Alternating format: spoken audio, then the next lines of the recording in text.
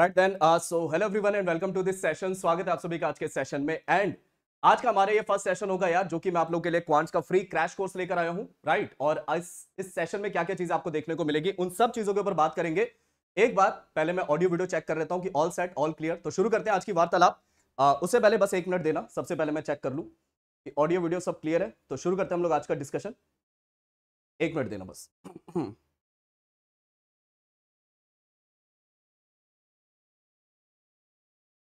Okay चलो चलो चलो चलो। ओके हेलो हाय यार सभी को सभी को hello hi hello hi hello hi सभी को ठीक है आ, नंबर ऑफ़ बच्चे देख के यार एक्साइटमेंट तो पूरी तरह दिख रही है बाकी मेरा साथ ही साथ सजेशन होगा कि काफ़ी सारे आई नो कि पहला सेशन है हमारी इस एक बहुत ही बेहतरीन सी सीरीज़ जो मैं आपके लिए लेकर आया हूँ तो काफ़ी सारे स्पैमर भी नो डाउट आए होंगे क्योंकि कुछ लोगों को तकलीफ़ हो जाती है कि जाओ जाकर के लाइव क्लास को खराब करो अपनी स्पैमिंग के थ्रू तो ठीक है, आप लोगों ने इग्नोर करना, बाकी मैं अपने मैंने अपनी टीम को बोल दिया है, जैसा भी होगा वो उनको at the same time block करते रहेंगे। फ़िलहाल हम लोग मुद्दे पे आते हैं और शुरू करते हैं आज का डिस्कशन एंड एंड एंड शुक्रिया यार सभी का।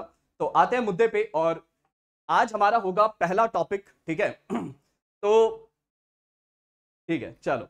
तो क्वांट्स का हमारा जो फ्री क्रैश कोर्स है, आज उसकी पहली क्लास है, मैं बता देता हूँ क्या क्या आज के सेशन में होने वाला है। ठीक है यार, आप लोग की एक्साइटमेंट देख करके थोड़ा सा इस तरीके का भी प्रेशर बढ़ जाता है मतलब खुशी तो होती है but at the same time एक प्रेशर भी होता है कि यार बच्चे बहुत ज़्यादा उम्मीद कर रहे हैं तो अपने एंड से जितना ज़्यादा वो उम्मीद कर रहे हैं उतना बेहतर कंटेंट डिलीवर किया जाए ताकि उनकी वो सारी उम्मीदें फुलफिल हो और आने वाले कैट एग्ज़ाम में वो बेहतर लेवल का परफॉर्म कर पाए। तो इसी उम्मीद के साथ शुरू करते हैं हम लोग आज का सेशन Uh, सबसे पहले ध्यान रखना है फ्री स्पेशल क्लासेस होने वाली है only on Unacademy app Unacademy app पे दो तरह की क्लास होते हैं फ्री क्लासेस होंगी 4 पीएम चार नवंबर से छह नवंबर तक आपको देखने को मिलेंगे। जितने भी बच्चे शायद ही कोई होगा जिसके फ़ोन में अन अकेडमी ऐप ना हो जिनके पास नहीं है इंस्टॉल कर लेना बहुत ज़्यादा यूजफुल सेशन आपके पास आने वाले हैं। और शुरू करते हैं हम लोग आज का डिस्कशन और आते हैं मुद्दे पे। तो यहाँ पर अगर आप देखोगे तो आज का जो हमारा पहला दिन है, यानी हमारे क्रैश कोर्स का जो आज पहला दिन है तो आज इन कुछ एक टॉपिक के ऊपर मैं आपसे बातें करूँगा, जो कि कहीं ना कहीं एग्ज़ाम के पॉइंट से बहुत इंपॉर्टेंट है। एलिगेशन का क्वेश्चन फोर श्योर एग्ज़ाम में आते ही आते बहुत ज़्यादा चांसेस है इसके, क्योंकि एलिगेशन मल्टीपल चैप्टर में यूज़ होता है, चाहे वो आपका प्रॉफिट एंड लॉस हो एवरेज हो सिंपल इंटरेस्ट हो, या फिर परसेंटेज के काफ़ी सारे वैरायटी ऑफ़ क्वेश्चन जहाँ पर एलिगेशन हमें देखने को मिलता है। साथ ही साथ टाइम स्पीड एंड डिस्टेंस के भी कुछ क्वेश्चन ऐसे होते हैं जहाँ पर कि आप एलिगेशन देख सकते हो। अगर मैं बात करूँ तो हम लोग बात करेंगे सिमिलर टू डिफरेंट एक कॉन्सेप्ट होता है परम्यूटेशन एंड कॉम्बिनेशन का सिमिलर टू डिफरेंट उसके ऊपर भी बात करेंगे, क्योंकि इंपॉर्टेंट कॉन्सेप्ट है, उसके ऊपर बात करेंगे। वेटेड एवरेज के ऊपर डिस्कशन करेंगे मॉड्यूलस के डिस्टेंस कॉन्सेप्ट और एक जो सबसे बेहतरीन पॉइंट आपके लिए होने वाला है दैट इज़ मॉड्यूलस के ग्राफ कॉन्सेप्ट लास्ट टाइम भी मैंने पीवाईक्यू के वक्त मॉड्यूलस के ग्राफ कॉन्सेप्ट डिस्कस किए थे, पर उतना डेप्थ में मैंने बात नहीं करी थी। क्यों? क्योंकि सिर्फ़ पीवाईक्यू पे बात करनी थी। जिन भी बच्चों को ये दिक्कत होती है ना ग्राफ में। ये वाला सेक्शन आज आप देख लेना। इसके बाद मुझे रेयरली लगता है कि आपको ग्राफ में दिक्कत होगी, क्योंकि मॉड्यूलस पढ़ाते वक्त मैं ग्राफ की हर एक पॉसिबिलिटी पे बात करूँगा। तो फ़र्क सिर्फ़ इतना होगा कि हमें क्वाड्रेटिक जब आएगा तो उस पर डील कर लेंगे। तो ग्राफ में थोड़ा बहुत पोर्शन बचेगा, वो एक और सेशन में रखूँगा, वहाँ पे समअप हो जाएगा। तो ग्राफ की प्रॉब्लम आपकी बहुत ज़्यादा हद तक खत्म हो जाएगी। एंड जितने भी पॉसिबल ग्राफ आप लोग कहते हो कि, सर मॉड के अंदर कभी कभार हमें x plus y mod x minus y ये सब दिखते हैं। जितने भी वेराइटी ऑफ़ ग्राफ है उन सबको कहीं ना कहीं मैं समअप कर रहा हूँ आज के सेशन में। तो ये पाँच चीज़ों के ऊपर हमें बात करनी है। स्टार्ट करते हैं सबसे पहले टॉपिक से जो कि है हमारा एलिगेशन सबसे पहले एलिगेशन पे बात करेंगे और एलिगेशन में यूज़ होने वाले हर एक फंडे को ध्यान से समझेंगे। उम्मीद है कि सारे क्लियर है। ओ, ओ, ओके ये थोड़ा ज़्यादा हो गया। वन के की उम्मीद खैर मुझे नहीं थी बट चलो ठीक है। इसका मेरी लाइफ में पहली बार है तो मैं एक स्क्रीनशॉट लेना बनता है। ठीक है? चलो जी शुक्रिया। ओके शुक्रिया जी। लगे यार वीडियो को लाइक भी कर देना यार ठीक है? चलो आते हैं मुद्दे पर यार। मतलब एकेडमिक वीडियो पे वन के लाइक तो चलो बहुत अच्छी बात है। बढ़िया करते हैं। चलो यार थैंक यू अब पढ़ाई करते हैं ठीक है बहुत हो गया। आ, अच्छा फील हो गया मुझे बहुत अच्छी बात है। अब आते हैं मुद्दे पे और पढ़ना शुरू करते हैं जिसके लिए आप और मैं मिले हैं। मुद्दे पे टिकते हैं पढ़ना शुरू करते हैं। प्लीज़ सभी लोग यार स्क्रीन पर फोकस करना। जिन लोगों को लाइव चैट से दिक्कत है वो स्क्रीन को फुल कर लेना ताकि ज़्यादा लाइव चैट उन्हें ना दिखे। फ़िलहाल मुद्दे पे आते हैं और एलिगेशन के ऊपर डिस्कशन करते हैं। मैं भी सिर्फ़ और सिर्फ़ पढ़ाने पे फोकस करता हूँ। ठीक है? जो लर्नर है, बहुत अच्छी बात है। शुक्रिया यार आप सभी का आने के लिए। अब जरा हम लोग पढ़ाई पे बात करते हैं। एलिगेशन के ऊपर डिस्कशन करते हैं तो देखो जी एलिगेशन सबसे पहला पॉइंट आता है सर कि on which terms be use alligation सबसे पहला पॉइंट आता है सर ये एलिगेशन लगता कहाँ कहाँ पर है? पहले इसके ऊपर बात करते हैं और what should be the structure of question question का स्ट्रक्चर किस तरह का होना चाहिए ताकि हमें पता लगे कि यहाँ पर एलिगेशन लगेगा। तो इन दो चीज़ों के ऊपर बात करते हैं। जैसे फॉर एग्ज़ाम्पल आप एलिगेशन डिस्टेंस पे नहीं लगा सकते। जैसे एलिगेशन ऐसी चीज़ों के ऊपर लगता है जैसे कि प्रॉफिट परसेंटेज के ऊपर लगेगा। क्यों? क्योंकि प्रॉफिट परसेंटेज जब हम कैलकुलेट करते हैं तो प्रॉफिट परसेंटेज होता है profit upon CP into hundred hundred मुद्दा नहीं है, मुद्दा यह है कि ऐसी टर्म जिनकी कोई बेस वैल्यू होती है, जैसे प्रॉफिट परसेंटेज के बेस में सीपी आता है एवरेज के बेस में क्या आती है? नंबर ऑफ़ ऑब्जर्वेशन एक और होता है चेंज इन एवरेज इसके ऊपर भी बात करेंगे। अगर आप इंटरेस्ट परसेंटेज निकालते हो तो इंटरेस्ट अपॉन में प्रिंसिपल अगर आप प्राइस पर केजी निकालते हो, जैसे अगर आपको ये जानना है कि भैया ये आपने आलू कितने रुपए किलो दिए तो वो कहता है दस रुपए किलो। तो दस रुपए और अपॉन में क्वांटिटी आती है कि दस रुपए अपॉन में एक किलो का रेट है। तो ऐसी वैल्यू जिनके डिनोमिनेटर में कुछ ना कुछ आता है, चाहे आपका परसेंटेज और फ्रैक्शन हो गया, कई बार होता है कि भाई एक वेजल है, एक वेजल के अंदर ट्वेंटी परसेंट एल्कोहल है। अगर मैं कहता हूँ एक वेजल के अंदर ट्वेंटी परसेंट एल्कोहल है तो इसका मतलब यह हुआ कि अगर सर कोई वेजल हंड्रेड लीटर का है तो उसके अंदर ट्वेंटी लीटर एल्कोहल है। तो इनमें भी बेस आता है। अगर मैं स्पीड की बात करूँ तो स्पीड क्या होता है? सर स्पीड होता है डिस्टेंस अपॉन टाइम तो स्पीड निकालते वक्त भी बेस में क्या आता है? मतलब बेस आता है दैट इज़ टाइम अगर मैं और बाकी कुछ मिसलेनियस डेटा है। अब जैसे आप डिस्टेंस के ऊपर एलिगेशन नहीं लगा सकते, क्योंकि सर डिस्टेंस क्या होता है? सर डिस्टेंस होता है distance is equal to speed into time होता है।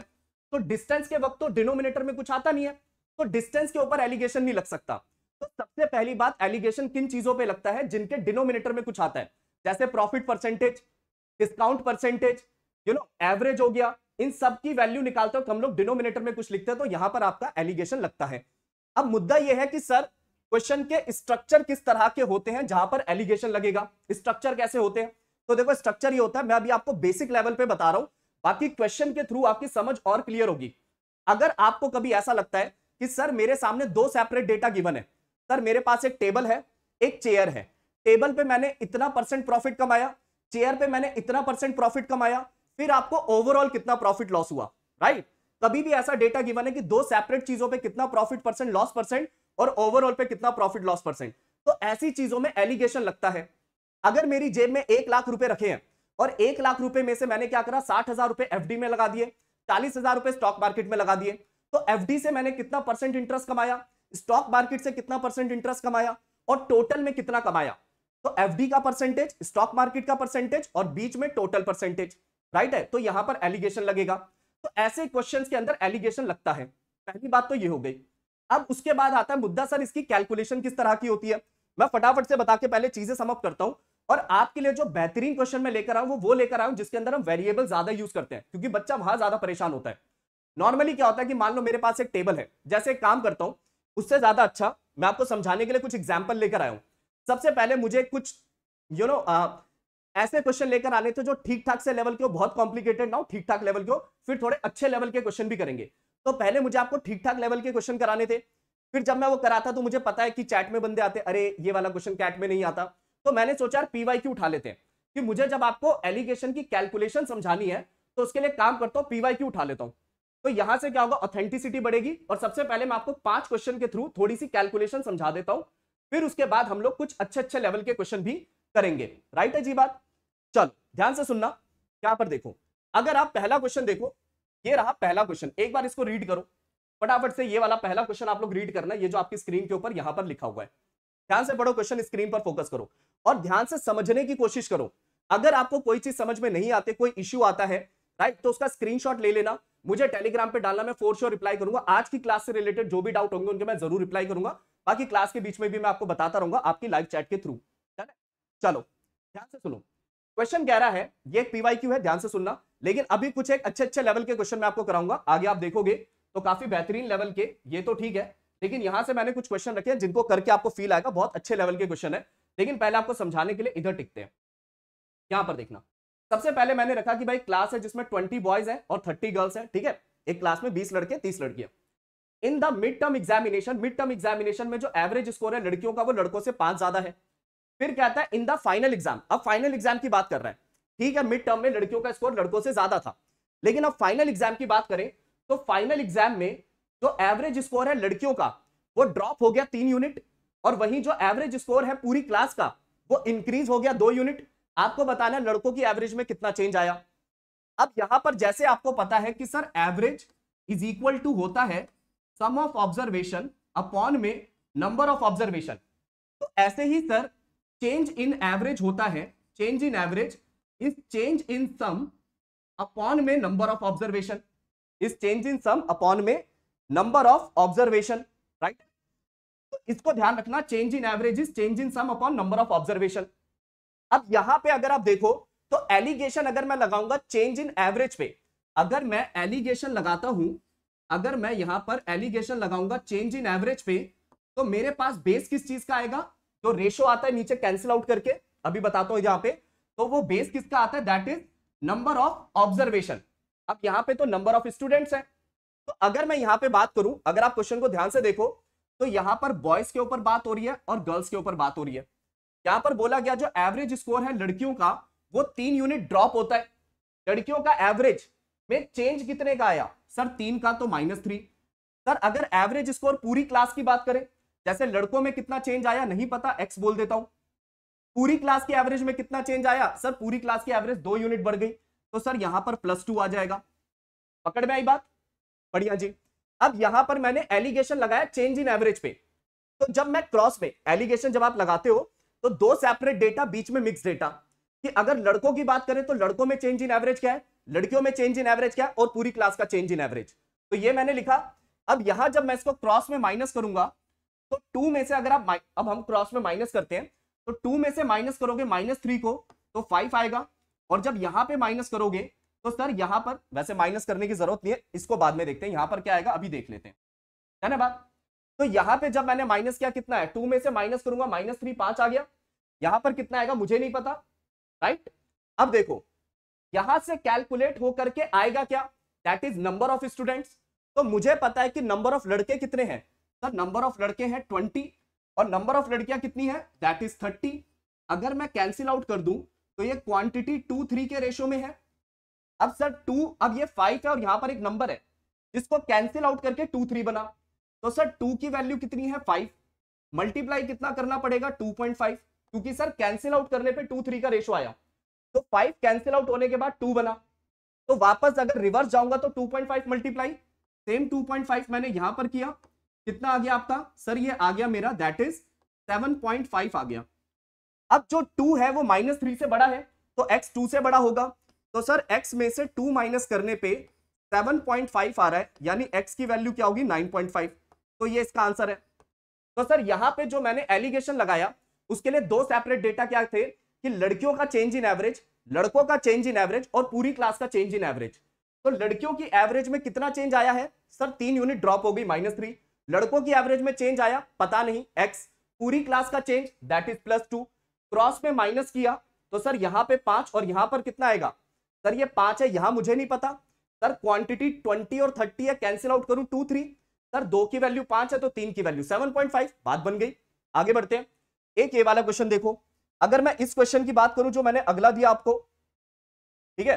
तो पहले मैं आपको कैलकुलेशन क्लियर करने के लिए कुछ क्वेश्चंस कराता हूँ। अब यहाँ पे जो अगला क्वेश्चन आप देखोगे तो यहाँ पर क्या है?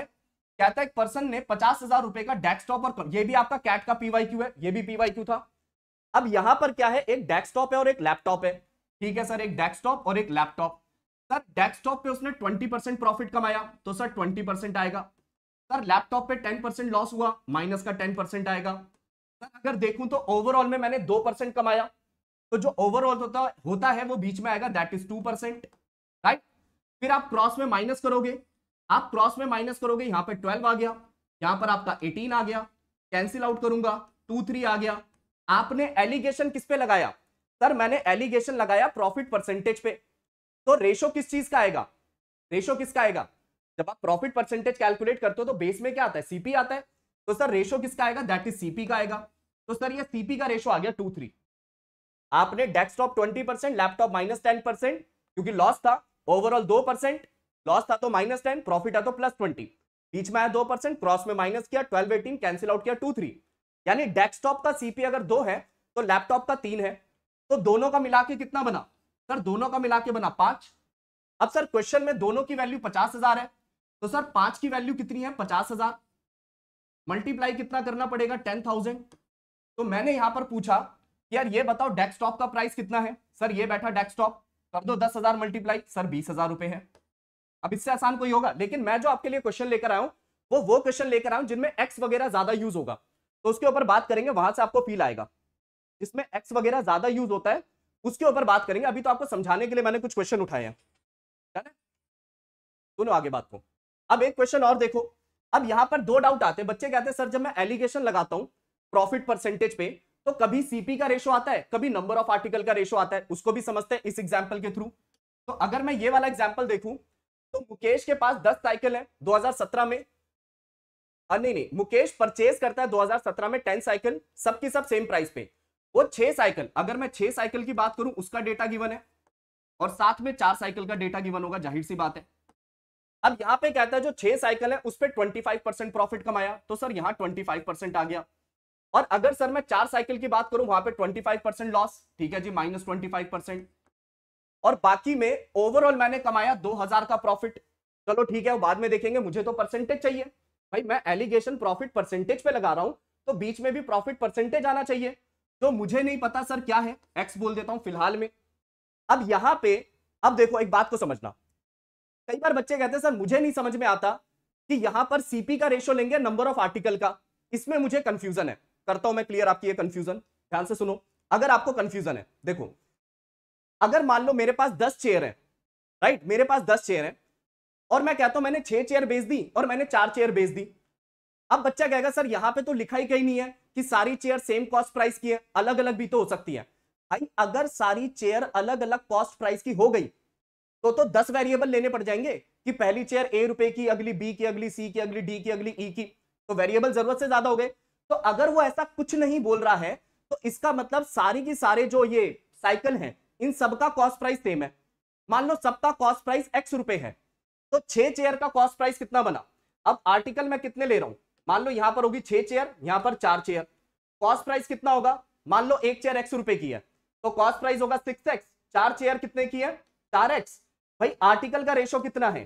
सिक्स फोर से कैंसिल आउट करूँ तो थ्री टू और अगर कॉस्ट प्राइस का रेशो देखूँ एक्स एक्स कटेगा, ये भी थ्री टू तो सर, सीधी बात है, जब अगर सामने वाला हमें सिंपल ये बोलता है, भाई, मेरे पास सौ आर्टिकल है, मैंने सिक्सटी आर्टिकल भेज दिए, मैंने फोर्टी आर्टिकल भेज दिए। राइट है? मैंने सिक्सटी भेज दिए, मैंने फोर्टी भेज दिए तो जो आर्टिकल का रेशो होगा, वही सीपी का रेशो होगा। क्योंकि अंडरस्टूड है कि सारे आर्टिकल सेम प्राइस के हैं। तो इसको क्लियर रखना, अगर ये कंफ्यूजन होती है। तो जब आप एलिगेशन लगाते हो तो आप नंबर ऑफ़ आर्टिकल भी लिख सकते हो और सीपी भी लिख सकते हो। तो यहाँ पे नंबर ऑफ़ आर्टिकल कितने हैं? क्योंकि क्रॉस में कैंसिल आउट करके जो रेशो आएगा, वो सीपी का आएगा, या कह लो नंबर ऑफ़ आर्टिकल का एक ही बात है। तो यहाँ पर छह साइकिल है, यहाँ पर चार साइकिल है, इनको कैंसिल आउट कर दूँ। तो सर ये बन गया थ्री रेशो टू बन गया। अब एक छोटी सी बात ध्यान रखना, अब एक छोटी सी बात आप ये ध्यान रखना। अब यहाँ पर आपको एक बात ये ध्यान रखनी है, अभी जो मैं आपको बता रहा हूँ। यहाँ पर ये पॉइंट सुनना। कि यहाँ पर एक चीज़ हमें ध्यान रखनी है क्या? कि सर, अगर मुझे, मेरे साथ मैं एलिगेशन लगा रहा हूँ, एक नंबर ए है, ये बी है, बीच में सी है और यहाँ पर ए रेशो बी है।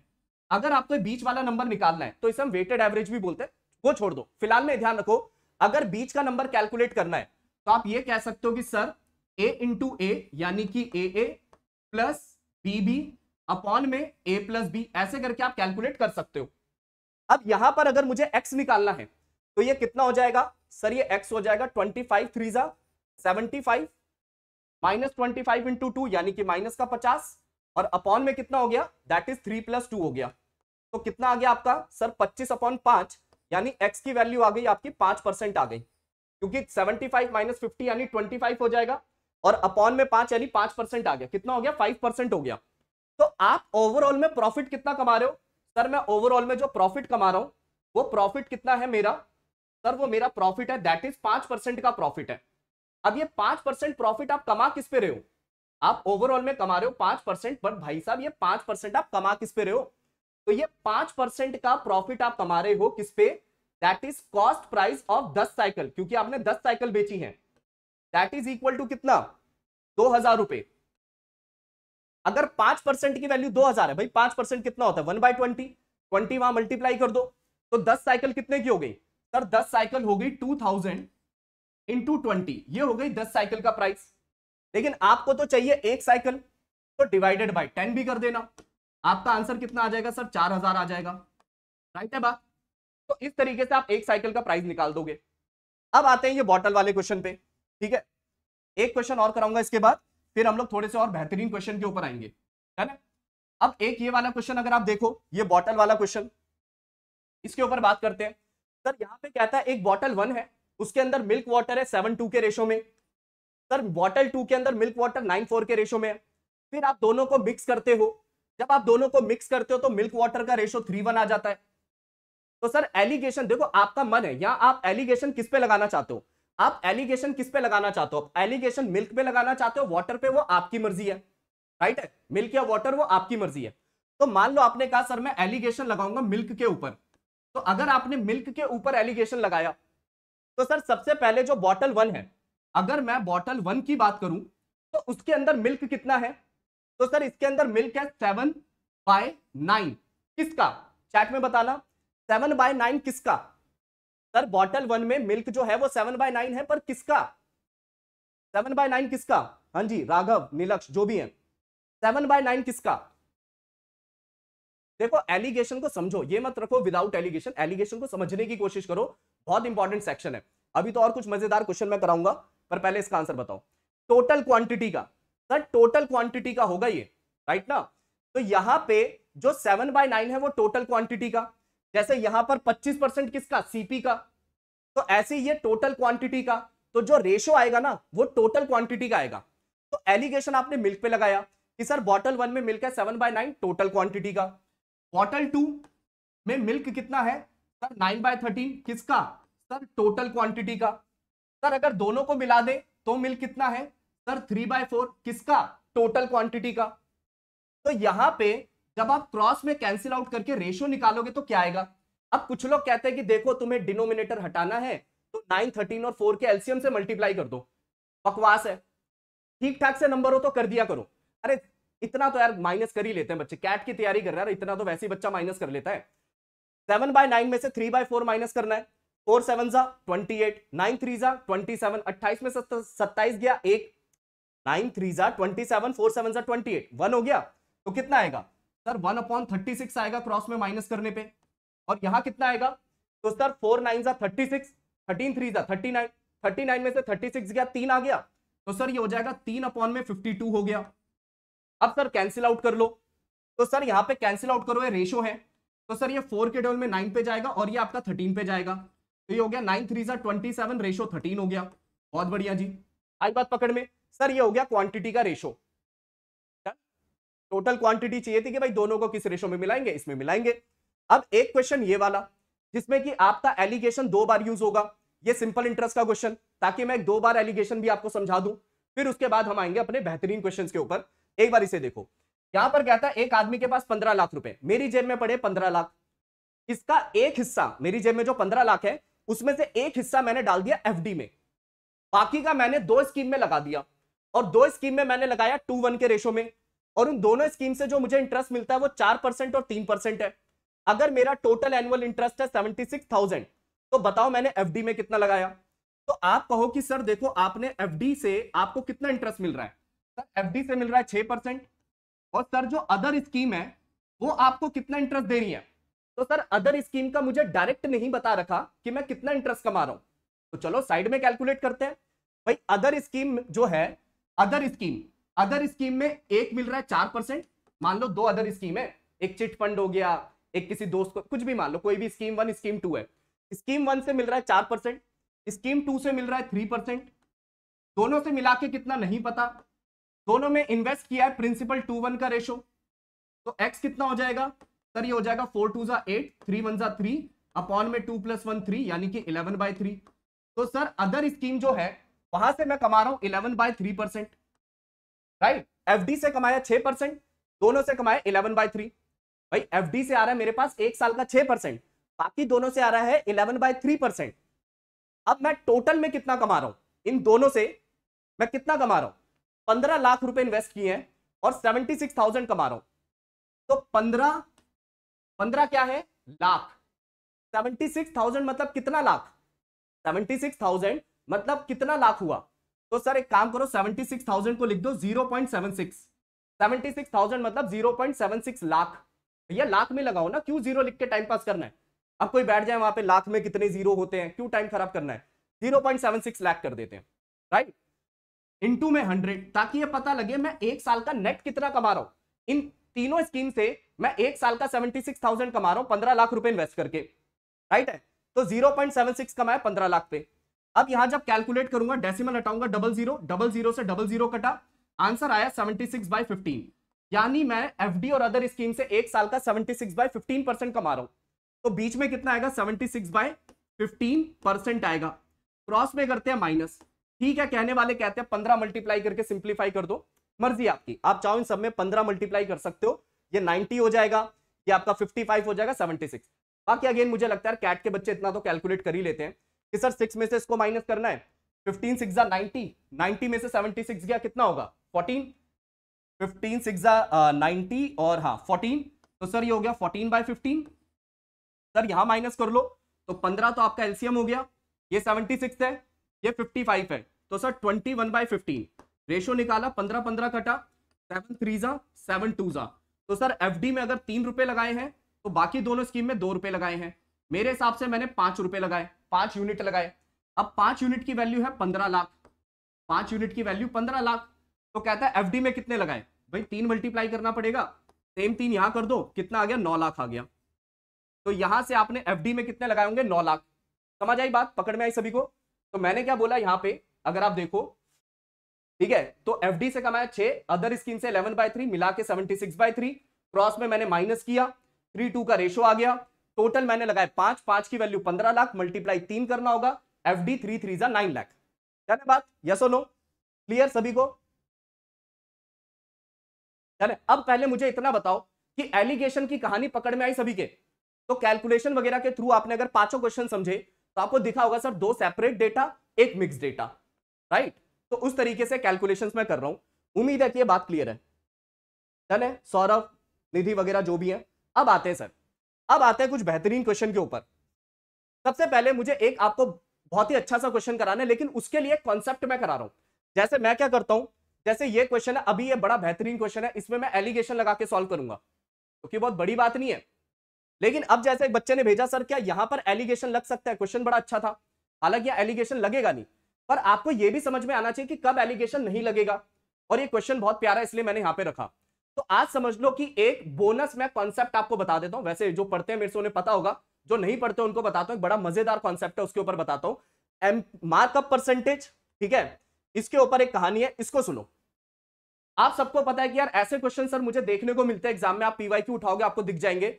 जिसमें लिखा होता है mark up percentage discount percentage और प्रॉफिट परसेंटेज प्रॉफिट परसेंटेज का सबको आइडिया डिस्काउंट परसेंटेज सबको आइडिया मार्कअप के बारे में मैं थोड़ा बता देता हूँ। वैसे तो मार्कअप भी आइडिया होगा। बट स्टिल सुन लेना।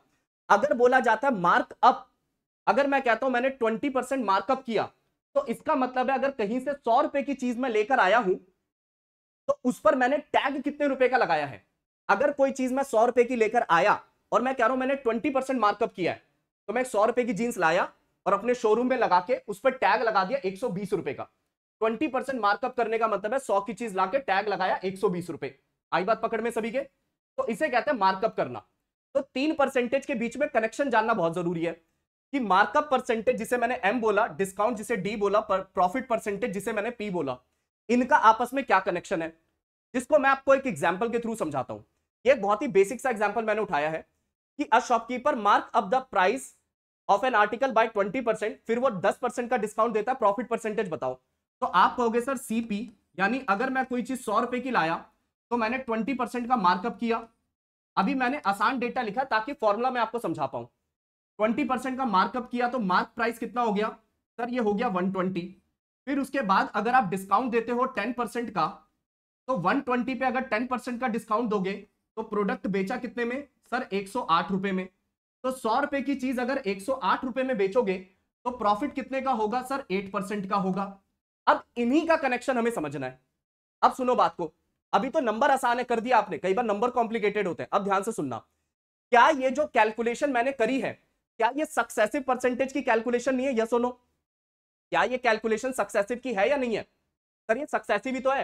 पहले सौ पे बीस परसेंट कैलकुलेट हुआ, एक नंबर आया, फिर उस पर टेन परसेंट निकाल के माइनस किया, एक और नंबर आ गया। सर, ये तो सक्सेसिव की कैलकुलेशन है है ना? अब आप सबको एक फॉर्मूला पता होगा। यहाँ पर ध्यान देना if a percent and b percent are two successive percentages then net percentage change क्या होता है? Sir a plus b plus a b upon hundred ये फॉर्मूला सबको पता है? कि सर ये एक फॉर्मूला होता है। अगर ए परसेंट बी परसेंट दो सक्सेसिव परसेंटेजेस है तो भैया यहाँ पे अगर आप देखो तो मार्कअप परसेंटेज और डिस्काउंट परसेंटेज सक्सेसिवली कैलकुलेट हुई। मार्कअप परसेंटेज और डिस्काउंट परसेंटेज सक्सेसिवली कैलकुलेट हुई। और आंसर क्या आया? प्रॉफिट परसेंटेज तो अगर आप मार्कअप परसेंटेज डिस्काउंट परसेंटेज को सक्सेसिवली कैलकुलेट करोगे तो जो नेट रिज़ल्ट आएगा, वो प्रॉफिट आएगा। तो क्या कनेक्शन नहीं आ गया? कि मार्कअप और डिस्काउंट पे अगर आप ये फॉर्मूला लगाओ, अब मार्कअप का मतलब होता है इंक्रीज करना तो यहाँ पर आएगा एम डिस्काउंट मतलब डिक्रीज करना तो sir minus d plus m into minus d upon hundred इससे क्या निकल के आएगा? इससे क्या निकल के आएगा? सर प्रॉफिट निकल के आएगा। इस बात को ध्यान रखना, बहुत काम का फॉर्मूला ये। अगर ये फॉर्मूला मैं यहाँ लगा दूँ तो यहाँ पर कितना होगा? सर, लिखा है ट्वेंटी परसेंट मार्कअप फिर टेन परसेंट का डिस्काउंट तो सर, यहाँ पर ट्वेंटी है मार्कअप तो twenty minus ten plus twenty into minus ten divided by hundred कितना बना? ट्वेंटी में से टेन गया टेन ये हो जाएगा माइनस का टू ये आ गया आठ। आठ मतलब क्या? प्रॉफिट आ गया। और वही था। तो इस फॉर्मूले को ध्यान रखना है। अब इस फॉर्मूले का बेहतरीन यूज़ मैं आपको इस क्वेश्चन में दिखाता हूँ। अब ये क्वेश्चन है आपका, रोहित ने एक टेबल खरीदी और एक चेयर खरीदी 3900 और 7800 में। वो टेबल को बेचता है एक्स परसेंट प्रॉफिट पे। तो टेबल पे कितना प्रॉफिट हुआ? सर एक्स परसेंट का प्रॉफिट अगर मैं बात करूँ चेयर की तो चेयर का पहले वो मार्कअप करता है थ्री एक्स परसेंट फिर डिस्काउंट देता है टू एक्स परसेंट और उसके बाद बेचता है। तो चेयर पे कितना कमाया? अगर चेयर का पहले मार्कअप किया थ्री एक्स फिर डिस्काउंट दिया टू एक्स तो कमाया कितना? तो सर प्रॉफिट कैसे निकालते हैं? Markup percentage which is three x minus discount plus three x into minus two x divided by hundred कितना बन गया? सर एक्स ये से काटेगा माइनस का three x square upon fifty क्योंकि दो पचास को, इसको काट देगा फिफ्टी पे। तो सर, मैंने चेयर पे कितना कमाया? X minus three x square upon fifty ये कमाया। और सर दोनों पे मुझे कितना प्रॉफिट हो रहा है? सर दोनों पे मुझे प्रॉफिट हुआ एक्स माइनस चार परसेंट तो सर यहाँ पर आएगा x minus four percent net ठीक है? कितना आ गया? एक्स माइनस फोर आ गया। उम्मीद है क्लियर है बात सभी को? तो आपने जो आपका आपका जो टेबल है उस पर कमाया एक्स चेयर पे कितना कमाया? X minus three x square upon पचास। और दोनों पे कितना कमाया? एक्स माइनस फोर अब जब आप इन्हें क्रॉस में माइनस करोगे तो क्रॉस में माइनस करके आता क्या है? सर सीपी का रेशो भैया, ये रहा आपका टेबल ये रही चेयर टेबल कितना? 3900 चेयर 7800 ये दोनों नंबर कैंसिल आउट हो रहे हैं किसके टेबल में? 39 के टेबल में। सर 39 वन जा 39 39 टू जा 78 तो सर टेबल और चेयर के जो सीपीएसपी का रेशो आएगा, वो कितना आएगा? वन रेशो टू आएगा। This is one ratio two है ना? अब जब आप x में से x माइनस फोर को माइनस करोगे भाई, x और x माइनस फोर का डिफरेंस कितना है? तो sir, x minus x minus four करूँगा, x x कटेगा, चार आएगा सर। सर, दो की वैल्यू चार है मल्टीप्लाई टू करना होगा। तो सेम टू आप यहाँ पे कर देना। कितना आ गया सर? दो आ गया। राइट है? अब जैसे ये x माइनस फोर एक्स से छोटा है तो इससे तो बड़ा ही होगा।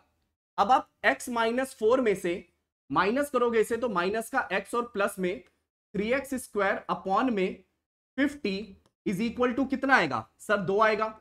सर एक्स से एक्स कट गया, चार वहाँ गया, छह हो गया तो three x square upon fifty is equal to six तीन इस छह को दो पे काटेगा एक्स स्क्वायर की वैल्यू आएगी हंड्रेड तो हंड्रेड मतलब टेन का स्क्वायर तो एक्स की वैल्यू कितनी आ गई? टेन आ गई। क्या ये समझ आया सभी बच्चों को? यस सुनो एक बार चैट के थ्रू बताओ, फटाफट से। यस सुनो क्या ये बात क्लियर है? क्या ये पॉइंट क्लियर हुआ सभी को? वन रेशो टू इसलिए आया क्योंकि जो 3900 टेबल का कॉस्ट प्राइस है 7800 चेयर का है। दोनों को कैंसिल आउट करा ना मैंने। भाई 3900 है टेबल का और 7800 इसका है। डबल ज़ीरो से डबल ज़ीरो कट गया और 39 वन जा 39 टू जा। तो वन रेशो टू आ गया। बात क्लियर है? पक्का? ठीक है। मैं करूँगा टाइम टेबल प्रोवाइड करूँगा पीडीएफ भी क्लास की मिल जाएगी। पहले इसे बताओ। चल। है ठीक है ठीक है ठीक है। चल, चलो। एक बार ये वाला क्वेश्चन ट्राई करो। देखो, यहाँ पे मैंने बस करा ये है, इस चीज़ को ध्यान से। एक और, बस मैं शॉर्ट में फटाफट बता रहा हूँ, ज़्यादा टाइम लूँगा, इसलिए ध्यान से सुनना सारे। ठीक है? और बाकी यार ये ध्यान रखना टाइम पास बातें मुझे करने में बड़ा मज़ा आता है, पर थोड़ी कम रहेंगी यार, क्योंकि टाइम कम है, हमें फटाफट पढ़ना। उम्मीद है किसी को कोई दिक्कत नहीं है। बिल्कुल ऐसी एक सीरियस नोट पे पढ़ते रहे पढ़ते रहे पढ़ते रहे, बीच में थोड़ा बहुत टाइम पास कर लेंगे। चलो। फ़िलहाल में बिल्कुल प्योरली पढ़ने पे ध्यान देना है। तो यहाँ पे एक बार मैं फटाफट से समअप कर देता हूँ, ठीक है? एक बार फटाफट से मैं कहानी को जरा समअप कर देता हूँ। तो देखो सर, मैंने ये बोला कुल मिला के, अगर आप क्वेश्चन को ध्यान से देखोगे तो टेबल है टेबल पे आपने कितना कमाया? सर एक्स परसेंट प्रॉफिट सीधा सीधा लिखा टेबल पे एक्स परसेंट प्रॉफिट कमाया तो टेबल पे कमाया एक्स परसेंट चेयर पे लिखा हुआ है कि पहले आपने चेयर का मार्कअप किया थ्री एक्स फिर डिस्काउंट दिया टू एक्स तो प्रॉफिट कैसे निकालते हैं? सर प्रॉफिट होता है markup minus discount plus markup into minus discount upon hundred. ये फॉर्मूला याद रखो, बहुत काम का फॉर्मूला है, नहीं स्किप कर सकते आप। तो यहाँ पे चेयर पे कितना कमाया? Sir, markup minus discount plus markup into minus discount upon hundred. Three x में से टू एक्स गया, एक्स बचा। यहाँ पर आएगा माइनस टू हंड्रेड को फिफ्टी पे काटेगा। तो सर, ये हो गया थ्री एक्स स्क्वायर अपॉन में पचास हो गया। तो सर, ये आपने कमाया चेयर पे that is x minus three x square upon में पचास। दोनों पे कितना कमाया? एक्स माइनस फोर तो यहाँ पर एक्स माइनस फोर फिर जब आप इसको क्रॉस में माइनस करते हो तो क्या निकल के आता है? सर सीपी का रेशो आता है कि टेबल और चेयर के कॉस्ट प्राइस का रेशो क्या है? वही तो आएगा। भाई टेबल कितने की है? सर टेबल है थर्टी नाइन हंड्रेड की और चेयर है सेवेंटी एट हंड्रेड की। Double zero double zero thirty nine one जा थर्टी नाइन टू जा तो सीपी का रेशो क्या आ रहा है? वन रेशो टू आ रहा है। जब आप x में से x माइनस फोर को माइनस करोगे तो चार आएगा। अब सर दो की वैल्यू चार है मल्टीप्लाई टू करना पड़ेगा। तो सेम टू यहाँ पे कर दो। तो ये कितना आ गया? टू क्योंकि भाई क्रॉस में माइनस करके कुछ नंबर आते हैं। फिर आप उनको काट के रेशो लिखते हो। तो रेशो है वन टू अब चार जो है, वो कटने के बाद टू बना। तो उल्टा जाओ कि टू टू जा फोर तो वन टू जा टू अब जो x माइनस फोर है, वो x से छोटा है। तो इससे बड़ा होगा। क्योंकि जो दोनों के बीच वाला नंबर होता है ना टेबल पे कितना कमाया चेयर पे कितना कमाया और दोनों पे कितना कमाया तो जो बीच वाला नंबर होता है, वो इन दोनों के सेंटर में ही आता है। मतलब एलिगेशन में अगर आप दस और चार लिख रहे हो ना तो बीच में दस और चार के बीच का ही नंबर आएगा। तो अगर x माइनस फोर इससे छोटा है तो इससे बड़ा होगा। तो भाई, जब आप x माइनस फोर में से माइनस करोगे इसको तो ये हो जाएगा x माइनस कर रहे हो तो minus minus plus three x square upon fifty equal to कितना? दैट इज़ टू एक्स से एक्स कटेगा, चार वहाँ पे जाएगा छ तीन छह को दो पे काटेगा एक्स स्क्वायर आ जाएगा सौ। तो यहाँ से एक्स की वैल्यू आएगी दस। उम्मीद है बात क्लियर है राइट अगला क्वेश्चन करो, ये बहुत प्यारा क्वेश्चन है, मज़ा आएगा। फटाफट से एक बार अगला क्वेश्चन सॉल्व करें आप लोग। एक बार फटाफट से अगला क्वेश्चन सॉल्व करना। ठीक है, फटाफट फटाफट। जल्दी से, ये वाला क्वेश्चन सॉल्व करो। बाकी यार, हर बच्चा कोशिश ये करो अटेंटिव रहो इधर उधर ध्यान मत दो। अपने साथ साथ और बच्चों का भी सोचो। हो सकता है आपका ध्यान इधर उधर गया, आपने कोई बात मिस कर दी। अगर इस वजह से आपको समझ नहीं आ रहा, क्योंकि आपका ध्यान भटक गया था तो कोशिश करो कि स्क्रीनशॉट लेके टेलीग्राम पे डाल देना। मैं गारंटी देता हूँ, मैं आपको रिप्लाई करूँगा इस सेशन से रिलेटेड क्योंकि अगर मैं एक ही चीज़ बार बार रिपीट करूँगा, बाकी बच्चों का टाइम वेस्ट होगा, ठीक है? तो ये मेरी रिक्वेस्ट है आप सभी से प्लीज़ थोड़ा अटेंटिव रहना, ठीक है? टाइम कम है अदरवाइज़ मुझे कोई एक चीज़ को पाँच बार रिपीट करने में भी दिक्कत नहीं है। बस थोड़ा अटेंटिव रहना, ठीक है? ताकि बाकी बच्चों का टाइम ना वेस्ट हो। चलो, इसके आंसर पे अगर बात करें, sir, Aman mark up the price of table by x percent and फिर डिस्काउंट देता है पंद्रह परसेंट का। अगर सर वो मार्कअप करता पंद्रह परसेंट और डिस्काउंट देता एक्स परसेंट का तो उसे इतने रुपए कम मिलते। क्या इसमें एलिगेशन लगेगा? नहीं, सर। भाई, यहाँ पर ऐसा थोड़ी बोला है कि एक पहला केस है मतलब टेबल है, जिसपे पहले इतना मार्कअप किया, इतना डिस्काउंट किया, चलो प्रॉफिट पता लग गया। फिर मान लो दूसरा आर्टिकल है उस पर इतना मार्कअप इतना डिस्काउंट फिर प्रॉफिट पता लग गया।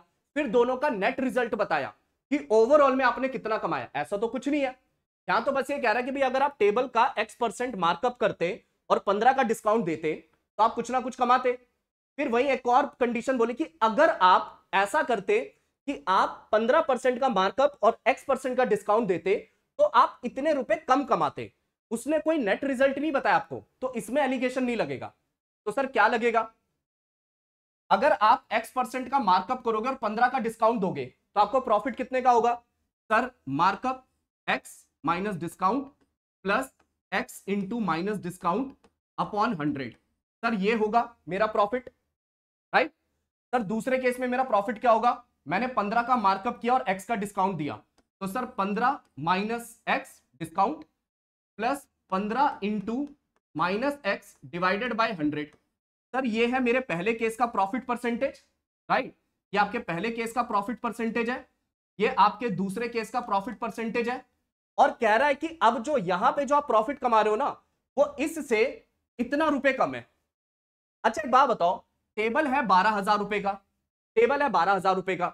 अगर मैं कह रहा हूँ टेबल पे मैंने छत्तीस सौ रुपए कम कमाए, अगर टेबल पे मैंने छत्तीस सौ रुपए कम कमाए तो मैंने कितना कम प्रॉफिट कमाया? मैंने प्रॉफिट कितना कम कमाया? छत्तीस सौ बारह हज़ार का कितना परसेंट होता है? सर, छत्तीस सौ बारह हज़ार का कितना परसेंट होता है? Double zero double zero, one zero one zero, thirty percent. तो इन शॉर्ट ये कहना चाह रहा, थर्टी परसेंट कम कमाओगे? भाई, यहाँ जो आपने कमाया और यहाँ जो कमाया सेकंड केस में आप पहले केस के कंपैरिजन थर्टी परसेंट कम कमा रहे हो। तो इसको जब माइनस करोगे तो इक्वल टू में क्या आएगा? थर्टी आएगा। अब इसको सॉल्व कर दो। तो यहाँ पर अगर आप देखोगे तो ये हो जाएगा एक्स माइनस पंद्रह। माइनस पंद्रह एक्स अपॉन हंड्रेड। ये माइनस का पंद्रह, ये प्लस एक्स, ये माइनस पंद्रह x upon hundred. And that is equal to thirty sir, ये परसेंटेज कहाँ गया? ये परसेंटेज कहाँ गया? तो भैया परसेंटेज हटा के सौ सौ लगाओगे, उधर भी सौ लगेगा, कट जाएगा। या कह लो परसेंटेज कॉमन निकाला और परसेंटेज से परसेंटेज कट गया। राइट अब इसको कैंसिल आउट कर दो। ये तो एक सेकेंड ये माइनस आएगा ना यहाँ पे। ओवरऑल हाँ, तो ये एक सेकंड रुकना। हाँ ये माइनस आएगा फिर ये माइनस माइनस प्लस हो जाएगा ये प्लस हो जाएगा। क्योंकि यहाँ पे प्लस माइनस माइनस होगा माइनस माइनस प्लस हो जाएगा। और सर ये कैंसिल आउट हो गया। और ये हो गया सर एक्स और एक्स टू एक्स हो गया। माइनस का थर्टी इक्वल टू थर्टी तो sir two x equal to sixty तो सर एक्स की वैल्यू कितनी आ गई? थर्टी आ गई। धन्यवाद। तो एक्स की आंसर एक्स की वैल्यू क्या होगी? थर्टी होगी। उम्मीद है बात क्लियर है। तो यहाँ पर देख लेना पहले मैंने एक्स परसेंट का मार्कअप किया, पंद्रह का डिस्काउंट तो सर ये प्रॉफिट बनता है। दूसरे केस में ये प्रॉफिट बनता है और कह रहा है दूसरे केस में आपने छत्तीस सौ रुपए कम कमाए बारह हज़ार पे। अब छत्तीस सौ बारह हज़ार का थर्टी परसेंट होता है तो मतलब दूसरे केस में मैं थर्टी परसेंट कम प्रॉफिट कमा रहा हूँ। तो दोनों के प्रॉफिट परसेंटेज का डिफरेंस थर्टी ये एक्स इंटू माइनस पंद्रह पॉइंट सौ और एक्स इंटू माइनस पंद्रह पॉइंट सौ कट जाएगा। एक्स एक्स बना टू एक्स क्योंकि माइनस के बाद सबके साइन चेंज होंगे। ये आंसर है। नेक्स्ट पे आते हैं, बिना टाइम वेस्ट किए। अगला क्वेश्चन आपके सामने कुछ इस तरह का। बहुत प्यारा क्वेश्चन है, ढंग से ट्राई करना फील आएगा सभी को।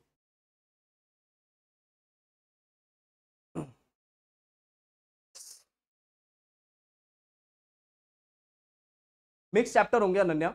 मैंने शुरू में बताया था अनन्या। आज के जो टॉपिक है आपके, आज के टॉपिक है एलिगेशन है। उसके बाद अभी हम लोग करेंगे पीएनसी का एक कॉन्सेप्ट करेंगे। फिर उसके बाद हम लोग मॉड्यूलस का डिस्टेंस कॉन्सेप्ट ग्राफ पढ़ेंगे। और ग्राफ के बाद लास्ट में वेटेड एवरेज पढ़ेंगे। ठीक है जी बात? थर्टी कैसे आया? नहीं, क्योंकि वो परसेंटेज है।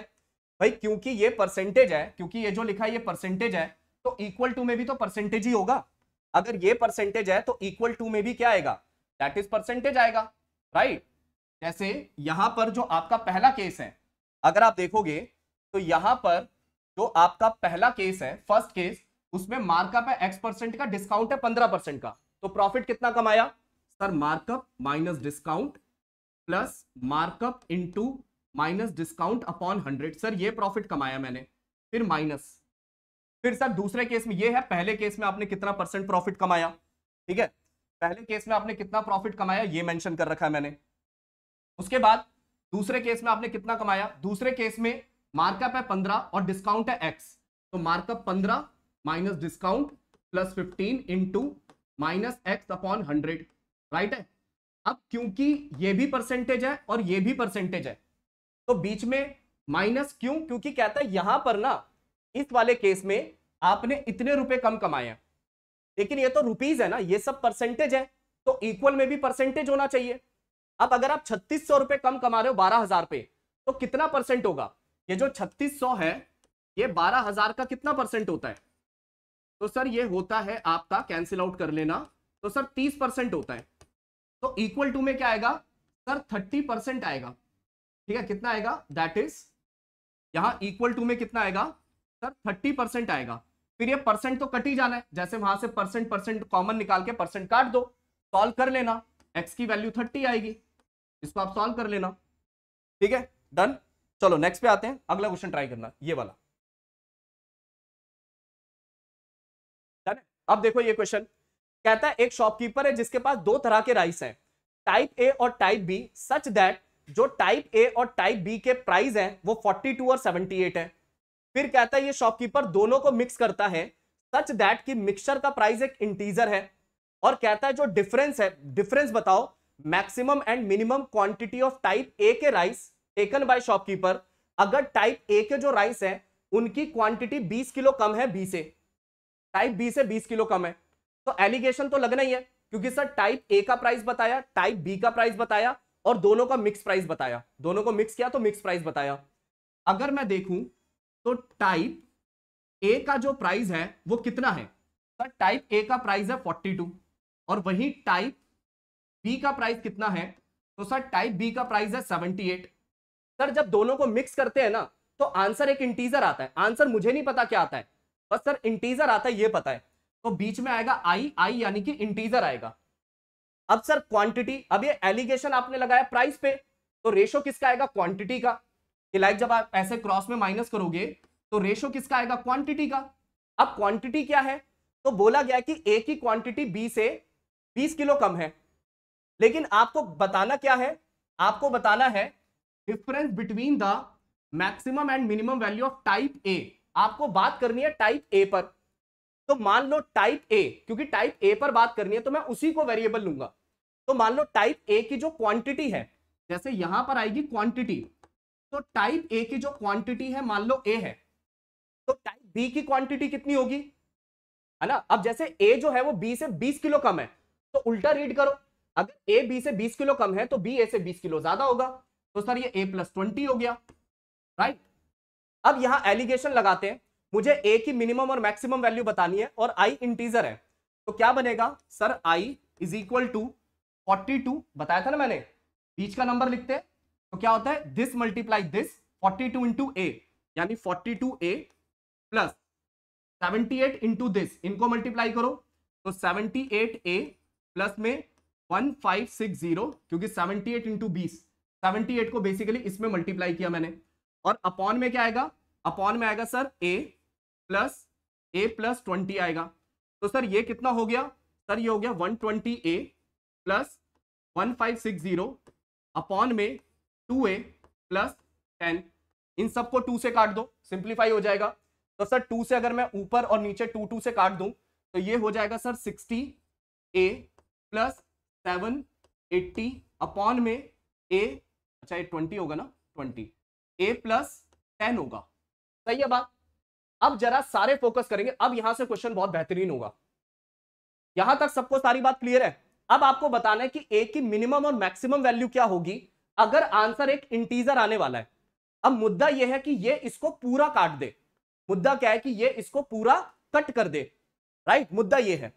अब आप खुद सोचो। अगर यहाँ पर देखो ए है और ऊपर लिखा है सिक्सटी ए तो मतलब ए का ऊपर मल्टीपल लिखा है सिक्सटी लेकिन सिक्सटी टेंजा कितना होता है? छह सौ। यानी मेरे भाई, अगर ऊपर लिखा होता सिक्सटी ए प्लस में छह सौ अपॉन में ए प्लस टेन तो तो आप इसको सीधा काट देते ना, ऐसे काट के सिक्सटी कट गया पूरा। अगर ऊपर सिक्सटी ए के साथ सिक्स हंड्रेड होता तो ये उसको सीधा सीधा सिक्सटी पे काट देगा। तो आप कहोगे, सर, मुझे छह सौ चाहिए। ये सेवन एट्टी आ गया। तो कोई नहीं सेवन एट्टी को ब्रेक कर लो। प्लस में 180 अपॉन में a प्लस टेन लिख दो क्या दिक्कत है? राइट है? मुद्दा ये कि ये इसको पूरा काट दे। काटने पे क्या आएगा? वो नहीं चाहिए मुझे। मुझे चाहिए कि ये इसको पूरा काटे इंटीजर आना चाहिए। अगर नीचे a है और ऊपर 60 है तो 60 a के साथ होना चाहिए 600 राइट अब 780 में से 600 निकाला बचा हुआ 180 वहाँ। तो सर ये तो इसको पूरा काट देगा 60 मतलब ये तो कट गया। अब सर मुद्दा यहाँ अटक गया कि 180 को मुझे ए प्लस टेन से काटना है। अब एक बात बताओ अगर आप चाहते हो 180 a प्लस टेन से कटे मतलब 10 से बड़ा नंबर जो 180 को काटता हो। 10 से बड़ा नंबर जो 180 को काटे, कौन है? A प्लस टेन आप ऐसा क्या लोगे? A प्लस टेन की ऐसी क्या वैल्यू लोगे जो 180 कट जाए? भैया 10 से ऊपर 11 आता है 11 तो 180 को काटेगा नहीं। पर 12 काटेगा क्या? सर 12 काट देगा। 12 180 को काट देता है है ना? तो a प्लस की वैल्यू 12 होगी मिनिमम मिनिमम आप ए प्लस टेन को 12 ले सकते हो, क्योंकि 12 180 को काट देगा। कितने पे? 15 पे। और मैक्सिमम कितना ले सकते हो? तो सर मैक्सिमम पूरा 180 बना दो। ए प्लस टेन को पूरा 180 बना दो। 180 180 को सीधा काट देगा। राइट ना? तो अगर ए प्लस टेन की वैल्यू बारह लेते हो तो इसका मतलब ए की वैल्यू आपने कितनी ली? दैट इज़ दो। और अगर आप ए प्लस टेन को 180 लेते हो तो आपने ए की वैल्यू कितनी ली? दैट इज़ 170 तो ए की मिनिमम वैल्यू कितनी है? तो ये टू क्या आई? सर, ये टू ए की मिनिमम वैल्यू है और सर, ये ए की मैक्सिमम वैल्यू है। और इसने बोला था ए की मैक्सिमम और मिनिमम का डिफरेंस बताओ। तो मैक्सिमम 170 मिनिमम दो डिफरेंस 168 आया समझ में सभी को? यस सुनो देखो, करना पड़ेगा फोकस ऐसे नहीं कि सर, वो बच्चों वाले क्वेश्चन कराओ, हमें खुश करो बस। मैंने क्या बोला था? ना मैं बहुत बेसिक कराऊँगा, ना बहुत डिफिक ओवर डिफ़िकल्ट नहीं पढ़ेंगे, बेतुके क्वेश्चन नहीं। ना बिल्कुल बेसिक लेवल का। वो नहीं पढ़ेंगे जो स्नैप में क्वेश्चन आते पता लगा वो मैं कैट बोल के स्नैप वाले क्वेश्चन करा रहा हूँ। नहीं जी। ये सब तरह के क्वेश्चन आपको समझने पड़ेंगे। क्योंकि मेरे भाई, अगर ये डायरेक्ट क्वेश्चन आ गए, ये जो मैंने स्टार्टिंग में चार पाँच क्वेश्चन कराए थे, अगर ये सब क्वेश्चन आ गए तो तो ये तो सारे बच्चे डील कर देंगे। अब आप खुश हो रहे हो कि, ओहो, हो, देखो मैंने ये वाला क्वेश्चन कर दिया। अरे, आप अकेले थोड़ी हो। आपके एग्ज़ाम सेंटर में बैठा हर बच्चा इसको कर रहा होगा मैक्सिमम कर रहे होंगे। तो यहाँ से ये मुझे भी करना है, ताकि मैं उनके लेवल पर आऊँ, पर उनसे आगे निकलना है ना। तो मुझे इस तरह के क्वेश्चन पे मेरी समझ क्लियर होनी चाहिए, ये जो मैंने कराया। ना बात पकड़ में आई सभी के? तो इस तरह के क्वेश्चन पे आपकी समझ इंप्रूव होनी चाहिए। अगले क्वेश्चन पर आते हैं। दो क्वेश्चन और करेंगे। तीन क्वेश्चन और है बेसिकली इसके। फिर आते हैं पीएनसी पे। तीन क्वेश्चन और करेंगे। ठीक है? अगला क्वेश्चन देखो। कहता है, अब जैसे ये ऐसे क्वेश्चन एग्ज़ाम में आते हैं ना तो टीचर क्या होते हैं? वो इक्वेशन शुरू होता है। अरे भैया एलिगेशन लगेगा। यही तो बच्चा कंफ्यूज हो जाता है कि कभी एलिगेशन लगा रहे हो, कभी नहीं लगा रहे हो। एलिगेशन ही लगाओ। अब आपके सामने दो सेपरेट डेटा है। कैसे? कहता है the average score of 24 student decreases by two when four student left the class 24 बच्चे हैं। अब 24 बच्चों में से जब चार बच्चे क्लास छोड़ के चले गए तो जो एवरेज है, वो दो यूनिट डिक्रीज हो गई। तो जो 20 बच्चों की एवरेज है मतलब अगर 24 बच्चों की एवरेज ऐसे सुन लेते हैं, ताकि आपको ध्यान रहे। मैं ऐसे कह देता हूँ, अगर 24 स्टूडेंट की जो एवरेज है, अगर वो एक्स है तो जब चार बच्चे क्लास छोड़ के गए तो जो 20 स्टूडेंट हैं, इनकी एवरेज कितनी हो गई? दो कम हो गई, यानी एक्स माइनस टू। और कहता है जो चार बच्चे क्लास छोड़ के गए हैं, उनकी एवरेज साढ़े बारह परसेंट ज़्यादा है ओरिजिनल वालों से। साढ़े बारह परसेंट कितना फ्रैक्शन होता है? One by eight. तो अगर जो ये चार बच्चे हैं, इनकी एवरेज इनसे, ये जो चौबीस बच्चे हैं, इनसे वन बाय एट ज़्यादा है। तो वन बाय एट ज़्यादा मतलब कितना? Nine by eight. ये पता है ना सबको? कि अगर आप किसी चीज़ को वन बाय एट इंक्रीज करोगे तो वो कितना हो जाएगा? Sir, one plus one by eight यानी कि नाइन बाय एट हो जाएगा। ये बात मुझे लगता है सबको पता है। जैसे परसेंटेज को सौ में ऐड करते हैं फ्रैक्शन को वन में ऐड करते हैं तो इन चार बच्चों की एवरेज हो जाएगी नाइन बाय एट एक्स हो जाएगी। सही बात है ना? आ जाओ क्वेश्चन पे। ठीक है? तो क्या इसमें एलिगेशन नहीं लगेगा क्या? अब इससे इससे ज़्यादा क्या डायरेक्ट बोलेगा सामने वाला कि भैया आप एलिगेशन लगाओ। अब ये तो वही रह गया तो कान में आके बोले कि सुनो, देखो एलिगेशन लगेगा। गलत जा रहे हो तुम एलिगेशन लग... ऐसे थोड़ी, इससे ज़्यादा डायरेक्ट क्या बताएगा वो? कि 24 बंदों की एवरेज पे बात कर रहा है, चार चले गए तो 20 की एवरेज पे बात कर रहा है, और जो चार गए उन पे बात कर रहा है, और सबको सेम वेरिएबल पे कनेक्ट कर रहा है तो इससे ज़्यादा डायरेक्ट क्या ही होगा? तो यहाँ पे अगर मैं देखूँ तो 20 बच्चों की एवरेज यानी ये जो 20 स्टूडेंट है, इनकी एवरेज कितनी है? सर एक्स माइनस टू बाकी जो चार बच्चे, इनकी एवरेज कितनी है? सर, इनकी एवरेज है नाइन बाई एट एक्स। ठीक है? और ये जो बीस और चार चौबीस बच्चे, इन सबको अगर मिला दूँ तो इनकी एवरेज क्या है? एक्स है। भाई, बीस और चार बच्चों का डेटा मिलाओगे तो चौबीस बच्चों का डेटा। अब इनको क्रॉस में माइनस करो। तो सर, इसको माइनस करोगे कितना आएगा? एक्स और एक्स माइनस टू का डिफरेंस कितना होगा? टू होगा। इसको माइनस करो। अगर नाइन बाई एट एक्स में से एक्स माइनस करोगे तो कितना आएगा? एक्स बाई एट आएगा। आएगा ना? नाइन बाई एट एक्स में से एक्स माइनस करोगे तो एक्स बाई एट आएगा। अब यहाँ पर क्वांटिटी क्या है? सर, ये है बीस बच्चे और ये कितने चार बच्चे। यानी क्वांटिटी का रेशो आ रहा है वन से फाइव यानी sir x upon eight divided by two is equal to five by one होना चाहिए। राइट है? तो कितना बन गया ये? सर, ये बन गया एक्स अपॉन आठ और दो सोलह is equal to five by one यानी एक्स की वैल्यू कितनी आ गई? अस्सी आ गई। एक्स की वैल्यू एट्टी है। समझ गए बात सारे? यहाँ पे एक्स की वैल्यू एट्टी तो ये एक्स माइनस टू वो nine by eight x x cross में माइनस किया, ये एक्स बाय एट वो टू क्वांटिटी सर ये बीस बच्चे, ये चार बच्चे क्वांटिटी पाँच एक के रेशो में है तो sir x by eight upon में two is equal to five by one क्योंकि मेरे हिसाब से क्वांटिटी का ratio x by eight ratio two है, आपके हिसाब से फाइव वन है इक्वल डालो एक्स निकालो, आगे बढ़ो। नेक्स्ट पे आते हैं, एक और बेहतरीन सा क्वेश्चन आपके सामने राइट देखो, अगला क्वेश्चन देखना ये मैंने रखा है क्योंकि कई बार ना एलिगेशन के वक्त वो मैक्सिमम मिनिमम जैसे वर्ड यूज़ करता है। मतलब आपको सीधा डेटा बता रहा है पर मैक्सिमम मिनिमम जैसे वर्ड यूज़ करके बता रहा है। जैसे कहता है अब पर्सन, अरे वीडियो को लाइक कर दिया ना सबने। अगर किसी ने वीडियो को लाइक नहीं किया तो एक बार लाइक कर देना। ठीक है? ये पक्का समझ आया सभी को? बहुत फास्ट हो रही है क्लास पल्लवी और बच्चों को भी लग रहा है क्या कि फास्ट जा रही है क्लास ऐसा कुछ? आप ही लोग कहते हो, सर टू एक्स पे देखने की आदत है तो मैंने कहा टू एक्स पे पढ़ा देता हूँ मैं। चलो, कोई नहीं, मैं थोड़ा सा, जैसा भी है, समझते हैं। लेकिन समझ तो आया ना लास्ट क्वेश्चन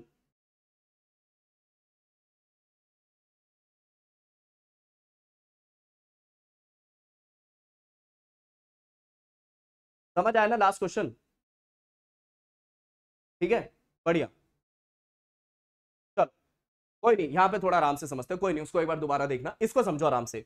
कहता है, एक आदमी है mixes two type of alcoholic drink रात का टाइम है, लिखना तो नीचे था मुझे क्वेश्चन एल्कोहल वगैरह अच्छा नहीं लगता है सब पर ठीक है। क्वेश्चन पे टिको a person wants to mix two type of alcoholic drink एक टाइप वन और एक टाइप टू जो टाइप वन है आपकी, उसमें जो परसेंटेज ऑफ़ एल्कोहल है वो एक्स है, और जो टाइप टू है, उसमें परसेंटेज ऑफ़ एल्कोहल वाई है।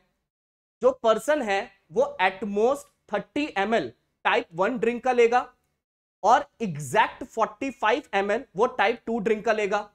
Find the minimum value of y तो वाई की मिनिमम वैल्यू बताओ सच दैट कि जो मिक्सचर है उसमें 29 परसेंट एल्कोहल है। और यहाँ पर एक्स और वाई के बारे में आपको कुछ बातें बताई गई हैं। ठीक है? अब सुनो, बहुत बढ़िया क्वेश्चन है ये। यहाँ पर है तो बहुत डायरेक्ट क्वेश्चन एलिगेशन का, पर बहुत ज़्यादा घुमा फिरा के बातें कर रहा है। कैसे? देखो, यहाँ पर ध्यान देना। अगर मैं टाइप वन की बात करूँ, ठीक है? अगर मैं बात करूँ टाइप वन की, और एक है टाइप टू की अल्कोहल है, ठीक है? एक टाइप वन और एक टाइप टू की अल्कोहल है। टाइप वन की जो अल्कोहल है, उसमें अल्कोहल की परसेंटेज एक्स है। और एक्स के बारे में यह बोला गया है कि जो एक्स है, वो आठ से बड़ा है और बीस के इक्वल या उससे छोटा है। और जो टाइप टू की अल्कोहल है, उसमें अल्कोहल की परसेंटेज वाई है। और जो वाई है आपका, वो बीस से लेकर के पचास तक हो सकता है, ठीक है? दो ब्रांड की अल्कोहल है, ऐसे करके। है ना, ये बात मेरे सामने गिवन है। अच्छा a person wants to mix ठीक है type one type two alcohol हो गई, इनके बारे में डेटा लिख दिया, बढ़िया। कहता है, ये वाली जो है ना टाइप वन की जो ड्रिंक है, वो एटमोस्ट थर्टी एम ले सकता है। टाइप वन की ड्रिंक वो कितनी लेगा? उसके बारे में एग्जैक्ट नहीं बताया, बस बोला है एटमोस्ट थर्टी एम वो ले सकता है। मतलब ज़्यादा से ज़्यादा थर्टी एम ले सकता है, उससे ज़्यादा नहीं। लेकिन जो टाइप टू एम है, जो टाइप टू वाली है, उसको एग्जैक्ट फोर्टी फाइव एम लेगा। तो चलो टाइप टू की क्वांटिटी मुझे पता है। इसकी क्वांटिटी तो मुझे पता है 45 जैसे क्वांटिटी चलो एक चीज़ तो पता लगी। दैट इज़ टाइप टू की क्वांटिटी कितनी लेनी है? 45 लेनी है। ये तो मुझे पता लग गया। इसमें बोला एटमोस 30 आएँगे अभी। कहता है find the minimum value of y y की मिनिमम वैल्यू बतानी है। यानी यहाँ पर मुझे ये वाला जो डेटा दिख रहा है, ये ये जो वाई है ना, इस वाई को आपको मिनिमम लेना है। अच्छा आपको पता है, सर, जब दो केसेस पे एलिगेशन लगाते हैं तो अगर आपको एक को मिनिमम करना है ना तो दूसरे को मैक्सिमम करना होगा। एक को जितना मिनिमम करोगे, दूसरा उतना मैक्सिमम हो जाएगा। तो आपको क्या करना पड़ेगा? एक्स को मैक्सिमम लेना पड़ेगा। अगर आपको वाई मिनिमम करना है, और एक्स मैक्सिमम हो सकता है ट्वेंटी चलो, एक और वैल्यू पता लग गई। वाई तो मुझे खैर निकालना है तो ये तो वाई रहेगा। पर ये मुझे पता लग गया ट्वेंटी क्योंकि वाई मिनिमम करना है तो इसको मैक्सिमम करना पड़ेगा। और साथ ही साथ कहता है कि मिक्सचर के अंदर 29 परसेंट एल्कोहल है। इसके अंदर मिक्सचर में कितनी है? 29 परसेंट एल्कोहल बढ़िया यार, ये भी पता लग गया, ये भी पता लग गया। ये क्वेश्चन है, ये पता है। बस अब ये पता करना बाकी है। अब इसके लिए ध्यान रखना, अगर आपको इसको मैक्सिमम करना है टाइप वन को अगर आप मैक्सिमम करना चाहते हो तो इसकी क्वांटिटी भी मैक्सिमम करनी होगी। हालाँकि कुछ बच्चों को यहाँ पर यह लगता है कि, सर, ये बात जमी नहीं कुछ, क्योंकि, सर, ये तो बेस है ना। अगर आप बेस को मैक्सिमम कर दोगे बेस को मैक्सिमम करोगे तो वैल्यू तो मिनिमम हो जाएगी। पर मेरे भाई, जब हम नेट रिज़ल्ट की बात करते हैं नेट रिज़ल्ट की तो जब आप यहाँ पर लिखते हो ए यहाँ पर बी यहाँ पर एक्स यहाँ पर ए बी तो एक्स निकालते वक्त ये जो ए है, ये डिवाइड में तो आता है, पर साथ में मल्टीप्लाई भी तो होता है ए के साथ। मतलब ये सिर्फ़ और सिर्फ़ ए अपॉन ए की बात नहीं हो रही ना? ये तो ए मल्टीप्लाई में भी है। तो आप ऐसे समझ लो कि अगर आप सस्ते चावल में महँगा चावल मिला रहे हो और आप रेट चाहते हो कि महँगे चावल की तरफ़ मूव करे तो महँगा चावल जितना ज़्यादा मिलाओगे रेट महँगे चावल की तरफ़ मूव करेगा राइट है? तो ये ध्यान रखना ऐसे क्वेश्चन में कि आप जिसको, ऐसे समझ लो कि एलिगेशन में आप जिसको मैक्सिमम करना चाहते हो ना, उसकी क्वांटिटी भी मैक्सिमम करनी पड़ती है। और ये मैक्सिमम क्वांटिटी हो सकती है 39 तो यहाँ पर सर आ गया आपका 39 आ गया। अब सब कुछ तो पता है वाई निकालना है? खत्म बात। यहाँ पर कितना आएगा? सर इसको इसमें से माइनस करो। ये परसेंटेज है, ये भी परसेंटेज है। तो 20 परसेंट में से 29 परसेंट गया नाइन आ गया। सर, यहाँ पे कितना आएगा, मुझे नहीं पता। यहाँ पे कितना आएगा, मुझे नहीं पता। अच्छा सर, ये 39 है 45 है। 39 है कितना है? 30 है सॉरी ये 30 है। तो सर, अगर मैं इसको कैंसिल आउट करूँ तो ये 15 टू जा और ये 15 थ्री जा। मतलब क्वांटिटी टू थ्री के रेशो में अब सर, तीन की वैल्यू नौ है। मल्टीप्लाई थ्री करना पड़ेगा। सर सेम थ्री यहाँ कर दो। तो यहाँ पर आएगा सिक्स अब जो 29 है 20 से बड़ा है तो y 29 से बड़ा होगा। तो sir, y minus twenty nine is equal to six तो y की वैल्यू आ गई पैंतीस। देखो एलिगेशन के जितने क्वेश्चन मैं करा रहा हूँ ना, मेरी गारंटी है कि अगर आज के सेशन में मैंने एलिगेशन के आपको दस क्वेश्चन कराए ना, दस, बारह जितने भी कराए, इनको ढंग से समझ लो। अगर इन पे आपकी पकड़ बन गई ना, आप ये मान के चलो, एक क्वेश्चन वहाँ पे आपका पक्का है, अगर एलिगेशन आ गया, जिसके आने के चांसेस बहुत है, चाहे कैसा भी घुमा फिरा के वो क्वेश्चन दे दे, आप डील कर जाओगे। और ध्यान से समझना नोट्स को रिवाइज करना। राइट नाउ सेशन में दो तरह के बच्चे होंगे, मैं बताता हूँ। यहाँ सेशन में दो तरह के बच्चे होंगे। पहले, जिनको की ये टॉपिक पढ़ रखा है तो उनको ज़्यादा रिवीजन की ज़रूरत नहीं है। जिन्होंने ठीक ठाक पढ़ा है, वो एक बार दोबारा रिवाइज कर लेना सारे क्वेश्चन चाहे वीडियो को दोबारा देख लेना टू पे। ठीक है? चलो, आगे बढ़ते हैं। अब यहाँ पे एक लास्ट क्वेश्चन करेंगे एलिगेशन का। फिर हम लोग आएँगे परम्यूटेशन कॉम्बिनेशन के कॉन्सेप्ट पे। चलो लास्ट क्वेश्चन एलिगेशन का, इसके ऊपर बात करते हैं। ध्यान से सुनो। यहाँ पे कहता है, एक आदमी है जिसके पास तीन आर्टिकल है पी क्यू आर वो पी पर कमाता है ट्वेंटी परसेंट क्यू पर उसे लॉस होता है टेन परसेंट का आर पे कमाया पंद्रह परसेंट फिर कहता है, जो गे, ये बताओ कि तीनों पे उसको कितना गेन या लॉस हुआ? अगर उसका जो नेट गेन है पी और क्यू पर, अब देखो जैसे इसने बोला, जैसे ही इसने ये बोला, क्या? कि सर पी और क्यू पर इसने दो परसेंट कमाया। क्या एलिगेशन क्लिक नहीं हो रहा? कि भाई पी पर क्या प्रॉफिट है बता रखा है क्यू पर क्या प्रॉफिट लॉस है बता रखा है, और पी क्यू दोनों का प्रॉफिट लॉस बता रखा है। तो बढ़िया है यार एलिगेशन दिख रहा है। सर पी पर कितना प्रॉफिट है? सर पी पर मैं कमा रहा हूँ ट्वेंटी परसेंट यही है ना? हाँ पी पर मैंने कमाया ट्वेंटी परसेंट सर, अगर क्यू की बात करूँ तो उस पर टेन परसेंट का लॉस माइनस का टेन परसेंट ठीक है? आर पे बाद में आएँगे, और पी क्यू पे मिला के दो परसेंट क्या है? प्रॉफिट है तो बीच में दो परसेंट सर क्रॉस में माइनस करो। यहाँ पर आ गया एटीन यहाँ क्रॉस में माइनस करो। कितना आ गया? बारह। तो सर, दोनों के कॉस्ट प्राइस का रेशो क्या आ रहा है? टू थ्री इन दोनों के कॉस्ट प्राइस का रेशो कितना आ गया? सर, इनके कॉस्ट प्राइस का रेशो आ रहा है टू थ्री डन अब उसके बाद इसने बोला क्यू और आर पर पाँच परसेंट लॉस तो सर क्यू पर तो इंडिविजुअली दस परसेंट का लॉस है। सर आर पे अगर बात करूँ तो आर पे फिफ्टीन परसेंट प्रॉफिट है। सर क्यू और आर पे मिला के जो लॉस है वो पाँच परसेंट का है। तो सर, क्रॉस में माइनस करूँगा, पंद्रह में से माइनस करूँगा, माइनस पाँच। फिफ्टीन माइनस माइनस पाँच, माइनस माइनस प्लस ट्वेंटी आ गया। और सर, यहाँ पे माइनस करो। तो सर, माइनस पाँच में से माइनस करोगे, माइनस दस को तो माइनस पाँच प्लस दस यानी पाँच आ गया। सर, कैंसिल आउट करो। तो सर, ये आ गया, फोर वन का रेशो आ गया। अब सर, यहाँ पे क्यू का जो कॉस्ट प्राइस है, वो टू थ्री है। और क्यू आर का कॉस्ट प्राइस फोर थ्री है फोर वन है। तो सर, ये तो गड़बड़ है। सर, यहाँ पे देखो तो पी क्यू के सीपी का रेशो टू थ्री और क्यू आर के सीपी का रेशो फोर वन सर, यहाँ पर क्यू का सीपी तीन है रेशो वाइज तीन और यहाँ चार अलग अलग तो क्या दिक्कत है सर? सेम कर लेते हैं। किसी भी रेशो को मल्टीप्लाई करके बदल सकते हैं। तो सर, बदल दो यहाँ पे। तो यहाँ मैं क्या करूँगा? तो यहाँ पे इस तीन और चार को मुझे सेम करना है। तो कैसे सेम होगा? सर, एक काम करो, इधर चार मल्टीप्लाई करो। यहाँ चार चार इंटू कर दो और यहाँ पर सर तीन तीन इंटू कर दो। क्योंकि आपको चार और तीन को सेम करना है और किसी भी रेशो को मल्टीप्लाई करके चेंज किया जा सकता है। तो तीनों के सीपी का रेशो कितना आ गया? पी क्यू आर का। तो सर पी क्यू आर के सीपी का रेशो आ रहा है। पी का सीपी है आठ, ये बना बारह और वो कितना बना थ्री देखो, सही तो है बात? सही है परफेक्ट अब मैंने कहा, बताओ तीनों पे कितना प्रॉफिट हुआ? आप वेटेड एवरेज पे भी जा सकते हो या उससे बेटर आप एक काम और कर सकते हो। क्या? वो सुनना। यहाँ पर आप ये भी कह सकते हो कि, सर, देखो, अगर मैं मान लो, आपको पी क्यू का रिज़ल्ट तो पता है ना कि पी और क्यू पे आपने दो परसेंट कमाया था। कि सर, एक काम करता हूँ, मैं पी क्यू पे चेक करता हूँ कि पी क्यू पे मिला करके मुझे दो परसेंट प्रॉफिट हुआ था और आर पर, और वही आर पर मुझे 15 परसेंट का प्रॉफिट हुआ था। है ना? तो मैं क्या करता करता हूँ, सर पीक्यू पे जो भी प्रॉफिट लॉस है और आर पे जो भी प्रॉफिट लॉस है, उस पर एलिगेशन लगाता हूँ। तो बीच का नंबर आएगा कि पी क्यू आर पे मैंने कितना कमाया। तो बीच में क्या निकल के आएगा कि आपने पी क्यू आर पे कितना कमाया? भाई पी क्यू का सीपी कितना है?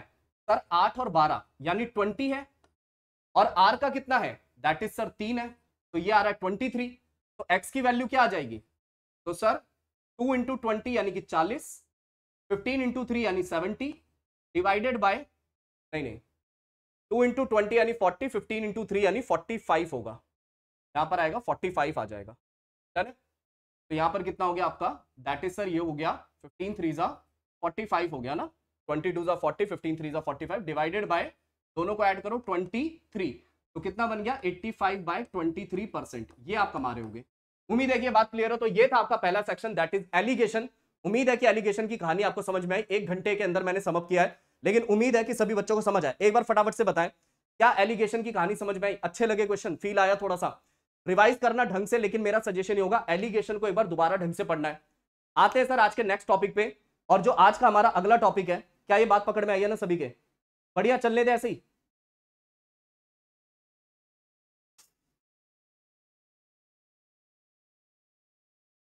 चलो, अब आते हैं अगले पे। तो सर, अगला है आपका दैट इज़ परम्यूटेशन कॉम्बिनेशन का सिमिलर टू डिफरेंट का डिस्ट्रीब्यूशन तो इसको ध्यान रखेंगे, इस पर क्वेश्चन हमें दिख जाते हैं अक्सर, ठीक है? तो इसको मैंने यहाँ पर यूज़ किया है। मैं इसका डायरेक्ट फॉर्मुला लिखवाऊँगा, मैं इसका फॉर्मुला आपको डायरेक्ट लिखवाऊँगा, उसका रीजन मैं आपको बता दूँगा, पर मेरे हिसाब से डायरेक्ट ही फॉर्मुला यूज़ कर लेना है, क्योंकि बहुत कॉमन क्वेश्चन है एग्ज़ाम का तो डायरेक्ट यूज़ कर लेना इसको, ठीक है? तो यहाँ पर एक चीज़ ध्यान रखना, यहाँ पर मैंने लिख भी रखा है। If n number of identical object is distributed among r number of different person या मान लो कि आपके पास n number of identical object है, जैसे मान लो मेरे पास बॉल है, मेरे हाथ में बॉल है n number of identical ball है, एक जैसी एन बॉल्स हैं। और मेरे सामने मान लो चार बॉक्स रखे हुए हैं। अलग अलग बॉक्स है। एक बॉक्स है लाल रंग का, एक पीले रंग का, एक गुलाबी, एक काला। मतलब वो बिल्कुल अलग अलग दिख रहे हैं। और मेरे हाथ में जो बॉल है वो सब सेम कलर की है। सेम साइज़ की है। बिल्कुल आइडेंटिकल है। तो सेम यानी सिमिलर ऑब्जेक्ट्स को अगर डिफरेंट बॉक्सेस में बांटना है या सेम सेम चॉकलेट्स को डिफरेंट पर्सन में डिस्ट्रीब्यूट करना है तो उसका तरीका क्या होता है? तो नंबर ऑफ़ वेज सीधा फॉर्मूला होता है क्या? That is sir n plus r minus one C r minus one sir ये सीधा सीधा फॉर्मूला होता है। अब अगर आपको इसका रीजन जानना है कि ऐसे कैसे क्यों होता है मैं उसके ऊपर बात कर लेता हूँ। एक छोटा सा एग्ज़ाम्पल देता हूँ मैं कि फॉर एग्ज़ाम्पल मान लो मेरे पास पाँच सिमिलर पाँच सिमिलर बॉल हैं और उन्हें मुझे आ, रखना है आ, पुट करना है in three different three different box तीन अलग अलग बॉक्स में मुझे उसको पुट करना है। पाँच सिमिलर बॉल है, तीन अलग अलग बॉक्स में डालना है। मान लो पहले बॉक्स में मैंने कितनी बॉल डाली? मान लो सर ए बॉल डाली। दूसरे बॉक्स में आपने कितनी बॉल डाली? सर मान लो बी बॉल डाली। तीसरे बॉक्स में मैंने कितनी बॉल डाली? मान लो sir c number of ball डाली। इस तरीके से मैंने कितनी टोटल बॉल डाली? सर जवाब है पाँच। जवाब है पाँच। अब मेरी बात को ध्यान से सुनना। अब यहाँ पर एक बात सुनो। अगर मान लो मैं आपके सामने एक सिंबल वाले मैनर में लिखता हूँ कि पहले बॉक्स में मैंने कितनी बॉल डाली? मान लो मैं ऐसे लिखता हूँ B oblique double B oblique double B तो इससे यह समझ में आ रहा है कि सर पहले बॉक्स में एक बॉल अगले में दो अगले में दो। या मैं ऐसे लिखूं ऑब्लिक आगे कुछ नहीं लिखा तीन बार बी लिख दिया फिर ऑब्लिक डबल बी इसका मतलब सर पहले वाले में कुछ नहीं डाला अगले वाले में तीन अगले वाले में दो। तो यहाँ पर अगर मैं देखूँ अब आपको एक तरीका पता होगा। मान लो मैं आपके सामने लिखता हूँ R O H I T मैंने आपके सामने पाँच लेटर लिखे R O H I T इनके थ्रू आप कितने अलग अलग वर्ड्स बना सकते हो? यानी R O H I T को अरेंज करने के कितने तरीके हैं? तो आप बोलोगे, सर फाइव फैक्टोरियल है। क्योंकि, सर, मान लो पहले वाले पे मैं R O H I T कुछ भी लिख सकता हूँ मतलब पाँच तरीके। अब मान लो मैंने एच लिख दिया तो अगले वाले पे चार लेटर मान लो आई लिख दिया, फिर अगले पे तीन। मान लो टी लिख दिया, फिर दो, फिर एक। इन सबका मल्टीप्लीकेशन कितना होता है? पाँच फैक्टोरियल और अगर मैं लिखता हूँ रमन, यानी आर एम एन इसको अरेंज करने के कितने तरीके हैं? सर, पाँच लेटर है फाइव फैक्टोरियल पर सर, दो लेटर रिपीट हो रहे हैं तो डिवाइडेड बाई टू फैक्टोरियल यही होता है। अगर मान लो मैंने लिखा कॉफ़ी सी और डबल एफ़ डबल ई लिख दिया। तो सर, ये कितना हो गया आपका? सर, ये हो गया आपका टोटल छह है तो छह। दो बार एफ़ है तो टू फैक्टोरियल दो बार ई है तो टू फैक्टोरियल ये सबको पता है। अब ये जो मैं आपके सामने लिख रहा हूँ, यहाँ मैं क्या कर रहा हूँ? पाँच बी और दो लाइनों को डिवाइड कर रहा हूँ। पाँच बी और दो लाइनें हैं जिनको मैं आगे पीछे सफल कर रहा हूँ तो आप अलग अलग मीनिंग निकाल रहे हो। अब यहाँ पर कितने भी हैं? पाँच, लाइनें हैं दो।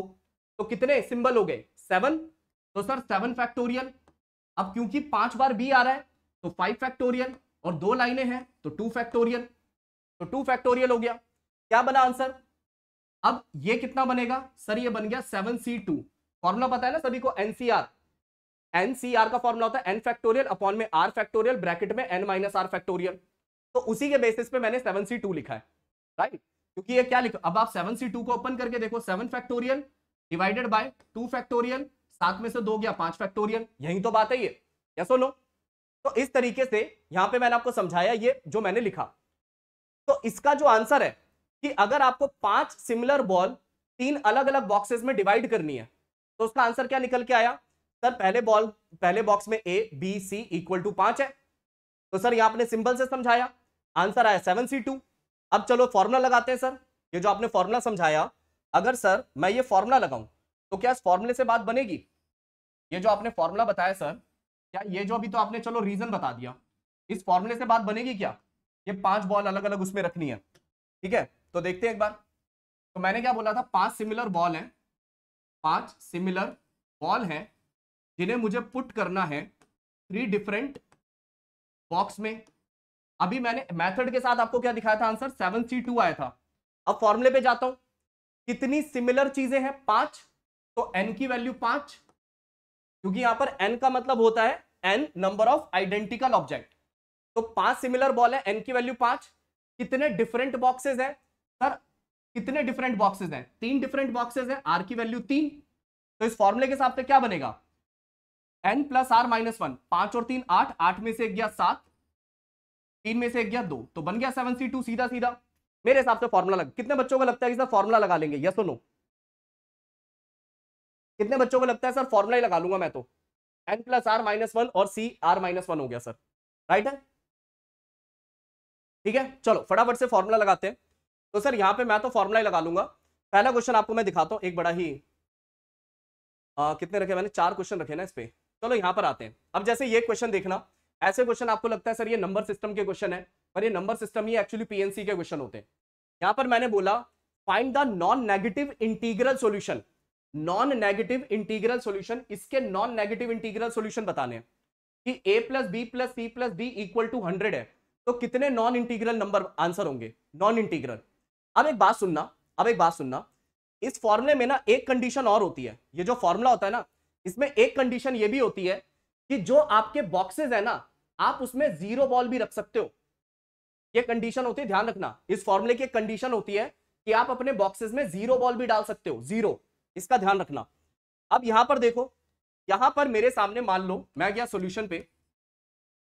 ये एबीसीडी इसको ऐसे समझ लो कि एबीसीडी चार बच्चे जिनको मुझे सौ चॉकलेट देनी है। मतलब क्या रहा है ए प्लस बी प्लस अब ये नॉन इंटीजर्स है ना। सॉरी नॉन नेगेटिव इंटीजर्स है। नॉन नेगेटिव इंटीजर का मतलब zero one two three four five तो भाई जो ए की वैल्यू है, वो zero one two three four five कुछ भी हो सकती है। मतलब जो ए है that can be greater than equal to zero जो बी है that can be greater than equal to zero जो सी है that can be greater than equal to zero जो डी है that can be greater than equal to zero अब इन चारों बच्चों में ऐसा समझ लो ये चार बच्चे जिनको आपको सौ चॉकलेट देनी है, या चार बॉक्स है जिनमें सौ सिमिलर बॉल डालनी है। तो सीधा फॉर्मूला लगाते हैं, क्या बनेगा? यहाँ पर एन की वैल्यू कितनी है? सिमिलर चीज़ें कितनी है? सौ। तो एन की वैल्यू सौ, कितने लोग हैं जिनमें बांटना है? आर की वैल्यू चार तो फॉर्मूला क्या होता है? फॉर्मूला लगेगा क्योंकि सब ग्रेटर देन ज़ीरो है। तो डायरेक्ट फॉर्मूला लगाओ। N plus R minus one सौ और चार, एक सौ चार, एक सौ चार में से एक गया, एक सौ तीन। तो one hundred C R minus one चलो पहले तरीके से लिखता हूँ। कुछ बच्चों को शायद फॉर्मूला दिखे। ठीक है? तो देखो sir hundred plus four minus one C four minus one. तो कितना बनेगा? Sir, one hundred three C three. Sir, ये आंसर होगा इसका। सही बात है ना? सर, ये आंसर होने वाला है। अगर मैं इसकी बात करूँ, जहाँ मैंने नेचुरल नंबर लिखा है, ये समझ आ गया? एबीसीडी ये सब नॉन नेगेटिव इंटीजर है मतलब सब ग्रेटर देन ज़ीरो होंगे। सबका सम हंड्रेड है तो समझ लो, सौ चॉकलेट है, चार बच्चों में बांटनी है। तो एन की वैल्यू सौ आर की वैल्यू चार N plus R minus one C R minus one ठीक है? सही है? नेक्स्ट पे आ जाऊँ मैं। चलो। हाँ पॉजिटिव इंटीग्रल नेचुरल नंबर ले लो ना। नेचुरल नंबर पॉजिटिव इंटीग्रल ही तो होते हैं। इधर आते हैं। कि सर, अगर नेचुरल नंबर होता मतलब पॉजिटिव इंटीग्रल होंगे तो क्या करेंगे? अब सुनो बात को। अगर पॉजिटिव इंटीग्रल होंगे तो क्या करेंगे? वो भी समझाता हूँ मैं। अब यहाँ पर देखो A B C D natural number है। तो सर, जो ए है, क्योंकि नेचुरल नंबर है तो A will be greater than equal to one B greater than equal to one C greater than equal to one और D greater than equal to one और इन सब का जो सम है दैट इज़ इक्वल टू सौ। Sir, यहाँ तो आपका शॉर्टकट नहीं लगेगा। लगेगा। बस थोड़े चेंजेस कर दो। आपको आपके शॉर्टकट के लिए क्या चाहिए होता है? कि sir value should be greater than zero value zero से बड़ी होनी चाहिए। यहाँ तो सर वन से बड़ी है। तो काम करो ना एबीसीडी को मिनिमम वन तो देना ही है, क्योंकि नेचुरल नंबर है। वन तो जाना ही जाना है। तो सबसे पहले जाके सबको एक एक चॉकलेट पकड़ा दो। कि भाई, ए इधर आ, ये ले पकड़ एक चॉकलेट बी इधर आ। एक चॉकलेट सी, तू भी आ, टी, तू भी आ, एक चॉकलेट, सबको एक एक दे दो। अब अब आपने चार चॉकलेट बांट दी ना, अब आपके पास जो 96 चॉकलेट बची, अब जो आपके पास 96 बची है ना, अब आपका मन है, आप चाहो तो किसी को ज़ीरो चॉकलेट भी दो। एक एक दे दी ना, अब ये जो 96 है, अब मान लो पहले बंदे को आप स्मॉल ए चॉकलेट दे रहे हो, अगले वाले को स्मॉल बी अगले को स्मॉल सी अगले को स्मॉल डी अब ये जो वैल्यूज़ है ना that can be greater than equal to zero अब लगा दो अपना शॉर्टकट ठीक है ना? That can be greater than zero कितनी चॉकलेट बांट रहे हो 96 एंड 96 कितनों में बांट रहे हो? चार में? आर की वैल्यू चार. फॉर्मूला सर 96 प्लस चार माइनस वन सी चार माइनस वन कितना हो गया सर 99 सी तीन हो गया. पकड़ में आई बात? सभी के? चलो और कॉम्प्लिकेट करते हैं इसको. थोड़ा और कॉम्प्लिकेट करते हैं, यहाँ जाओ. In how many ways 200 similar ball है, पाँच बॉक्सेस में डालनी है सच दैट कि जो बॉक्सेस है ना पहले बॉक्स में एटलीस्ट दो चौके दो बॉल होनी चाहिए। जो पहला बॉक्स है, उसमें कम से कम दो बॉल होनी चाहिए। दूसरे वाले में कम से कम तीन, तीसरे वाले में कम से कम चार ए बी सी डी यहाँ पे कम से कम पाँच, छह तक गया ना मैं हाँ। यहाँ पे कम से कम पाँच और ई e वाले में कम से कम छ और इस तरीके से सबका जो टोटल है दैट शुड बी कितना? That should be two hundred आई बात पकड़ में that should be two hundred अब सर यहाँ आपका डायरेक्ट शॉर्टकट नहीं लगेगा। लगाएँगे, लेकिन अपन कैसे? सबसे पहले कंडीशन डाल दो। कि बॉक्स वन को उठा के लाए, दो बॉल डाली, खत्म। दो बॉल डाल दी ना। अब इसमें जो बॉल है, मान लो स्मॉल है and that can be greater than zero उसने बोला था, कम से कम दो बॉल जानी चाहिए, पहले दो डाल दो। कि भाई, अब दो तो डल गई ना, अब बाकी मेरी मर्ज़ी है। ज़ीरो डालू या उससे ऊपर डालू? तो बी बॉक्स है, पहले उसमें तीन डाल दो। तो B can be greater than जी पहले आपने इसमें तीन डाल दी। तो पहले वाले में आपने दो डाल दी, अगले में तीन डाल दी, अगले में चार, अगले में पाँच, अगले में छह। पहले कंडीशन फुलफिल करूँ। सर, छह, पाँच, ग्यारह ग्यारह, चार, पंद्रह, तीन अट्ठारह दो, बीस। ट्वेंटी बॉल्स पहले तो सर मैंने डाल दी सब में। पहले मैंने कंडीशन फुलफिल कर दी। ट्वेंटी डाल दी, बची दो सौ में से ट्वेंटी डाल दी, बची एक सौ अस्सी बॉल कितनी बची? वन एट्टी अब आप इन बॉक्सेस में आपकी मर्ज़ी है। आप बॉल डालो या ना डालो। मतलब this can be greater than zero this can be greater than zero this can be greater than zero D can be greater than zero E can be greater than zero right है? इनको add करो। अब आप shortcut लगाओ। कितनी ball डालनी है? 180 तो 180 प्लस कितने हैं? पाँच। माइनस वन, सी, पाँच माइनस वन। तो कितना हो गया? 184 सी फोर हो गया। उम्मीद है बात क्लियर है सभी को। Yes no? आई बात पकड़ में सभी बच्चों के? ठीक है नेक्स्ट पे आते हैं। अगला क्वेश्चन देखना। अगला क्वेश्चन ये वाला। अब यहाँ पर मैंने थोड़ा सा अलग कर दिया। भैया ऑड नंबर डालने हैं। ऑड नंबर ऑफ़ चॉकलेट डालनी है अब ऑड नंबर कैसे लिखते हैं? जैसे इवन नंबर होता है सर इवन नंबर होता है that is two K even number is two K where K can be greater than equal to zero odd number कैसे लिखे जाते हैं? सर ऑड नंबर होते हैं two K plus one where K is greater than equal to zero है ना? Odd number ऐसे होते हैं टू के प्लस वन है ना? अब सर आपके पास सिक्सटी आइडेंटिकल चॉकलेट है। चार बच्चों में बांटनी है C one C two C three C four चार बच्चे सी वन सी टू नाम के राइट और सबको ऑड नंबर ऑफ़ चॉकलेट देनी है। तो जो पहला बच्चा है, यानी कि सी वन उसको जो मैं चॉकलेट दूँगा, वो होनी चाहिए टू के प्लस वन की फॉर्म में होनी चाहिए। जो सी टू वाला बच्चा है, उसको जो चॉकलेट दूँगा, वो भी टू के प्लस वन की फॉर्म में। तीसरा वाला बच्चा, वो भी टू के प्लस वन की फॉर्म में। चौथे वाला बच्चा, उसे भी ऑड देना, यानी टू के प्लस वन की फॉर्म में ही मुझे चॉकलेट देनी पड़ेगी। और इस तरीके से मैंने चारों बच्चों को कितनी चॉकलेट दी? सर सिक्सटी चॉकलेट दे दी। सर आप शॉर्टकट यहाँ नहीं लगा सकते। मानता हूँ, बिल्कुल लगाता हूँ। नहीं लगा सकता, क्योंकि उसके लिए K should be greater than zero एक काम करते हैं ना, एक काम करो, सबसे पहले जो वन वन वन वन है ना, ये हटा देते हैं। तो कितनी है? दैट इज़ सिक्सटी है ना। तो यहाँ से पहले वन वन वन वन हटा दो। कितने हो गए? दैट इज़ चार हो गए, क्योंकि two K plus one two K plus one two K plus one मतलब K should be greater than equal to zero जो वैल्यू है, उसमें जो मैंने बोला है that is K should be greater than zero एक बार फटाफट बताओ, इसका आंसर क्या होना चाहिए? एक बार थोड़ा सा पहले आप दिमाग लगाओ, फिर मैं आपको बताता हूँ। एक बार इसमें फटाफट से, जैसे मैंने कहा, एक बार थॉट प्रोसेस फटाफट से आप लोग लगाएँ।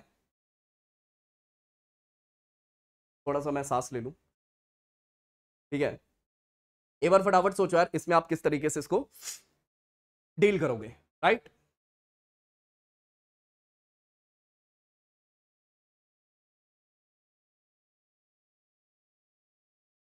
आंसर क्या होगा? एक बार फटाफट से बताना।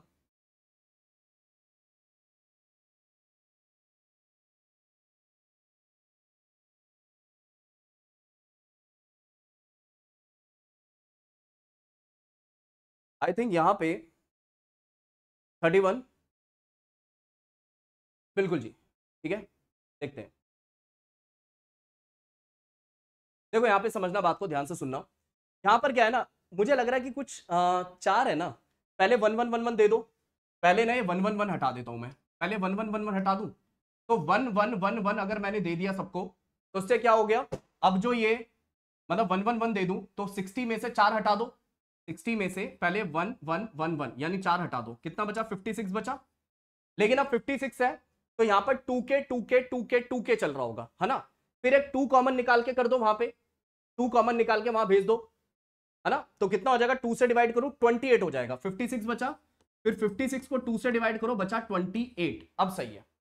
पहले मैंने क्या करा? वन वन वन वन वहाँ भेजा माइनस हो गया, बचा फिफ्टी सिक्स पहले सब में एक एक एक एक डाल दी, है ना? फिफ्टी सिक्स हो गई फिर यू नो क्योंकि यहाँ पे जो के है ना K that will be greater than equal to zero तो मुझे के पर आना है। तो के के साथ जो वन प्लस में वहाँ भेजा माइनस और जो टू मल्टीप्लाई में भेज के डिवाइड तो पहले वन वन वन माइनस किया बचा फिफ्टी सिक्स दो से डिवाइड किया बचा अट्ठाईस। तो अब जो चॉकलेट मैं इनमें बांटूँगा ना small C one small C two small C three small C four that is equal to अट्ठाईस। इसके लिए क्या खास बात होगी? इनके लिए खास बात ये होगी कि के जो है that will be K will be K will be K will be greater than equal to zero इन सब में K will be greater than equal to zero अब अपन अपना शॉर्टकट फॉर्मूला लगा सकते हैं। राइट एन की वैल्यू कितनी है? ट्वेंटी एट और नंबर ऑफ़ बॉक्सेस चार। या नंबर ऑफ़ बच्चे चार। तो कितना हो जाएगा? Sir twenty eight plus four minus one C four minus one यानी sir thirty one C three क्या आपका आंसर होगा? यही बोला था आप सब बच्चों ने। बहुत बढ़िया जी। बहुत ही बढ़िया। ट्वेंटी एट कैसे आया? देखो सिक्सटी है। पहले वन वन देखो, यहाँ पे लिखा two K plus one, two K plus one, two क्योंकि ऑड है ना, भाई जो ऑड नंबर होते हैं वो टू के प्लस वन की फॉर्म में होते हैं। ऑड नंबर की फॉर्म ही होती है ना, टू के प्लस वन। जैसे इवन नंबर की फॉर्म होती है टू के ऑड नंबर की फॉर्म होती है टू के प्लस वन। तो यार K should be greater than zero है ना? तो हमारा शॉर्टकट तो तब लगता है जब वैल्यू होती है should be greater than zero तो two K plus one, two K plus one, two K plus one. पहले वन वन वन वन, वहाँ भेजो। सिक्सटी में से चार माइनस किया फिफ्टी सिक्स फिर सबका two two two two common निकाल के वहाँ भेजो। 56 को 2 से डिवाइड करो 28 हो गया। अब ये जो चारों है ना दैट इज़ इक्वल टू 28 और यहाँ से आपका आंसर आएगा। अब आते हैं सर आपके सबसे ज़्यादा demanding topic that is graph based question एक बार मैं यहाँ पे टेलीग्राम पे कुछ बच्चों ने कहा था, सर, जब ग्राफ कराओगे ना तो मैसेज डाल देना, ठीक है? कुछ बच्चे ऐसे ही होते सर ग्राफ कराओगे ना तो मैसेज डाल देना, ठीक है? मैं एक बार उनको मैसेज डाल दूँ कि भाई, ये सबसे डिमांडिंग टॉपिक होता है बच्चों का कि सर ग्राफ के ऊपर तनिक बात हो जाए तो एक मिनट रुको। एक बार डाल देता हूँ मैं स्टिल। मैं इसकी ना वो भी बना दूँगा टाइमलाइन ठीक है ना? चलो, अब आ जाए सर, आप लोगों के सबसे डिमांडिंग क्या कहते हो? ग्राफ पे बात करें। लेकिन थोड़ा अटेंटिव रहना यार, ठीक है? ग्राफ जो है सेशन की लेंथ सेशन की लेंथ यार देखते हैं सुबह चार पाँच बजे तक। देखो यार ऑन एन एवरेज दो से ढाई घंटे होगी। कर लोगे ना सिटिंग दो ढाई घंटे की। शुरू करूँ अब मैं? रुको यार, जरा पानी मंगा लूँ मैं एक बार। तो प्यास लग रही है।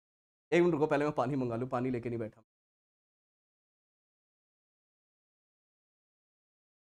मैसेज डाल दूँ मैं एक मिनट बस। कर रहे हैं, कर रहे हैं। इसके बाद डिस्टेंस फॉर्मूला भी करेंगे। शुरू करूँ मैं? चलो, ध्यान से सुनना। सबसे पहले graph of mod X mod X का ग्राफ क्या होता है सबको पता है? यहाँ बैठ, देखो बहुत ज़्यादा ना, पहले तो फील कोई नहीं लेगा कि ओहो, हो ग्राफ आ गया, बहुत अटेंटिव नहीं नहीं ध्यान से, आराम से सुनो। मॉड एक्स का ग्राफ वी शेप का होता है, ये सबको पता है? कि सर जो मॉड एक्स का ग्राफ होता है, ठीक है, पहले बेसिक समझो, फिर बेहतरीन लेवल के क्वेश्चन मैं आपको कराऊँगा, ध्यान से सुनना लेकिन बात को, ठीक है? देखो, पहले आता हूँ मैं मॉड एक्स के ग्राफ पे। तो सर अगर मैं ये बनाता हूँ इस तरीके से, ठीक? अगर ये मैंने बनाया, या रुको साइड में, थोड़ा ना यहाँ बनाता हूँ। मेरे को ना चैट में बस फटाफट बताते रहना, समझ आ रहा है, नहीं आ रहा, है ना? देखो, सबसे पहले हम लोग बात करते हैं, सबसे पहले हम लोग बात करते हैं that is graph of mod X mod X का ग्राफ कैसा होता है? मुझे लगता है सभी बच्चों को पता है कि सर, जो मॉड एक्स का ग्राफ होता है Y is equal to mod X तो सर, ये आपने बनाया ग्राफ ये हो गई एक्स एक्सिस ये वाई एक्सिस तो सर, एक वी शेप का ग्राफ होता है मॉड एक्स एक वी शेप का ग्राफ होता है, जो कि ऑरिजिन से जाता है। सबको पता है कि सर, ये ऑरिजिन है, ये ऑरिजिन है ज़ीरो कॉमा ज़ीरो तो सर, यहाँ से आप एक ग्राफ मतलब ग्राफ बहुत नेक्स्ट लेवल होने वाला है, इसलिए फोकस करना अच्छे से। सबसे पहले मॉडेक्स का ग्राफ कुछ इस तरीके का होता है। वैलिड है, कोई दिक्कत नहीं है किसी को। सर मॉडेक्स बेसिकली ऐसे वी शेप का ग्राफ होता है। बात खत्म। दूसरा पॉइंट सर माइनस मॉडेक्स का ग्राफ कैसा होता है? नेगेटिव मतलब सर अगर मैं लिखूं y इज़ इक्वल टू में माइनस मॉडेक्स इसका ग्राफ कैसा होगा? तो सर इसका जो ग्राफ है ना, वो उल्टा भी होगा। अगर किसी फ़ंक्शन के बाहर नेगेटिव लिखा है तो ऐसे समझ लो कि ये ग्राफ ऐसे है ना, अब ऐसे से ऐसा हो जाएगा। ठीक है ना? ऐसा रिवर्स हो जाएगा। तो अगर मैं ये बनाता हूँ that is X axis Y axis तो यहाँ पर आपको उल्टा वी देखने को मिलेगा। दैट इज़ फ्रॉम ऑरिजिन बात क्लियर सभी को? ये हो गया मॉडेक्स का ग्राफ ये हो गया माइनस मॉडेक्स का ग्राफ सिंपल लॉजिक है, कुछ खास नहीं है। आगे सुनना बात को। ठीक है? आगे सुनना बात को। ध्यान से देखो। अब मैं इसको देता हूँ हटा। ठीक है? अब देखो। यहाँ पे अब मैंने एक चीज़ आपके सामने लिखी है, इसको ध्यान से सुनना। अगर मैं आपसे बोलता हूँ graph of mod X plus two अगर आप देखो एक्स के साथ मैंने प्लस टू लिखा है। अगर मॉड के अंदर मैंने एक्स के साथ प्लस टू लिखा है तो जो वर्टेक्स है वर्टेक्स मतलब ये। जो वी शेप का वर्टेक्स जो कि राइट नाउ ओरिजिन पर है, ये वर्टेक्स शिफ्ट हो जाएगा दो unit on the negative X axis ध्यान रखो, अगर मॉड के अंदर एक्स के साथ प्लस टू लिखा है ना तो दो यूनिट शिफ्ट होगा। लेकिन अगर प्लस टू लिखा है तो नेगेटिव एक्स एक्सिस पे मतलब उल्टा चलता है। अगर एक्स के साथ प्लस टू लिखा है मॉड के अंदर प्लस टू लिखा है तो नेगेटिव एक्स एक्सिस पे दो यूनिट मूव होगा। और अगर मॉड के अंदर एक्स के साथ माइनस टू लिखा है तो अगर माइनस टू है तो दो यूनिट होगा, लेकिन पॉजिटिव एक्स एक्सिस पे। उल्टा चलता है, इस चीज़ का ध्यान रखना। तो यहाँ पे अगर मॉड के अंदर लिखा है एक्स प्लस टू तो वर्टेक्स शिफ्ट होगा दो यूनिट लेकिन नेगेटिव एक्स एक्सिस पे। मतलब जो वर्टेक्स अभी ओरिजिन पर है ना, वो नेगेटिव एक्स एक्सिस पर एक और एक दो। दो यूनिट इधर आ जाएगा, और यहाँ से आपको क्या करना है? यहाँ से आपको वी शेप का ग्राफ बना देना है। यहाँ से आपको बेसिकली एक वी शेप का ग्राफ बनाना है। तो जो ग्रीन वाला ग्राफ मैंने बनाया है, ये है y is equal to mod X plus two का। तो अगर मॉड के अंदर एक्स के साथ प्लस टू लिखा है तो दो यूनिट मूव करना है, लेकिन नेगेटिव एक्स एक्सिस पे। और अगर माइनस टू लिखता तो दो यूनिट पॉजिटिव एक्स एक्सिस पे। ये बात सभी को क्लियर है, ये सुनो। डन आगे सुनना। तो ये पॉइंट नंबर वन क्लियर है पॉइंट नंबर टू क्लियर है पॉइंट नंबर थ्री क्लियर है। अब आ जाओ पॉइंट नंबर फोर पे। अब आता हूँ पॉइंट नंबर फोर पे, ठीक है? चौथा पॉइंट सुनना। अब आते चौथे पॉइंट पर, अगर मॉड के साथ x माइनस टू लिखा है तो क्या करेंगे सर ठीक है? अब देखो, अगर मॉड के साथ लिखा है x माइनस टू तो क्या करेंगे? उसको ध्यान से सुनना। तो देखो सर अगर मॉड के साथ लिखा है x माइनस टू तो जो वर्टेक्स है, वो ओरिजिन से दो यूनिट शिफ्ट होगा, लेकिन पॉजिटिव एक्स एक्सिस पे। मतलब अगर ये आपका ग्राफ है, ये एक्स और वाई तो जो वी शेप का वर्टेक्स जो वी शेप का वर्टेक्स बनने वाला है कहाँ पर? सर, जो वी शेप का वर्टेक्स ओरिजिन पे बनने वाला है, अब अगर x माइनस टू लिखा है तो वो दो यूनिट शिफ्ट होगा। लेकिन अगर माइनस टू लिखा है तो दो यूनिट उल्टा रीड करते हैं। पॉजिटिव पे दो यूनिट यानी एक और एक दो यूनिट यहाँ पे शिफ्ट होगा और फिर वी शेप का ग्राफ बनेगा। है ना? तो अगर मॉड के अंदर लिखा है एक्स प्लस टू तो दो यूनिट इस पे नेगेटिव एक्स एक्सिस पे। अगर मॉड के अंदर लिखा है एक्स माइनस टू तो दो यूनिट पॉजिटिव एक्स एक्सिस पे। बढ़िया। अब आ जाओ यहाँ पे। ठीक है, अब आते यहाँ पे। अब यहाँ मैंने बोला, ये क्लियर है सारे पॉइंट आप लोगों को उम्मीद करता हूँ मैं, ठीक है? अब उसके बाद आते हैं अगले पॉइंट पे नोट करते रहना साथ साथ अब अगर आपके सामने इस पे आते हैं मॉड एक्स के साथ प्लस थ्री लिखा है, यानी ऐसा लिखा है y is equal to mod x के साथ प्लस थ्री लिखा है। अब ये जो तीन है, ये मॉड के अंदर नहीं है ना मॉड के बाहर है। तो इसका मतलब हुआ क्या? सर, इसका मतलब हुआ कि अब जो मेरा वी शेप बनेगा ना मतलब मॉड एक्स मतलब वी शेप बनना है। पर सर, अगर मॉड के बाहर प्लस थ्री लिखा है तो तीन यूनिट ऊपर से मतलब यहाँ, जैसे प्लस थ्री से आपको समझ में आएगा सर, तीन यूनिट ऊपर तो सही सोच रहे हो। क्योंकि ये जो तीन है ना, ये वाई की वैल्यू में ऐड हो रहा है। जैसे मॉड के अंदर अगर एक्स के साथ प्लस माइनस टू है तो उसे एक्स के अकॉर्डिंग शिफ्ट करना है एक्स एक्सिस पे। लेकिन अगर मॉड के बाहर कोई नंबर है प्लस थ्री या माइनस थ्री तो उसको अप डाउन शिफ्ट करना है। और अगर प्लस तीन है तो जो वर्टेक्स है वो ऑरिजिन की बजाय एक, दो, तीन तीन यूनिट ऊपर से बनेगा। ये बनेगा आपका राइट है? क्लियर बात? और वही अगर मैं बोलता, y is equal to mod x minus two बोलता तो आपका जो ग्राफ है तो जो आपका ग्राफ है, वो कैसा बनेगा? तो आपका जो ग्राफ है, जैसे मॉड एक्स मतलब यहाँ पर पर अगर मैंने लिखा है मॉड एक्स के बाहर माइनस टू तो दो यूनिट नीचे शिफ्ट करेगा। यानी सर, एक, दो दो यूनिट नीचे से आपको वी शेप बनाना है। ये बात पकड़ में आई? सभी बच्चों के यस नो पहले ये बताओ।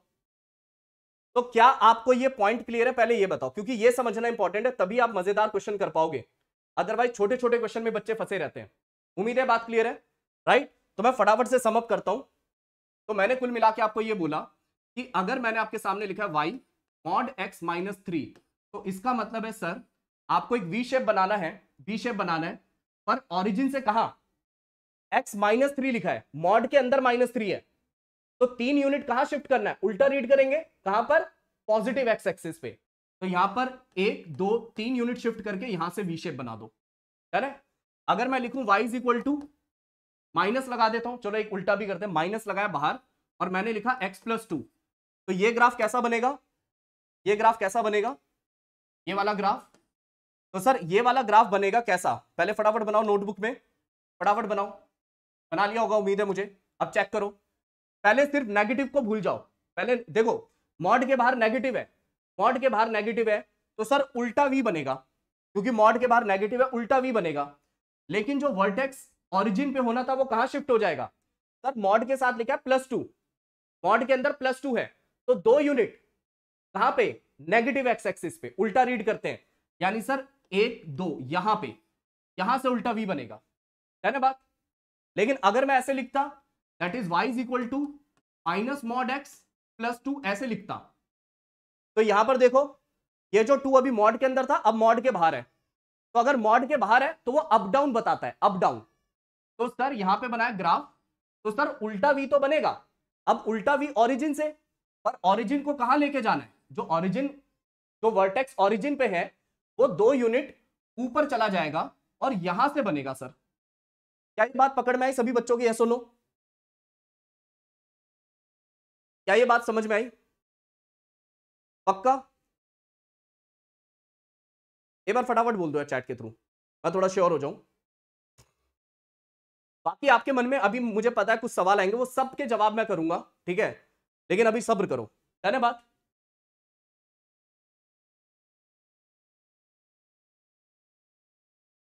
ठीक है भाई? चलो। एक और देखते हैं। एक और देखते हैं कि, सर, अगर मान लो ऐसा ग्राफ बन गया, ठीक है? अगर सर मान लो ग्राफ कुछ इस तरीके से जाता है। ये चलो सर बढ़िया है। अब सर दोनों बातों को कंबाइन कर दो। अब दोनों को कंबाइन करता हूँ।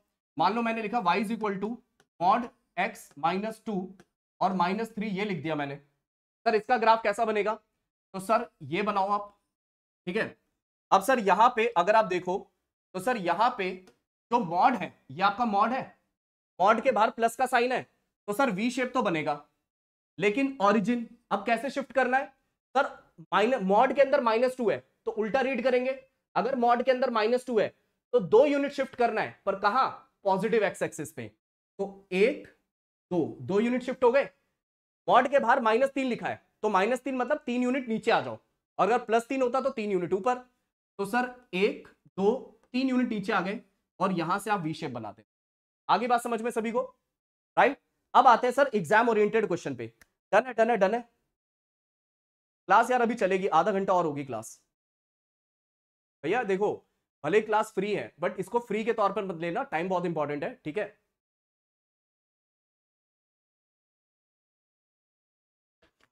और देखो, मुझे नहीं पता, बाकी का मुझे पता, कई स्टूडेंट बहुत सीरियस है, पर मैं इस बैच को लेकर बहुत सीरियस हूँ, ठीक है?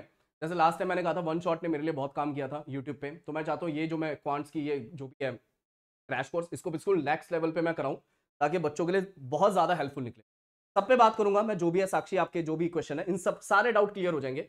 बस थोड़ा ना सीक्वेंस में चलो। अभी रैंड अभी जब मैं बोलूँगा ना डन फिर आप देखना आपको सब समझ में आ जाएगा। शायद ही कोई भी, किसी भी तरह का डाउट आपका बचेगा, ठीक है? बस एक बार पूरा करने दो। अब यहाँ पर आ जाओ। अब यहाँ पर आते फटाफट से, जैसे ये क्वेश्चन है। अब ये अब थोड़े से एग्ज़ाम वाले क्वेश्चन पे बात करते हैं और इनका धीरे धीरे करके मैं लेवल अप करता हूँ। जैसे mod x plus mod y equal to two लिखा होता है। इसके बारे में सबको पता है, इसका ग्राफ कैसे बनता है? मुझे लगता है वैसे तो सबको पता है। कि सर इसका ग्राफ हमें पता है कि इसका जो ग्राफ बनता है ना, वो कुछ इस तरीके का बनता है। जैसे टू है ना तो दो यूनिट ऊपर, दो यूनिट ऊपर से सर ऐसे ना हम लोग ये ऐसे बनाते हैं और सर दो यूनिट नीचे से हम लोग ऐसे कुछ बनाते हैं। यहाँ से ये जाता है, ठीक है? और सर ये हो गया आपका पॉइंट तो सर ये जो ग्राफ है, ये कुछ इस तरीके का होता है, जैसे बेसिकली कंबाइन देखना ना। सर ये इस तरीके का ग्राफ बनता है। ये मुझे लगता है सभी बच्चों को पता है। मान लो ये ए बी सी डी मतलब सर ये बेसिकली एक स्क्वायर शेप बनता है।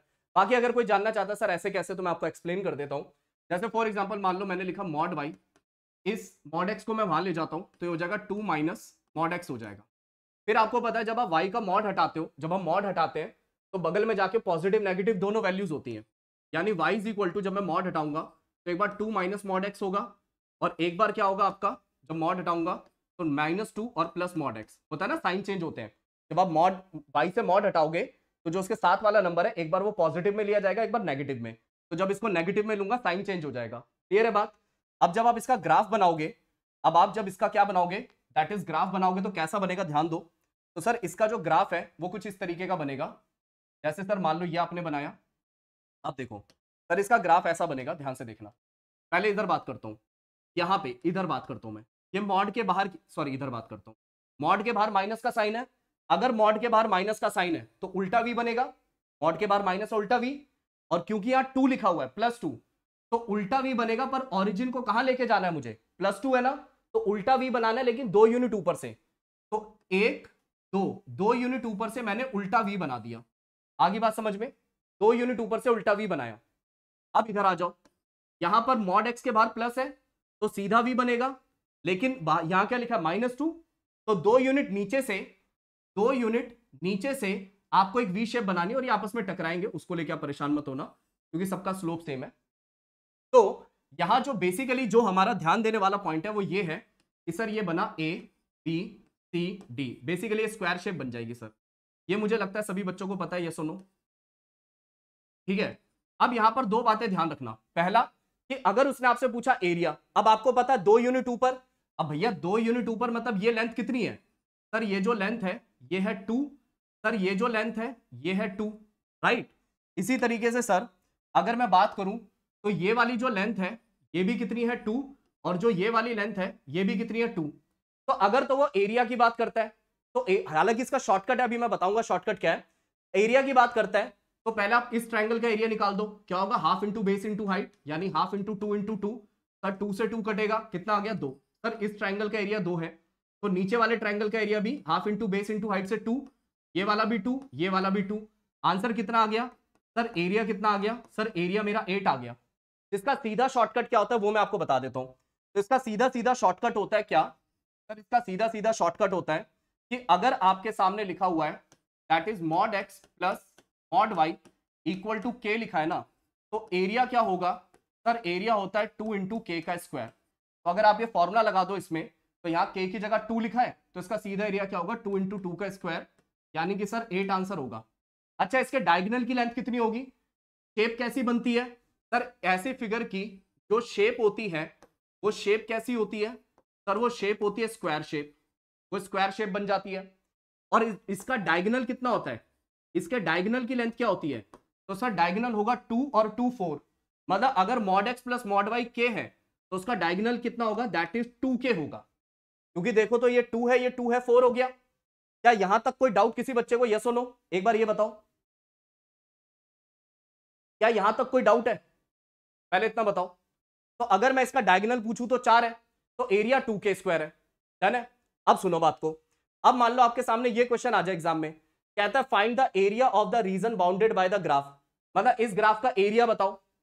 तो यहाँ आपको यह बोलना चाहिए कि सर देखो mod x plus mod y equal to अगर टू लिखा है तो सर इसका जो ग्राफ है ना, इसका ग्राफ कुछ इस तरीके का बनता है। इसका ग्राफ कुछ इस तरीके का बनता है, सर। राइट ये कुछ इस तरीके का बनता है। मतलब जो डायगनल्स का इंटरसेक्टिंग पॉइंट है मतलब सर इसका ग्राफ ऐसा बनता है। और मतलब सर जो डायगनल का इंटरसेक्टिंग पॉइंट है डायगनल का इंटरसेक्टिंग पॉइंट यानी कि ये तो यहाँ पर ये क्या है पॉइंट जैसे मान लो पॉइंट ओ है। तो जो डायगनल का डायगनल का इंटरसेक्टिंग पॉइंट है इंटरसेक्टिंग पॉइंट वो क्या होता है? सर ज़ीरो कामा ज़ीरो मतलब ऑरिजिन होता है। ऑरिजिन होता है। ध्यान से सुनना पॉइंट हालाँकि इसका आंसर मुझे पता, आप सबको पता क्या लेकिन अभी एक डायगनल वाला क्वेश्चन कराना है, इसलिए ध्यान से सुनना। अब यहाँ पर मैंने क्या लिख रखा है? यहाँ मैंने x के साथ माइनस टू लिखा हुआ है। और y के साथ क्या लिखा हुआ है मैंने? माइनस थ्री लिखा हुआ है। इक्वल टू टू लिखा है। अगर इसका ग्राफ ये है तो इसका ग्राफ क्या बनेगा? तो सर, कुछ नहीं होना। बस ये होना है कि सर, आप ना दोबारा से एक, दोबारा से ऐसा सा एक स्क्वायर बना दो। बस जो डायगनल का इंटरसेक्टिंग पॉइंट जो डायगनल्स का इंटरसेक्टिंग पॉइंट अभी ओरिजिन था ना, जैसे अगर mod x plus mod y equal to two में डायगनल का इंटरसेक्टिंग पॉइंट ओरिजिन होता है, इस केस में डायगनल का इंटरसेक्टिंग पॉइंट क्या होगा? तो सर देखो मॉड के अंदर जो एक्स है, उसमें मॉड के अंदर लिखा है माइनस टू तो मतलब दो यूनिट मूव करना है कहा? पॉजिटिव एक्स उल्टा करते हैं ना हमेशा? पॉजिटिव एक्स एक्सिस पे. तो पॉजिटिव एक्स एक्सिस पे एक, दो. दो यूनिट मूव किया. अब जो वाई वाला पार्ट है, उसके अंदर लिखा है, उसमें मॉड के अंदर लिखा है माइनस थ्री तो मॉड के अंदर माइनस थ्री लिखा है तो हमेशा उल्टा रीड करते हैं. तो हमें क्या करना है वाई तो अप डाउन चलता है ना? तो अगर माइनस थ्री लिखा है, लेकिन मॉड के अंदर है पीछे जो क्वेश्चन थे, उसमें इक्वल टू में था। जैसे वाई इक्वल टू फिर मैंने प्लस टू माइनस टू लिखा था। लेकिन यहाँ तो मॉड के अंदर ही वाई के साथ माइनस थ्री है। तो यहाँ पर वाई के साथ अप डाउन मूवमेंट होती है। तो तीन यूनिट क्योंकि माइनस थ्री लिखा है तो उल्टा रीड करेंगे। माइनस थ्री मतलब तीन यूनिट डाउन ही, तीन यूनिट अप तो यहाँ से एक, दो, तीन तीन यूनिट अप और अब आपका जो इंटरसेक्टिंग पॉइंट है, वो यहाँ पर होगा। और यहाँ से आप एक, क्या करोगे? स्क्वायर शेप बना दोगे। पर एक बात बताओ, अगर मैं बात करूँ एरिया की तो एरिया पे कोई फ़र्क पड़ गया क्या? भैया, शेप तो यही है जिसको उठा के इधर उधर घुमा रहे हो बस। बस हुआ क्या? इस ग्राफ और इस ग्राफ में क्या फ़र्क है?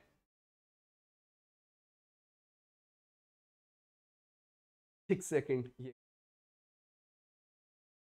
हाँ ठीक है। इस वाले ग्राफ ओके।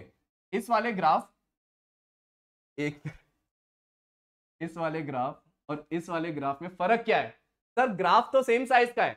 बस ये है कि जो डायगोनल का इंटरसेक्टिंग पॉइंट है वो शिफ्ट कर गया। अब एक स्क्वायर में यहाँ पकड़ के खड़ा हूँ और इसी स्क्वायर को मैं यहाँ कर दूँ तो एरिया में फ़र्क आ गया क्या? लाइक like मेरे फ़ोन में ये है अगर इसका कोई एरिया है अभी मैं कह रहा हूँ देखो इसका एरिया क्या है? आपने कहा सर इसका आपके फ़ोन का ये जो फ्रंट से एरिया आ रहा है चालीस। मैंने कहा अब कितना एरिया है? तो सर अभी भी चालीस है, इधर इधर इधर, कहीं भी घुमाते रहो इसको। एरिया तो चालीस ही रहेगा। तो भैया, अगर ये यहाँ से यहाँ पहुँच गया तो एरिया तो चालीस ही होने वाला है। तो अगर आपके एक्स के अंदर माइनस टू प्लस थ्री कुछ भी लिखा है तो सर, आंसर तो वही होगा। क्या?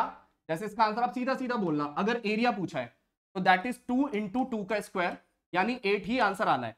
क्या ये बात क्लियर है सभी को? यस सुनो क्या ये बात क्लियर है? पक्का? बढ़िया। लेकिन तो सर, बढ़िया है। एरिया हो गया सर। कोई इंटरेस्ट लेने की ज़रूरत नहीं, हमें ऐसा नहीं होता। अब एक क्वेश्चन देखो। यहाँ मैंने क्वेश्चन रखा। मैंने कहा find the intersecting point of the diagonals with the coordinate axis of the quadrilateral bounded by this of the quadrilateral bounded by this right अब देखो, ज़रूरी थोड़ी हर बार एरिया पूछेगा।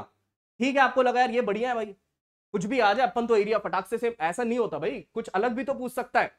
तो उस हिसाब से ध्यान देते हैं। अगर लिखा mod x minus two mod y minus three और इक्वल टू में टू लिखा हुआ है तो सबसे पहले आप ये बोलो कि सर जो mod x minus plus mod y का ग्राफ होता है इक्वल टू टू सर वो क्या होता है? सर वो ग्राफ बनता है जिसमें डायगनल हमारे इंटरसेक्ट करते हैं कहाँ पर? ऑरिजिन पे इंटरसेक्ट करते हैं ऑरिजिन पे। लेकिन सर, अगर मैं इस ग्राफ की बात करूँ तो x माइनस टू और प्लस में mod y minus three equal to two लिखा है। सर, ये क्या बनेगा ग्राफ? अब यहाँ ध्यान देने वाली बात है, इसलिए ध्यान से सुनना।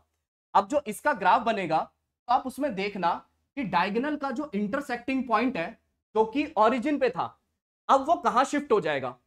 तो यहाँ पे जब आपने ग्राफ बनाया, ठीक है, ये आपने ग्राफ बनाया, अब ये कहाँ शिफ्ट करेगा उस पर ध्यान देना। तो सर, ये शिफ्ट कर जाएगा आपका कहाँ पे? तो ध्यान से देखो एक्स के साथ माइनस टू है तो सर, एक, दो दो यूनिट यहाँ y के साथ माइनस थ्री है।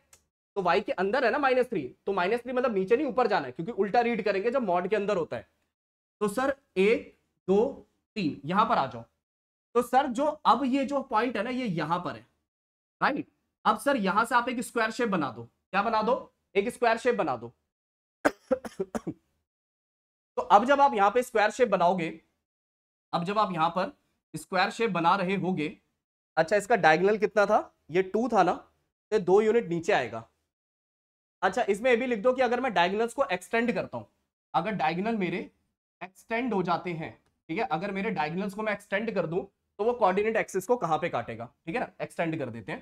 क्योंकि एक चीज़ समझो ना, अगर ये टू दे रखा है मैंने, अगर ये मैंने टू दे रखा है तो इसका मतलब ये वाली लेंथ टू है, ये वाली लेंथ टू है है ना?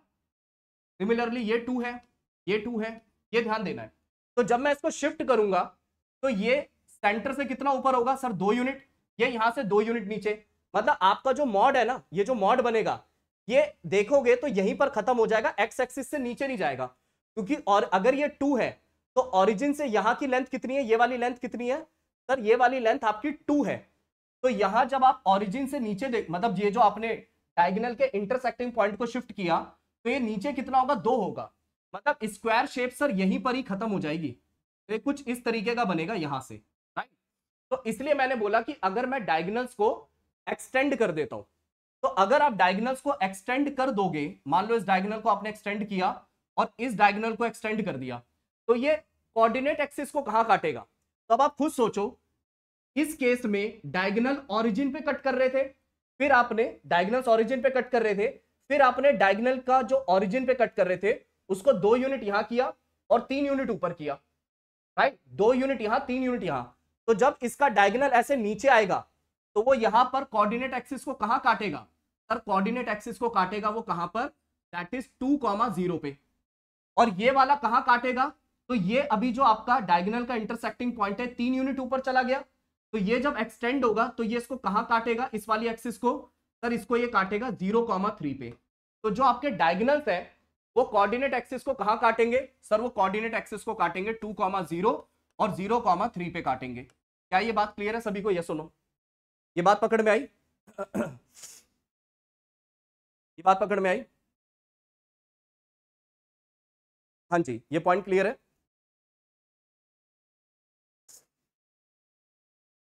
ठीक है? देखो, मैंने ये बोला, कोई बात नहीं, दोबारा देख लेना। देखो, मैंने ये बोला, इसको मैं हटा देता हूँ, ठीक है? इसको मैं हटा देता हूँ। एक अच्छा सा प्यारा सा ग्राफ बनाता हूँ। ठीक है? देखो, ध्यान से सुनना, कोई बात नहीं। एक बार समझ आ गया ना, बहुत सिंपल होते हैं। पहले यहाँ लिख लो कि डायगनल एक्सटेंड हो सकते हैं। डायगनल को मैं एक्सटेंड कर सकता हूँ। देखो, मैंने बोला कि mod x plus mod y equal to two आप सबको पता है कि सर इसका जो ग्राफ बनेगा ना, वो कुछ ऐसा बनता है कि एक दो एक दो एक दो एक दो। अब यहाँ से इसको मिलाओ, यहाँ से इसको मिलाओ, यहाँ से इसको मिलाओ, यहाँ से इसको तो सर ऐसा सा कुछ बनता है राइट मतलब डायगोनल जो है ना डायगोनल कहाँ पे टकराते हैं? सर, इसके डायगोनल टकराते हैं ऑरिजिन पे। डायगोनल ऑरिजिन पे टकराते हैं। अब सर, आपको ग्राफ बनाना है x minus two plus y minus three is equal to two का। अब सर, ये दोनों एक जैसे ग्राफ है। ग्राफ तो दोनों एक जैसे हैं। बस शिफ्ट करना है मेरे को। क्या करना है? शिफ्ट करना है। मतलब सर स्क्वायर ही बनेगा। स्क्वायर ही बनेगा जिसके डायगोनल की लेंथ चार होगी। बनना तो इसका भी स्क्वायर ही है, जिसके डायगोनल की लेंथ चार होगी। बस ये शिफ्ट हो जाएगा। अब ये शिफ्ट कैसे होगा? तो सर यहाँ पर आ जाओ ये बनाया आपने, ध्यान से सुनना, ठीक है? तो सर बेसिकली तो स्क्वायर अगर ऐसा होता तो डायगोनल ओरिजिन पे टकराएँगे, पर अब डायगोनल कैसे शिफ्ट होगा? तो सर एक्स के साथ माइनस टू है तो मतलब नेगेटिव एक्स एक्सिस पे दो यूनिट शिफ्ट कर जाओ। एक्स के साथ माइनस टू है तो सॉरी पॉजिटिव एक्स एक्सिस पे दो यूनिट तो यहाँ पर एक और यहाँ पर एक, दो यूनिट शिफ्ट कर गया। वाई के साथ माइनस थ्री है तो वाई के साथ अप डाउन होता है, पर माइनस थ्री है, पर रीड उल्टा करेंगे, क्योंकि मॉड के अंदर माइनस थ्री है। तो तीन यूनिट ऊपर, यानी एक, दो, तीन, यहाँ पर। तो आपके डायगनल यहाँ पर इंटरसेक्ट करेंगे। अब आपको स्क्वायर बनाना है। देखो इंटरसेक्ट से कितना पॉइंट नीचे आते हैं? एक, दो पॉइंट नीचे आते हैं। अगर मान लो ये ए है, ये बी है, ये सी है, ये डी है, ये इंटरसेक्टिंग पॉइंट है। इंटरसेक्टिंग पॉइंट मान लो ओ है। तो अगर ये ओ है तो जो बी है वो दो यूनिट नीचे है डी तो एक, दो मतलब डी यहाँ पर होगा। सी यहाँ पर होगा, दो यूनिट यहाँ पर आपका सी होगा। जो क्या है ये? ए बी सी डी जो बी है वो दो यूनिट ऊपर होगा तो बी यहाँ पर होगा और ए दो यूनिट यहाँ होगा तो ए यहाँ पर होगा। तो ये कुछ ऐसा सा आपका ग्राफ बनता हुआ आपको दिखेगा। आगे बात समझ में? अब आप खुद सोचो, जब आप इसके डायगनल्स को एक्सटेंड करोगे, अब जैसे मैंने इसके डायगनल को एक्सटेंड करा तो एक्स एक्सिस को कहाँ काट रहे है? सर वो एक्स एक्सिस को काट रहा है टू कॉमा ज़ीरो पे।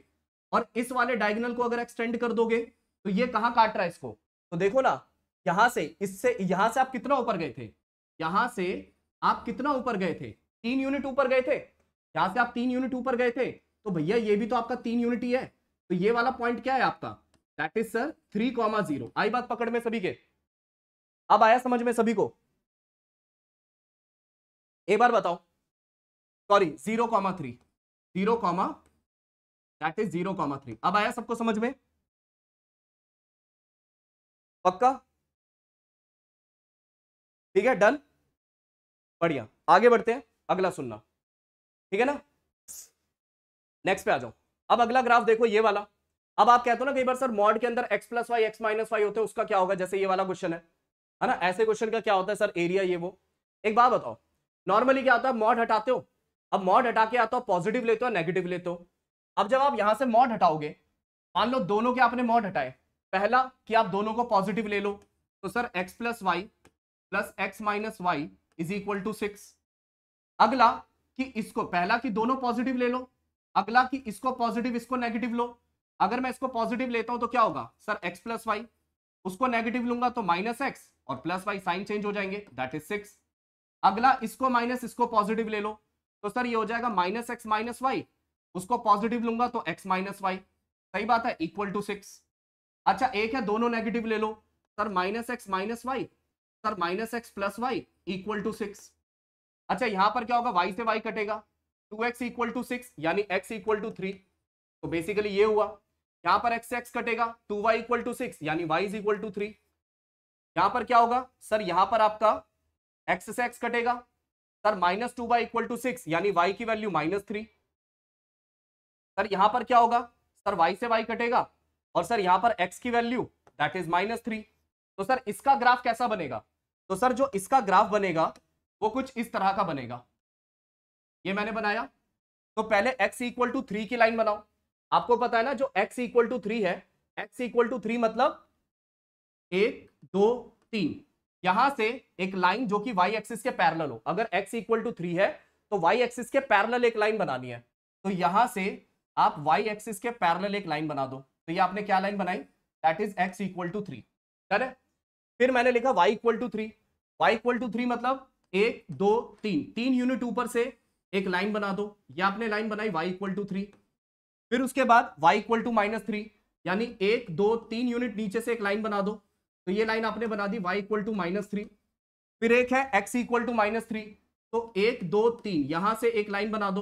तो ये लाइन होगी आपकी x equal to minus three अब कंबाइन फिगर देखो क्या बनी। तो सर कंबाइन फिगर ये बन गई। कंबाइन फिगर बेसिकली एक स्क्वायर बन गया। क्या बन गया? सर ये एक स्क्वायर बन गया। और स्क्वायर की लेंथ कितनी है? इसकी लेंथ कितनी है? तो सर यहाँ से यहाँ, ये कितना था? सर यहाँ से यहाँ ये तीन था। यहाँ से यहाँ ये भी तीन था। सर, ये भी आपका तीन था। सर, ये भी तीन था। तो बेसिकली सर, एक स्क्वायर बना। ए बी सी डी नाम का एक स्क्वायर बना, जिसमें कि ये ये कितना है? तीन और तीन छः मतलब सारी साइडें कितनी है? छः छः छः हैं। तो अगर एरिया कह रहा है तो आंसर क्या होगा? सर एरिया बोल रहा है तो छः का स्क्वायर मतलब छत्तीस हो जाएगा। ये वाला ग्राफ समझ में आया सभी बच्चों को? ये सुनो ये ग्राफ पकड़ में आया सभी के? हाँ जी, ये ग्राफ समझ में आया? समझ आई बात? अब ऐसा कुछ आपको दिख गया तो आप क्या बोलोगे? सर, अगर ऐसा कुछ मुझे दिख गया, अब ऐसा कुछ दिखता है तो मुझे लगता है ये सारा टाइम पास ना करके हटा दू ना। कोई बच्चा बोले रिपीट ठीक है ना? अब ये सब कुछ हटा करके आप क्या करोगे? अब आपको पता है कि सर, ऐसा कुछ अगर मुझे दिख गया, ये मैंने पूरा रीजन बता दिया। अब अगर ऐसा कुछ आपको दिख रहा है तो सर, इसका सीधा मतलब है स्क्वायर शेप बनेगी। इसका सीधा मतलब क्या निकला? कि सर, इसका जो ग्राफ है ना, वो बेसिकली एक स्क्वायर बनेगा। ऐसा ग्राफ जो होता है, जिसमें कि x plus y plus x minus y equal to six तो सर यहाँ पर बेसिकली एक स्क्वायर बनेगा। यहाँ पर क्या बनेगा सर? एक स्क्वायर बनेगा ए बी सी डी नाम का। और जो स्क्वायर बनेगा ना सर, उसकी साइड ये जो स्क्वायर बन रहा है, इसकी साइड कितनी होगी? छः होगी। तो इसका एरिया कितना हो जाएगा? सर इसका एरिया हो जाएगा सिक्स का स्क्वायर यानी कि थर्टी सिक्स तो अगर लिखा है mod x plus y plus mod x minus y equal to के तो जो एरिया होगा, वो क्या बनेगा? के का स्क्वायर सीधा एरिया जैसे छः छः का स्क्वायर छत्तीस। अब आपको एक क्वेश्चन दिखाता हूँ, ये वाला। अब ये क्वेश्चन नॉर्मली जैसे मैं, ये एक्स स्क्वायर है पहली बार। X square y square equal to five x y sir क्या इसका आंसर हम लोग कर सकते हैं ग्राफ से? कहता है which of the following will be the minimum value of this यानी x square plus y square equal to five x y इसकी मिनिमम वैल्यू क्या होगी? अगर ये मेरे सामने गिवन है। भाई, अगर ये मेरे सामने गिवन है राइट इसका ग्राफ कैसा बनेगा? तो सर इसका जो ग्राफ बनेगा, वो कुछ इस तरीके का ग्राफ बनेगा सर इसका ग्राफ सर कुछ इस तरीके का बनेगा ए बी सी डी ये कुछ इसका ग्राफ होगा। राइट है बात? सर, ये इसका ग्राफ बनेगा। अच्छा ये कोऑर्डिनेट क्या होंगे? ये सब कोऑर्डिनेट क्या होंगे? तो सर, इसमें क्या होता है? तीन तीन भाई, पूरी लाइन छह होती है ना? पूरी लाइन सिक्स होती है। तो यहाँ से यहाँ ये कितना है? यहाँ से यहाँ तक ये लेंथ कितनी है? तीन है। ये पूरी लेंथ कितनी है? अगर ये ऑरिजिन है, अगर ये ऑरिजिन है तो सर, यहाँ से यहाँ ये कितना है? सर, तीन यूनिट सर, यहाँ से यहाँ कितना है? तीन यूनिट सर, यहाँ से यहाँ कितना है? माइनस तीन। मतलब तीन है लेंथ और ये भी कितनी है? तीन लेंथ है। तो मैं कह सकता हूँ बी का कोऑर्डिनेट कितना है? सर बी का कोऑर्डिनेट है थ्री कॉमा थ्री ए का कोऑर्डिनेट कितना है? सर ए का कोऑर्डिनेट सेकंड क्वाड्रेंट है। सर, ये माइनस थ्री कॉमा थ्री यहाँ पर यहाँ पर, सर, यहाँ पर हो जाएगा हमारा that is three comma minus three और यहाँ पर minus three comma minus three तो एक बात बताओ, इस पूरी की पूरी बाउंड्री पर, ये जो पूरा का पूरा ग्राफ है, अगर आप उस पर कोई भी पॉइंट ले लो तो क्या सबसे मिनिमम पॉइंट सी नहीं है? अगर आप इसके ऊपर कहीं पर भी कोई भी पॉइंट ले लो तो क्या सबसे छोटा पॉइंट ये नहीं है minus three comma minus three अगर मैं इसका ग्राफ बनाता हूँ तो इसका जो सबसे ज़्यादा मिनिमम पॉइंट है, वो यही तो है माइनस थ्री माइनस थ्री उससे अलग तो कोई नहीं है। है ना? क्योंकि सबसे एक्सट्रीम यही मूव कर रहा है। पहली बात, आपको मिनिमम देखना है। तो मिनिमम चौथे क्वाड्रेंट में आएगा, क्योंकि चौथे क्वाड्रेंट में एक्स और वाई दोनों नेगेटिव होते हैं। चौथे क्वाड्रेंट में एक्स और वाई दोनों नेगेटिव होते हैं। होते हैं ना? चौथे में, और चौथे में बिल्कुल एक्सट्रीम कहाँ जा रहे हो? यही तो एक्सट्रीम है है ना? एक्सट्रीम मतलब बिल्कुल लेफ़्ट बिल्कुल डाउन बिल्कुल लेफ़्ट और बिल्कुल डाउन ये है। तो इस ग्राफ का जो सबसे मिनिमम पॉइंट है, वो minus three comma minus three है। तो मतलब माइनस थ्री और माइनस थ्री एक्स वाई की सबसे मिनिमम वैल्यू है। तो इसका मिनिमम आंसर कितना आ जाएगा? सर माइनस तीन का स्क्वायर प्लस माइनस तीन का स्क्वायर प्लस पाँच इंटू माइनस तीन इंटू माइनस तीन। तो तीन का स्क्वायर नौ, तीन का स्क्वायर नौ, ये कितना हो जाएगा? नौ, पाँच, पैंतालीस हो जाएगा। तो आंसर कितना आएगा? नौ नौ, अट्ठारह। ऐड कर देना sixty three will be the minimum answer आई बात पकड़ में सभी बच्चों के यस नो डन है समझ आया? था मज़ेदार कॉन्सेप्ट अगर हमें ग्राफ की समझ है।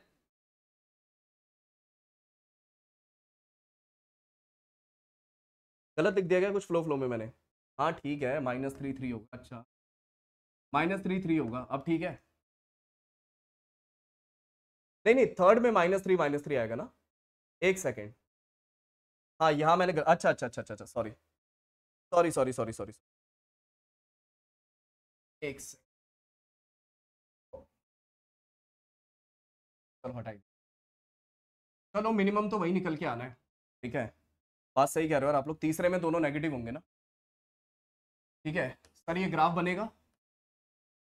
सर, ये इसका ग्राफ बनता है, ठीक है? ये इसका ग्राफ बनेगा ए बी सी डी नाम का, और सर, सबसे मिनिमम वैल्यू आती है थर्ड क्वाड्रेंट में, क्योंकि थर्ड क्वाड्रेंट में दोनों नेगेटिव होते हैं ना। यहाँ तो खैर एक पॉजिटिव एक नेगेटिव होता है, ठीक है? और लेंथ हम सबको पता है कि सर लेंथ क्या होगी? सर, सारी की सारी लेंथ तीन होगी, क्योंकि आपको पता है ना, ये तीन, ये पूरी की पूरी साइड छः होती है तो छः के हिसाब से कितना होगा? तीन, और ये भी कितना होगा? तीन, ये कितना होगा? तीन, और ये कितना होगा? तीन होगा। तो अगर मैं बात करूँ तो यहाँ पर मुझे मिनिमम वैल्यू बतानी है इसकी। इस पूरे की मिनिमम वैल्यू बतानी है।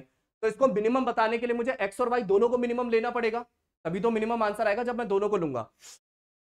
तो यहाँ पर कितना आया? जैसे एक्सट्रीम आंसर देखते हैं। जैसे इसका एक्सट्रीम कितना आ रहा है? सर, इसका एक्सट्रीम आ रहा है। तीन कॉमा तीन आ रहा है। यहाँ से कितना आ रहा है? तो सर, यहाँ से आएगा मेरा, क्योंकि ये इधर नेगेटिव और ये पॉजिटिव तो माइनस थ्री और थ्री हो जाएगा। सर, यहाँ पर ये दोनों माइनस थ्री माइनस थ्री होंगे। और सर, यहाँ पर क्या होगा? तो सर, एक होगा मेरा दैट इज़ थ्री एक हो जाएगा मेरा माइनस थ्री राइट है बात? तो अगर मैं इस पूरे ग्राफ पे देखूँ तो सबसे मिनिमम अब देख रहा दुनिया भर के पॉइंट है इस पे। लेकिन सबसे ज़्यादा मिनिमम पॉइंट कहाँ पर आ रहा है? सर, यहाँ पे सबसे मिनिमम पॉइंट आ रहा है। अगर आप देखोगे डी मतलब सबसे मिनिमम जैसे उधर वो पॉजिटिव है, दोनों का नेगेटिव होना। अब दोनों नेगेटिव होना यहाँ पर, और उसमें भी बिल्कुल राइट आ जाओ और बिल्कुल डाउन आ जाओ। तो ये दिख रहा है ना माइनस थ्री माइनस थ्री तो ये मैं कहना चाह रहा हूँ, ये बात पकड़ में आई सभी के? यस नो एक बार चैट के थ्रू बताना।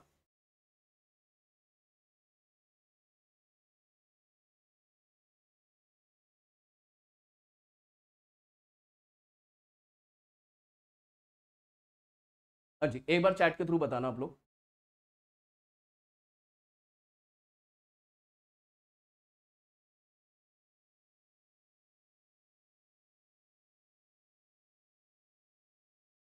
ओके अच्छा यहाँ पे सुनना।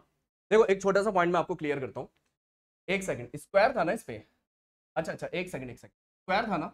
अगर x square plus y square और यहाँ पर मैंने लिख रखा है फाइव एक्स वाई लिखा हुआ है है ना? अब सर एक्स स्क्वायर है तो सर एक्स में तो मैं पॉजिटिव नेगेटिव कुछ भी डालूं पॉजिटिव ही रहना है। सर वाई में मैं पॉजिटिव नेगेटिव कुछ भी डालूं पॉजिटिव तो सर अगर मुझे इस पूरे को मिनिमम करना है तो इस पूरे को मिनिमम करने के लिए मुझे मिनिमम करना पड़ेगा किसे? अगर मुझे इस पूरे को मिनिमम करना है तो इस पूरे को मिनिमम मैं किस पे कर पाऊँगा? जब सर मेरा जो एक्स वाई है, जब ये मेरा मिनिमम होगा ना तो तब सर ये पूरी की पूरी वैल्यू मिनिमम होगी।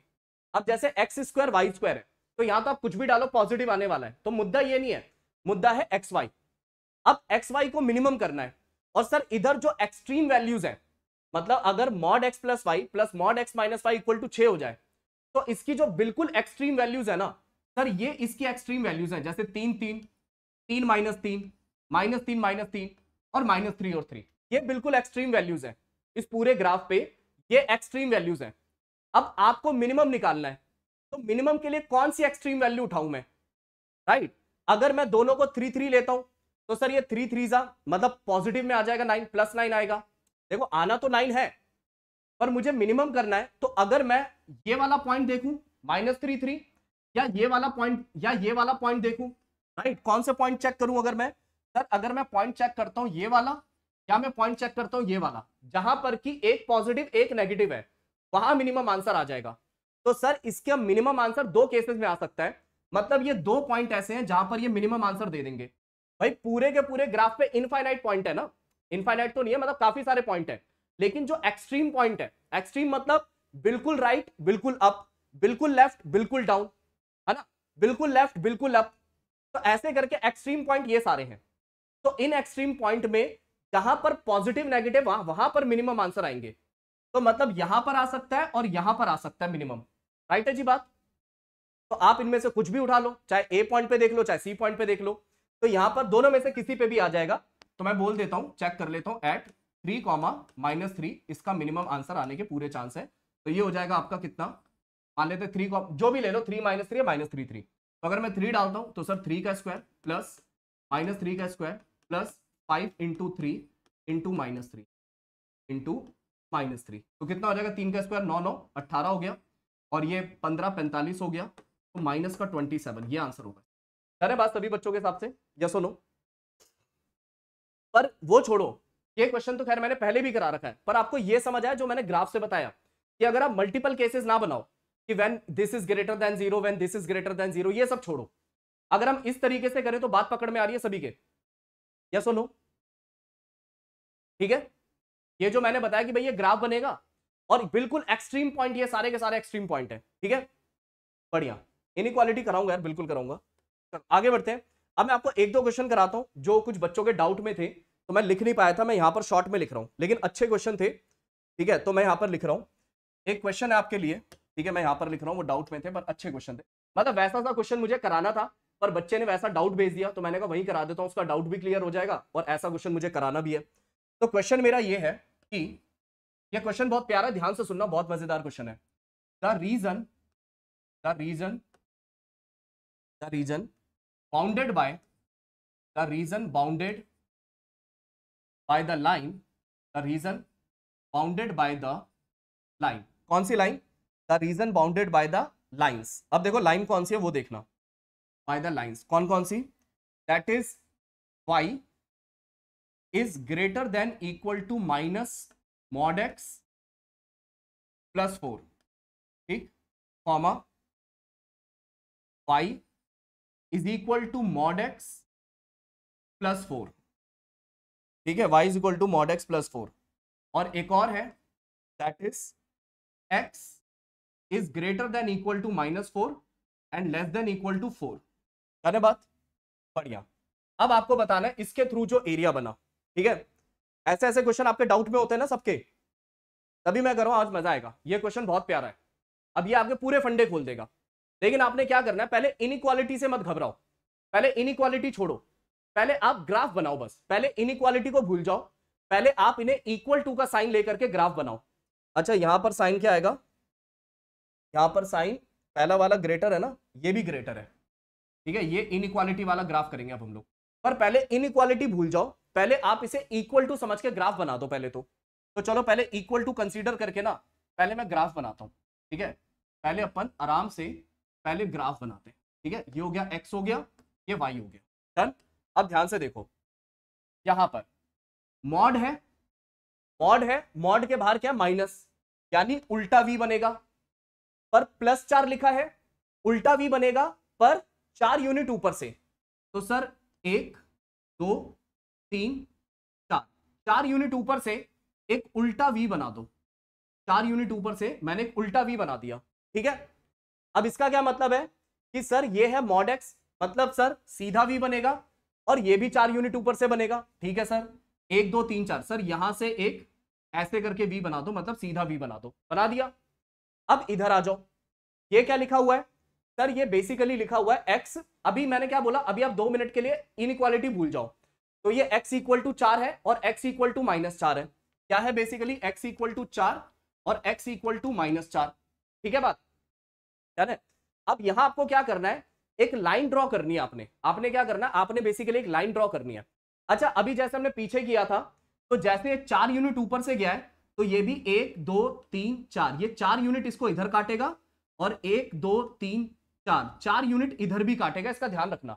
मतलब ये वाला जो पॉइंट है ना, ये बेसिकली फोर कॉमा ज़ीरो ही है। अगर चार यूनिट ऊपर है तो ऐसे जाके चार यूनिट पे ही काटेगा, क्योंकि सिर्फ़ एक्स है।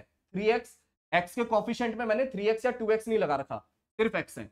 और ये कितना हो गया आपका? ये वाला पॉइंट ये वाला जो पॉइंट है ये हो गया माइनस फोर कॉमा ज़ीरो हो गया। अब x इक्वल टू फोर और x equal to minus four मतलब एक स्ट्रेट लाइन बनानी है। X इक्वल टू फोर मतलब वाई के पैरल एक लाइन बना दो। तो यहाँ से मैंने क्या करा? वाई के पैरल एक लाइन बना दी, ठीक है? और यहाँ पर भी मैंने क्या करा? वाई के बेसिकली एक यहाँ से भी मैंने वाई के पैरल एक लाइन बना दी, ठीक है? ये थोड़ी टेढ़ी सी लग रही है ना? आप थोड़ा मैं टेढ़ा खड़ा होकर बनाता हूँ मैं एक मिनट रुको।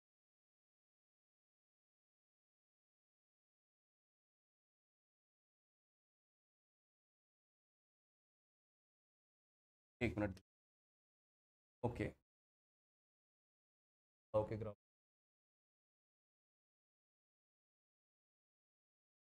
ये हो गया एक्स हो गया, ये आपका वाई हो गया, ठीक है? ये मॉड के बाहर नेगेटिव है मतलब उल्टा भी बनाना है, पर चार यूनिट ऊपर से। एक, दो, तीन, चार। चार यूनिट ऊपर से उल्टा भी बना दो, और ये जो आपने उल्टा भी बनाया, अगर चार यूनिट ऊपर से बनाया ना मतलब जो ये वाला पॉइंट है, ये वाला पॉइंट आपका ज़ीरो कॉमा फोर है ना तो ये एक्सिस को भी चार यूनिट पे ही काटेगा, ध्यान रखना। तो ये हो जाएगा आपका फोर कॉमा ज़ीरो और ये वाला पॉइंट हो गया आपका माइनस फोर कॉमा है ना? अब उसके बाद सर एक सीधा वी बनाना, क्योंकि सिर्फ़ मॉड एक्स है तो सीधा वी बनेगा, लेकिन चार यूनिट ऊपर से तो चार यूनिट ऊपर से ही एक सीधा वी भी आप इस तरीके का बना दो। बना दिया। अब सर ये है, पहले मैंने बोला इनइक्वालिटी भूल जाओ, सिर्फ़ इक्वल टू का साइन कंसिडर करो। तो एक एक्स इक्वल टू फोर है x equal to minus four है। तो यहाँ चार है, यहाँ से एक स्ट्रेट लाइन बनाओ। ऐसे और माइनस चार से भी एक स्ट्रेट लाइन तो पहले तो सर ये बन गया आपका ग्राफ। आई बात समझ में सभी के? ग्राफ कुछ इस तरीके का बन गया। ठीक है? अब सुनो बात को। अब यहाँ पर ध्यान देना। तो यहाँ पे सर अगर आप ध्यान दो तो अब ग्राफ पे आता है। ध्यान से सुनना। अब मज़ेदार पॉइंट स्टार्ट है। जैसे कई बच्चे कहते हैं, सर इनइक्वालिटी के बारे में थोड़ा बताओ। तो अब ध्यान से सुनना। देखो, यहाँ पर अगर वाई मैं कह रहा हूँ, इस ग्राफ से जो वाई बेसिकली बताता है आंसर्स को। वाई बताता है आंसर को। अब जैसे एक बात सुनना, ताकि क्लैरिटी बने, इसलिए ध्यान से मेरी बात को सुनना। अगर मान लो मैं यहाँ पे, ठीक है, अगर मान लो मैं इस तरीके से एक ग्राफ बना रहा हूँ, ठीक है, ऐसे करके मैंने कोई भी ग्राफ बना दिया तो यहाँ पर देखो जो मॉड है, ऐसे करके मॉड है, या तो मॉड के अंदर का एरिया या मॉड के बाहर का एरिया दो तरह के एरिया होते हैं।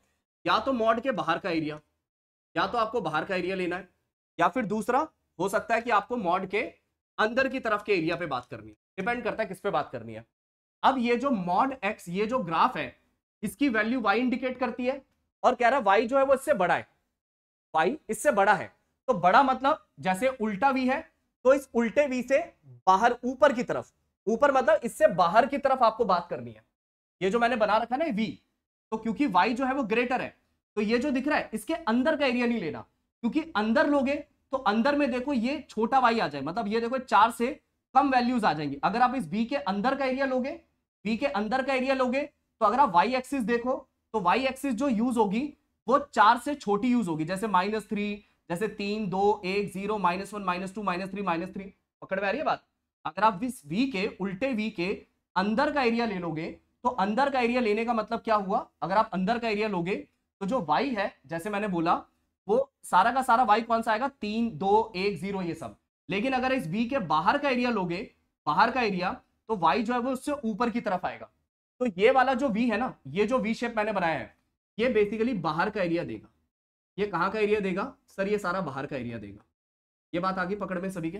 चले? ये बात क्लियर और इसी तरीके से ये वाला जो वी है, अगर आप इस वी की बात करो तो ये ग्रेटर है। मतलब इसका जो आंसर आएगा ना, इस वाले का, इसका जो आंसर आएगा उसमें जो वाई है ना, वो इससे बड़ा होना चाहिए। मतलब अगर मैं बोलता वाई लेस होना चाहिए तो वाई लेस होने का मतलब है कि ये जो वी दिख रहा है आपको, ये वाला वी ये जो आपको वी दिख रहा है। अगर मैं कहता यहाँ पर क्या, जैसे मैंने बोला y is greater than equal to this ठीक है? एक मिनट रुकना। पहले मुझे यहाँ तक बताना, यहाँ तक की पूरी पिक्चर क्लियर चल रही है ना सभी बच्चों की। इसमें बस एक बार ना, थोड़ा सा रुकना, साइन का कोई पंख बट स्टिल एक बार मैं क्रॉस चेक कर ले।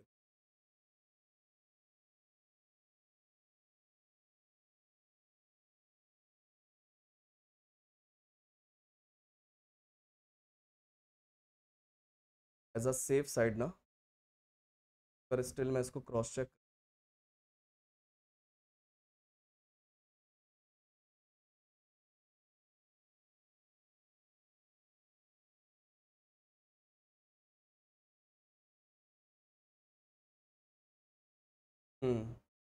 जैसे ये वाला जो x है, ये वाला x, ये वाला जो x दिख रहा है, ये तो खैर चार से छोटा है, ये तो खैर चार से छोटा है मतलब इधर के एरिया पे मुझे बात करनी है, इधर के एरिया पे बात करनी है। और ये वाला जो x है, ये माइनस चार से बड़ा है, x माइनस चार से बड़ा है तो माइनस चार से बड़ा मतलब मुझे इधर के एरिया पे बात करनी है, इधर के एरिया पे बात। अब यहाँ पर जो वाई है मेरा, यहाँ पर वाई जो है दैट शुड बी ग्रेट अब देखो एक चीज़, एक काम करते हैं, कोई पॉइंट उठा लेते हैं। You know just to check एक बार एक पॉइंट उठा के देख लेते हैं ताकि वेरीफाई हो जाए। जैसे यार चार के ऊपर एक पॉइंट आएगा मेरा, जैसे यहाँ पर मेरा पॉइंट क्या होगा? ज़ीरो कॉमा फोर है ना? तो जैसे यहाँ पर मान लेते एक पॉइंट है ज़ीरो कॉमा फाइव तो अगर मैं यहाँ पे पाँच लिखता हूँ, अगर मैं यहाँ पे पाँच लिखता हूँ तो यहाँ पर पाँच आएगा और यहाँ पर ज़ीरो नहीं, ये गलत है। मुझे लग रहा है इनइक्वालिटी का साइन गलत है। यहाँ पर इनइक्वालिटी का साइन ग्रेटर नहीं, बल्कि लेस होना चाहिए। ये लेस होना चाहिए। क्योंकि अगर ये लेस होगा तो ये सारा नीचे का एरिया देगा। क्योंकि ऐसे तो ये भी ऊपर निकल गया कॉमन एरिया ही नहीं आएगा। यहाँ पर ये लेस देन होगा। This inequality will be कि y less than equal to this जैसे मैंने ज़ीरो कॉमा फाइव डाल के देखा तो ट्रू आ रहा है। भाई ज़ीरो फाइव डालूँगा तो पाँच जो है, वो चार से बड़ा है तो ट्रू है तो ये तो ऊपर का एरिया देगा तो कॉमन कैसे निकलेगा? तो फिर ये वाई लेस देन का साइन होगा। अब अगर वाई लेस देन होगा वाई लेस देन होगा तो इससे पता लग रहा है कि ये जो वी शेप जा रहा है ना, उसमें जो वाई है, वो मुझे कम आंसर आने चाहिए। वाई के आंसर छोटे आने चाहिए मतलब ये नीचे का आंसर देगा। तो ये जो है, ये सारा नीचे का एरिया मुझे यहाँ से मिलेगा। तो बेसिकली अब कॉमन एरिया क्या बना? अब अगर मैं कॉमन एरिया देखूँ तो एक्स कह रहा है, ये कह रहा है कि एक्स चार से इधर और एक्स माइनस एक्स जो है वो चार से छोटा है मतलब इधर एक्स माइनस चार से बड़ा है मतलब इधर। यहाँ मैं कह रहा हूँ कि ये जो उल्टा v है, इसमें वाई ग्रेटर होना चाहिए। तो ये जो उल्टा v है, ये ऊपर का एरिया देगा और यहाँ पर ये जो सीधा v है, क्योंकि वाई लेस देन है तो ये जो सीधा v है, ये नीचे का एरिया देगा। तो ये ऊपर का एरिया ये नीचे का एरिया ये इधर ये इधर तो कॉमन एरिया क्या बना? सर, ये बना कॉमन एरिया दैट इज़ ये वाला ट्राइंगल और ये वाला ट्राइंगल ये बना सर इनका क्या? दैट इज़ कॉमन एरिया बना। तो मुझे इसका एरिया निकालना है। आई बात पकड़ में? तो आपको बेसिकली दो ट्राइंगल्स के एरिया निकालने हैं। एक बार चैट के थ्रू बता देना अगर क्लियर है। तो ये पॉइंट हो गया मान लो ए ये पॉइंट है मान लो बी ये पॉइंट है सी ये पॉइंट है डी और ये पॉइंट है ई e. तो आपको इस वाले ट्राइंगल का एरिया निकालना है दैट इज़ एबीसी अब एबीसी का एरिया क्या होगा? तो ठीक है, वो सब तो आ ही जाना है। कैसे आ जाएगा सर तो देखो, ये जो है ऑरिजिन से चार यूनिट यहाँ पर है तो मुझे पता है कि ये वाली लेंथ कितनी है। मुझे तो पता है भाई कि ये वाली लेंथ कितनी है। सर ये चार है। इसी तरीके से ये वाली लेंथ कितनी है? सर ये भी चार है। हालाँकि दोनों ट्राइंगल तो सेम ही है तो किसी एक ट्राइंगल का एरिया निकाल देता हूँ। सर ये तो चार है। सर क्या ये वाली लेंथ पता लग सकती है कि ये लेंथ कितनी है? ये वाली लेंथ कितनी है? तो ये लेंथ निकालने के लिए आप ये देख लो कि ये कौन सा है? ये सीधा वी है ना? सीधा वाला वी तो आप ये देख लो कि ये जो सीधा वाला वी है पता लग जाएगा? हाँ, हाँ, हाँ वैसे पता तो लग जाएगा बट चलो ठीक है स्टिल ये जो सीधा वाला वी है मतलब ये वाला graph that is y is equal to mod x plus four ठीक है? इसमें काम करो एक्स की वैल्यू माइनस चार डाल दो। यहाँ पर एक्स की वैल्यू क्या करो? क्योंकि ये लाइन जो है ये जो स्ट्रेट लाइन जा रही है ये x equal to minus four थी ना? तो इसमें एक्स की जगह माइनस चार डाल दो। तो सर एक्स की जगह माइनस चार डालूँगा तो माइनस चार प्लस चार मतलब आठ आ जाएगा। तो ये जो इंटरसेक्टिंग पॉइंट है मतलब सीधे वी ने इस लाइन को कहा काटा तो इसको इसने काटा एट कॉमा ज़ीरो पे, ठीक है? ये इसको कहाँ पे काट रहा है? मैंने कितना रखा? माइनस चार पुट किया तो आठ आ गया। तो इसका मतलब यहाँ से यहाँ ये लेंथ कितनी लंबी है? दैट इज़ एट यूनिट तो इस ट्रायंगल का एरिया कितना आ जाएगा? तो सर इस ट्रायंगल का एरिया अपना आ जाएगा कितना? इस ट्रायंगल का एरिया आएगा दैट इज़ सर ये वाला ट्रायंगल एबीसी तो एबीसी का एरिया आ जाएगा सर हाफ़ इंटू बेस और इंटू हाइट यानी चार. तो दो इसे दो पे काटेगा तो सर इसका एरिया आ जाएगा सोलह. अगर इसका एरिया सोलह है तो ये भी सोलह होगा. तो सिक्सटीन प्लस सिक्सटीन यानी थर्टी टू आंसर होगा. क्या ये समझ आया सभी बच्चों को? ये सुनो एट नहीं समझ में आया कैसे लिया मैंने? पक्का क्लियर है? यस नो यश वगैरह जो बच्चे समझ तो आए ना, बिना मतलब तो हाँ में हाँ नहीं कर रहे ना? इजी है, एक बार दोबारा देखना, आपको समझ आ जाएगा, ठीक है? आप, नहीं यार, दो ट्रायंगल है, वैसे कर सकते हो कि सर इसको उठा के यहाँ पर ले आओ, फिर ऐसे करके लगा दो, वो भी कर सकते हैं। लेकिन मुझे लगता है कि आप अगर ध्यान से समझो ग्राफ तो क्लियर है ना? जैसे सबसे पहला क्या लिखा हुआ था? That is y is equal to में minus mod x plus four था तो मैंने क्या करा? बेसिकली उल्टा वी बनाया, चार यूनिट ऊपर से। फिर एक था मेरा y is equal to mod x plus four तो मैंने सीधा वी बनाया, चार यूनिट ऊपर से, और फिर मैंने ये एक्स इक्वल टू चार और एक्स इक्वल टू माइनस चार की मैंने दो लाइनें बना दी। तो इस तरीके से ग्राफ बन गया। यहाँ पर वाई जो है, यहाँ पर वाई जो उल्टा वी है, उससे बड़ा है। तो उल्टे वी से ऊपर का एरिया जो ये सीधा वाला वी है वाई उससे छोटा है। तो सीधे वाले वी से नीचे का एरिया एक्स चार से कम है, यानी चार के इधर का एरिया और माइनस चार से बड़ा है तो उधर का एरिया तो चार से इधर माइनस चार से उधर वी से ऊपर, उल्टे वी से ऊपर और सीधे वी से नीचे। तो कॉमन ये बनेगा। अब यहाँ पर अगर ये चार है तो ये वाली लेंथ चार हो गई। ये वाली लेंथ कितनी होगी थी? दैट इज़ फोर और ये अगर मुझे देखना था तो भाई ये x इक्वल टू फोर है ना? x equal to minus four है तो सीधे v को काट रहा है। तो मैंने ये वाला जो था सीधा v यानी y equal to mod x plus four उसमें मैंने x की जगह माइनस चार डाला y की वैल्यू आठ आ गई। तो इंटरसेक्टिंग पॉइंट आ गया माइनस फोर कॉमा एट तो इसका मतलब ये लेंथ कितनी है? ये पूरी लेंथ आठ है। तो half into base into height क्या? सो so, uh, कितना? Sixteen and then thirty two या फिर जैसे एक बच्चा कह रहा है उस को उठा के यहाँ लाओगे तो भी हम लोग पहुँच सकते हैं। है आते हैं सर नेक्स्ट क्वेश्चन पे। अगला क्वेश्चन देखना। ठीक है एक और क्वेश्चन मुझे कराना है रुको। एक क्वेश्चन और कराना है। ये वाला हो गया। आ, एक ये किसी बच्चे हाँ ये वाला क्वेश्चन भेजा हुआ था। एक वो भी देखना ये भी एक ठीक ठाक सा क्वेश्चन है। इसके ऊपर बात कर लेते हैं। तो एक क्वेश्चन और है। उसमें मैंने लिखा है कि एक स्ट्रेट लाइन है। ठीक है एक स्ट्रेट लाइन है that is five x plus seventeen y is equal to eighty five ये एक स्ट्रेट लाइन है। मतलब एक लाइन है बेसिकली इसको मैंने बनाया और फिर मैंने पूछा है how many integral point on the on और inside inside the perimeter bound ठीक है। बेसिकली इसके थ्रू जो भी फिगर बनेगी, इसके थ्रू ये जो भी ग्राफ है, इसके थ्रू जो भी ग्राफ बनेगा, इसके थ्रू जो भी ग्राफ बनेगा तो आपको क्या बताना है? आपको इसमें बताना है ठीक है, क्वेश्चन अच्छा था, इसलिए मैं करा रहा हूँ। तो आपको बताने क्या? That is number of number of integers number of integral point on the graph और इनसाइड द और इनसाइड द ग्राफ ग्राफ के ऊपर या इनसाइड द ग्राफ कितने बने?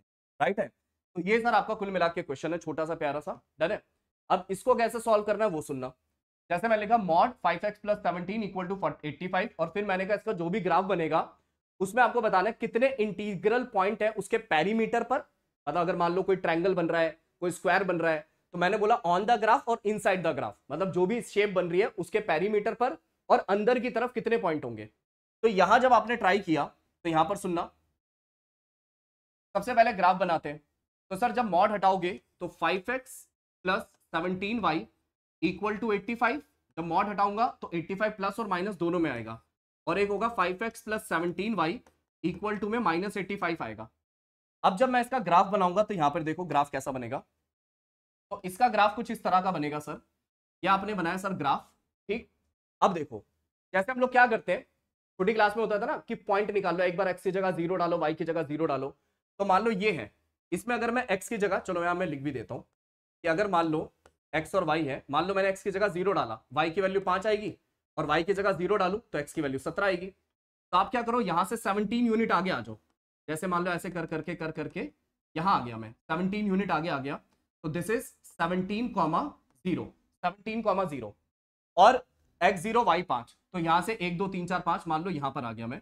तो this is what zero comma five अब यहाँ से एक लाइन बना देना। ठीक है? अब यहाँ से आपने एक लाइन बना दी। कुछ इस तरह की आपने एक लाइन बना दी, है ना? अब इसका अगर मैं ग्राफ बनाता हूँ माइनस वाले का तो इसमें क्या होगा? एक्स की जगह ज़ीरो डालोगे वाई की वैल्यू माइनस पाँच आएगी वाई की वैल्यू माइनस पाँच आएगी तो यहाँ की तरफ़ एक पॉइंट आ जाएगा that is zero comma minus five और अगर वाई की जगह ज़ीरो डालोगे तो माइनस सत्रह। तो एक पॉइंट ये आ जाएगा दैट इज़ माइनस सत्रह कॉमा ज़ीरो और ये लाइन कुछ ऐसी सी बनेगी राइट तो इसकी बेसिकली बात हो रही है तो मान लो ये पॉइंट ओ है, ये पॉइंट ए है, ये पॉइंट बी है, ये वाला पॉइंट सी है और ये वाला पॉइंट डी है। अब आपको बताना है कितने इंटीग्रल पॉइंट है जो इनके ऊपर है। अब इसका सबसे बेस्ट तरीका क्या होगा वो सुनना। इसके लिए हम लोग क्या कहते हैं, इसके लिए आप एक काम करो, ये दोनों के दोनों ट्रायंगल बिल्कुल सेम है। अगर आप देखो जो ये वाली लेंथ है और जो ये वाली लेंथ है, ये दोनों लेंथ सेम है। तो आप ऐसे इमेजिन करो कि मैंने इस वाले ट्राइंगल को उठा के ना यहाँ पे लगा दिया। इस वाले ट्रायंगल को ये जो सी ओ बी है बेसिकली ये जो सी डी लाइन है ना इसको ले जाके ए बी के ऊपर रख दो, क्योंकि दोनों सेम लेंथ की लाइन है। क्योंकि भैया, ये भी सत्रह यूनिट यहाँ, पाँच यूनिट यहाँ तो पाइथागोरस थ्योरम से ये जो हाइपोटेनस आएगा सेम हाइपोटेनस आएगा। तो इसको उठा के अगर मैं यहाँ डाल देता हूँ तो सर ये कुछ ऐसा सा हो जाएगा। ये कुछ इस तरीके का दिखेगा मुझे। दैट इज़ मान लेते हैं इसको उठा के मैंने यहाँ डाला। तो इसका ध्यान रखना, जो सी है, वो ए के साथ ओवरलैप हो गया, और जो डी है, वो इसके साथ ओवरलैप हो गया। मतलब ये एक अलग पॉइंट था, ये अलग पॉइंट था, पर ये ए के ऊपर आ गया। ए के ऊपर ही आ चुका है। तो इसको ध्यान रखना। अब मान लो मैंने इसको यहाँ शिफ्ट किया तो ये कोई ई e पॉइंट हो गया। ऐसा मान लो ई e पॉइंट हो गया। डन अब ये क्या है? सर, ये पॉइंट है ज़ीरो कॉमा ज़ीरो और इसको उठा के आपने यहाँ पे लगा दिया है। तो बेसिकली अब मुझे देखना है तो बेसिकली अब मुझे देखना है कि ये जो एक रेक्टेंगल टाइप की शेप है, ये जो एक रेक्टेंगल टाइप की शेप है, कितने इंटीग्रल पॉइंट है जो इसके पेरीमीटर पर है या इनसाइड है? या इनसाइड है? अब देखो कैसे पता करेंगे। जैसे देखो एक पॉइंट है ज़ीरो ज़ीरो फिर एक आएगा zero comma one zero comma two zero comma three zero comma four zero comma five पाँच पॉइंट आएँगे जैसे अगर मैं ज़ीरो से देखूँ zero comma zero zero comma one zero comma two zero comma three zero comma four zero comma five पाँच आ गए फिर ऐसे यहाँ से देखोगे तो सर यहाँ से भी पाँच पॉइंट आएँगे फिर यहाँ से देखोगे सर यहाँ से भी पाँच पॉइंट आएँगे मेरे यहाँ से देखोगे सर यहाँ से भी पाँच पॉइंट आएँगे तो सीधा सीधा क्या करूँ सर ऐसे करके ज़ीरो से सत्रह जाना है तो आप सत्रह बार ऐसे, जैसे, ऐसे सत्रह बार आप पाँच पाँच पॉइंट बनाते चले जाओगे। क्या ये बात समझ में आ रही है? कि आप ऐसे सत्रह बार शिफ्ट करोगे और इस तरीके से आप पाँच पाँच पॉइंट बनाते जाओगे। और ये भी तो इंक्लूड करना है। ज़ीरो ज़ीरो भी तो है। एक ये point zero zero zero one zero two zero three zero five zero six कितने बने? छह पॉइंट कितने बने? छह पॉइंट फिर ऐसे इधर आ जाओ। सर ज़ीरो वन यहाँ पे ज़ीरो वन फिर ज़ीरो टू ऐसे ऐसे करके यहाँ तक जाना है। सर यहाँ पर भी मेरे छह पॉइंट आ गए। राइट है जी बात ये सुनो क्योंकि छह पॉइंट निकले ना ज़ीरो से शुरू करूँगा ना zero zero zero one zero two zero three zero four zero five. तो छह हो गए। ज़ीरो से काउंट करोगे पाँच तक तो zero one two three four five छह। तो ऐसे छह पॉइंट यहाँ से छह पॉइंट यहाँ से छह पॉइंट यहाँ से छह पॉइंट यहाँ से सत्रह बार। सत्रह बार चेक करूँगा। तो सीधा सीधा बोल सकता हूँ सर कितना हो जाएगा? छह इंटू सत्रह करूँगा मैं। एक बार ये बताना। अच्छा सत्रह भी क्यों करूँगा? सत्रह भी नहीं ज़ीरो से स्टार्ट कर रहा हूँ। तो ज़ीरो भी तो काउंट होगा। Sir zero one two three four five six seven eight nine ten से सत्रह। अट्ठारह हो गए ना? जैसे ज़ीरो है तो zero one two three four five six छह पॉइंट फिर ज़ीरो से सत्रह। ज़ीरो इंक्लूड करना है ना तो ज़ीरो इंक्लूड करके सत्रह। अट्ठारह हो गए। तो सर, यहाँ पर टोटल अट्ठारह हो गए। देखो, ये सब क्वेश्चन बस एक बार साथ में कर लो, ताकि एग्ज़ाम में आ गया ना तो ये होते फ्री के नंबर है। बस आपने पहली बार, एक बार किए होने चाहिए। तो टोटल होंगे सिक्स इंटू अट्ठारह सर, मेरे हिसाब से ये टोटल पॉइंट बने सिक्स इंटू अट्ठारह यानी कितने हो गए सर? 108 पॉइंट हो गए। क्या ये आंसर है? नहीं सर। जैसे मैंने क्या बोला ओरिजिन से हो रहा है ना? देखो zero comma zero zero comma one zero comma two zero comma three zero comma four zero comma five एक, दो, तीन, चार, पाँच, छह पॉइंट फिर ऐसे ही ज़ीरो कॉमा वन से, अब जैसे आगे जाओगे तो वन कॉमा ज़ीरो से one comma zero one comma one one comma two one comma three, one comma four, one comma five. फिर छह पॉइंट बन गए। फिर ऐसी two one, two zero, two one, two two two three, two four, two five. Three one, three two, three three three four, three five. है ना? फिर ऐसी four zero, four one, four two, four three, four five. फिर five zero, five one, five two, five three, five four, five five. तो ऐसे करके कितनी बार करोगे? अट्ठारह बार करोगे ना? क्योंकि ज़ीरो से शुरू करना है। Zero, one, two, three, four, five, six से सत्रह तक। है ना? तो ऐसे करके जो छह छह बार आप चेक कर रहे हो ये अट्ठारह बार चेक करोगे, क्योंकि आप ज़ीरो से शुरू कर रहे हो। तो टोटल सर 108 इंटीग्रल सॉल्यूशन आएँगे। क्या 108 इंटीग्रल पॉइंट होंगे इसके ऊपर? नहीं सर। क्यों?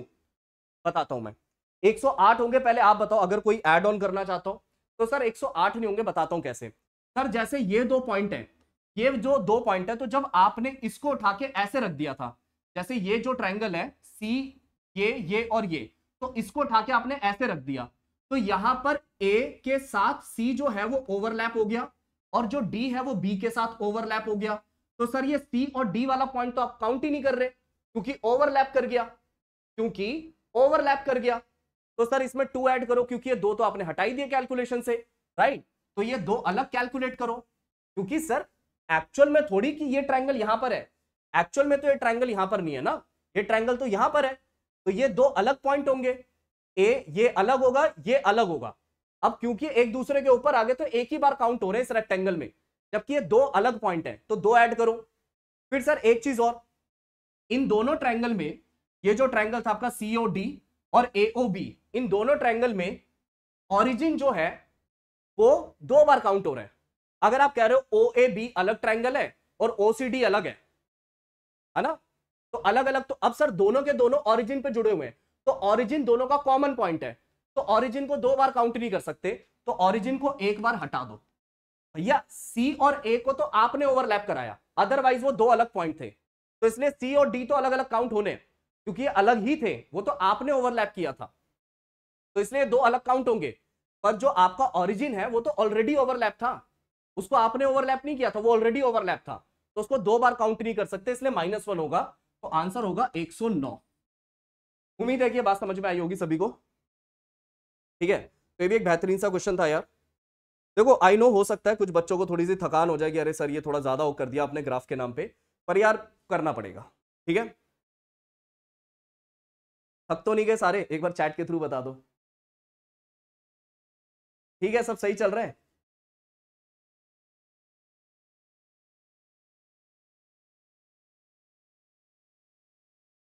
मैं भी सांस ले लूँ। ठीक है, बढ़िया सब। ओके।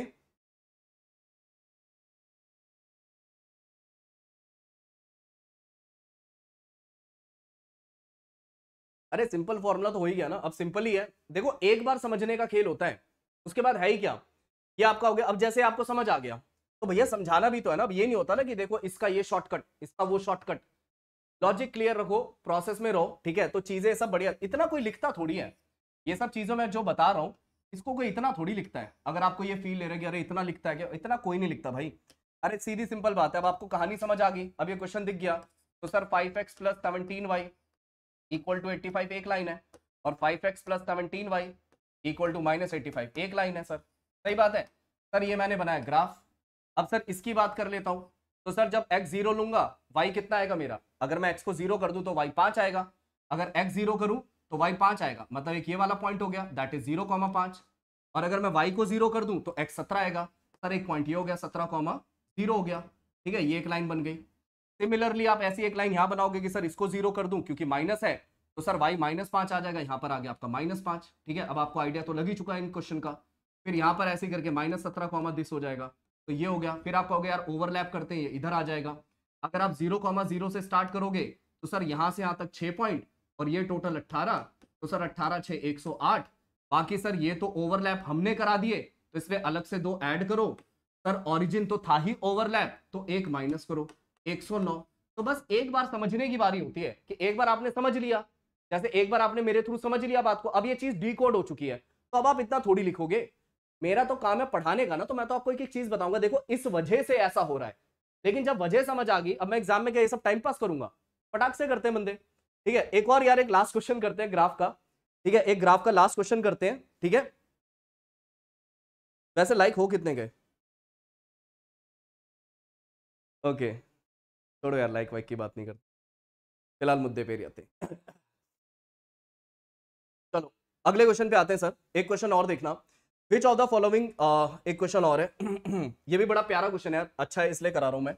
देखो यार, ये सब क्वेश्चन कर लो ग्राफ के आपके ना दिमाग खुल जाएगा, आपको मज़ा आ जाएगा, ठीक है? इसलिए ध्यान से सुनना। क्वेश्चन ऐसे क्या बोला? Which of the following can be the area enclose by this ठीक है तो आपको बताना है which of which of the following which of the following can be the area can be the area of can be the area of y is equal to mod x plus a, ठीक है?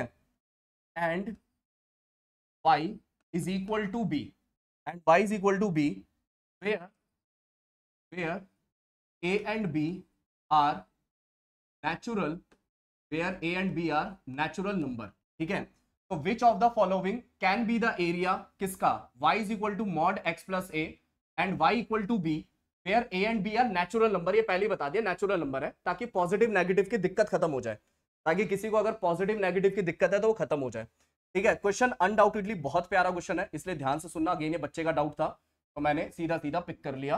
Otherwise ऐसे question मेरा देने का plan तो था but मुझे था, चल यार, इसी बहाने बच्चे का डाउट भी क्लियर हो जाएगा, है ना? और ऐसा सा क्वेश्चन भी हो जाएगा। अब देखो मॉड के साथ क्या लिखा है? एक्स प्लस ए लिखा हुआ है। अब हमें क्या पता है? अब देखो, एक नेचुरल नंबर है तो नेगेटिव नहीं हो सकता। अब जैसे इमेजिन कर लो एक्स प्लस पाँच। तो सर बेसिकली मॉड एक्स है तो सीधा वी बनेगा। लेकिन ऑरिजिन पे नहीं बनेगा सर ऑरिजिन से क्या करना पड़ेगा? सर ऑरिजिन से मुझे प्लस ए है ना? तो A unit negative x axis पे आना पड़ेगा। तो नेगेटिव एक्स एक्सिस पर ए यूनिट इधर आ जाओ। नेगेटिव एक्स एक्सिस पे मान लो, आप ए यूनिट इधर आ गए और फिर यहाँ से आप एक वी शेप बना दो। यहाँ से आपने क्या करी? एक वी शेप बना दी। बात आई पकड़ में? यहाँ से आपने वी शेप बनाई। क्या ये बात सभी बच्चों को क्लियर है? पहले तो मुझे इतना बताओ। है ना? यहाँ से आपने बेसिकली एक वी शेप बना दी। ठीक? अब उसके बाद मैंने बोला, फिर एक लाइन बनानी है वाई इक्वल टू बी अब एक लाइन बनानी है वाई इक्वल टू बी अब अगर आप वाई इक्वल टू बी बनाओगे मतलब एक नेचुरल नंबर है।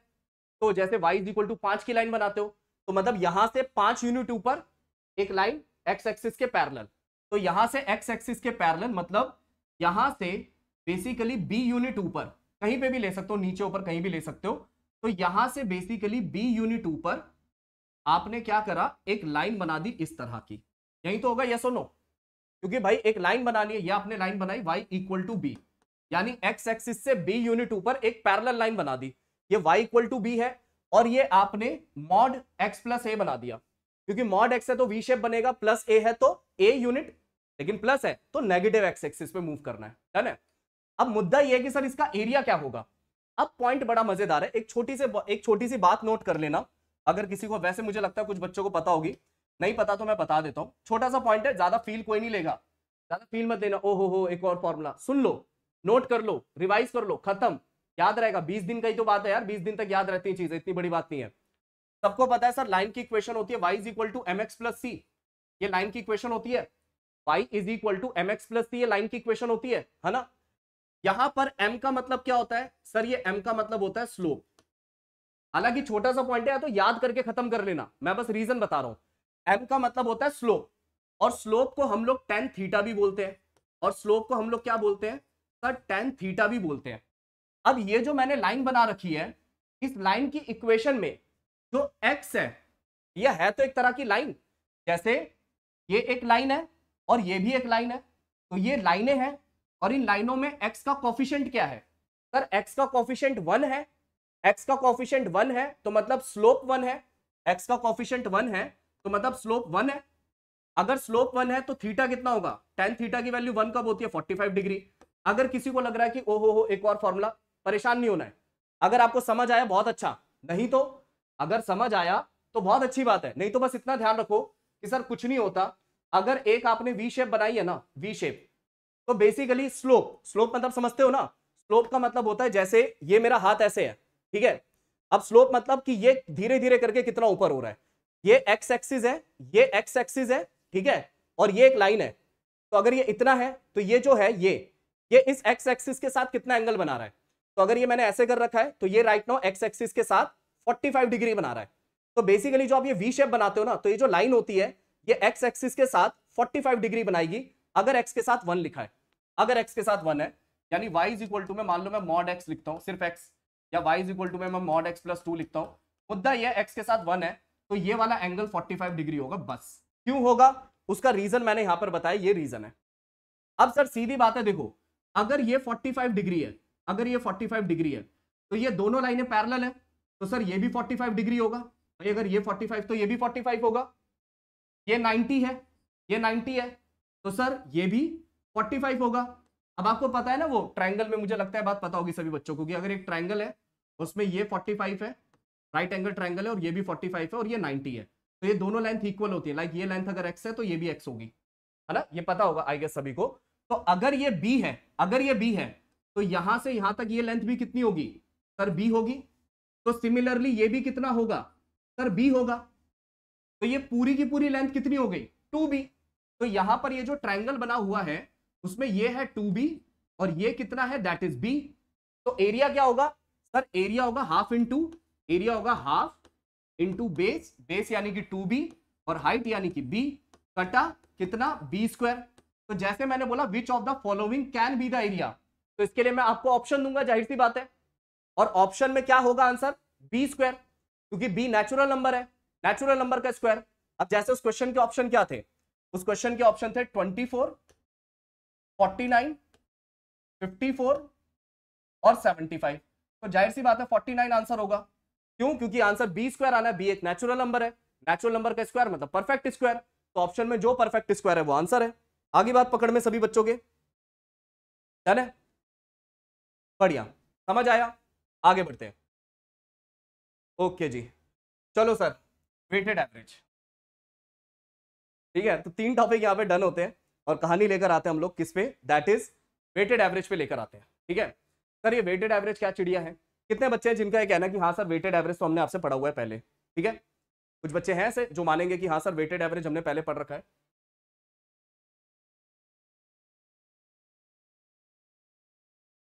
पढ़ा है?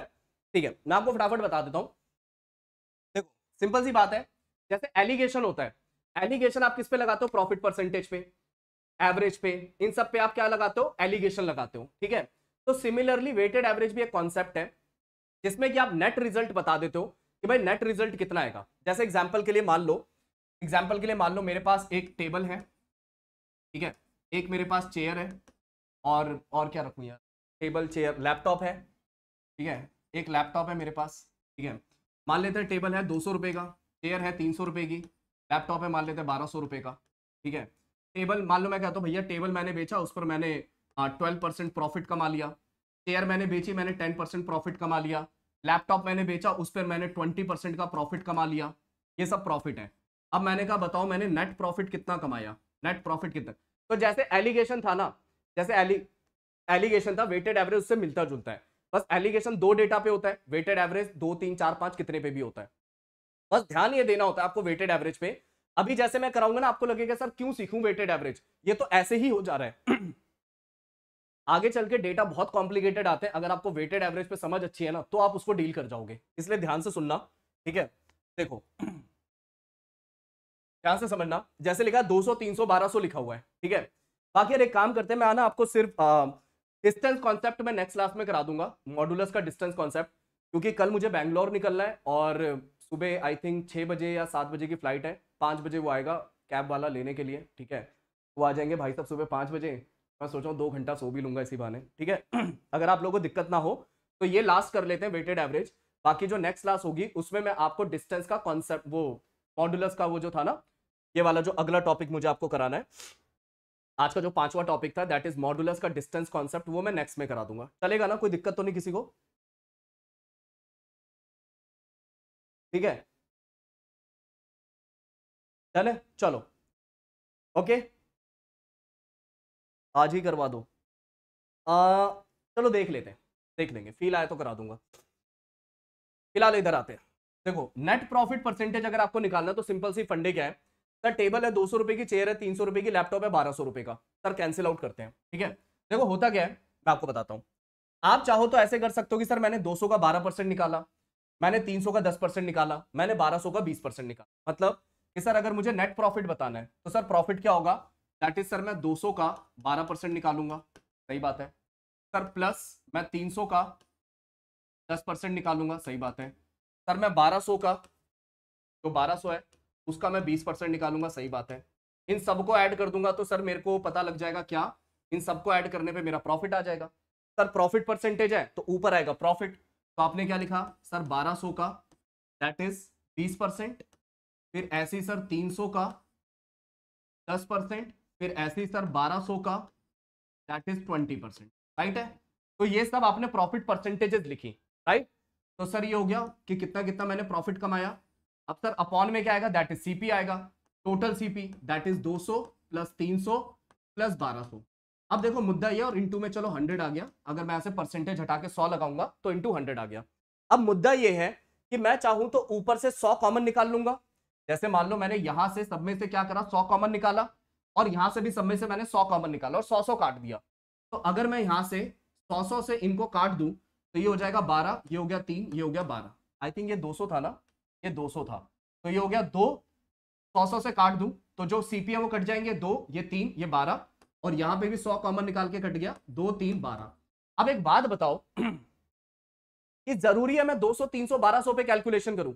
अगर मैं 200 300 1200 की बजाय इनको काट दूँ और मैं कैलकुलेशन दो, तीन, बारह पे कर लूँ तो कोई दिक्कत है क्या? नहीं ना। कोई दिक्कत नहीं किसी को कि सर, आप 200 300 1200 की बजाय इनके रेशो निकाल लो मतलब सीपी का रेशो निकाल लो देन कैलकुलेशन कर लो। पता लग जाएगा नेट प्रॉफिट कितना है। आई बात पकड़ में सभी के। तो वेटेड एवरेज कुल मिला के होता क्या मैं आपको समअप कर देता हूँ।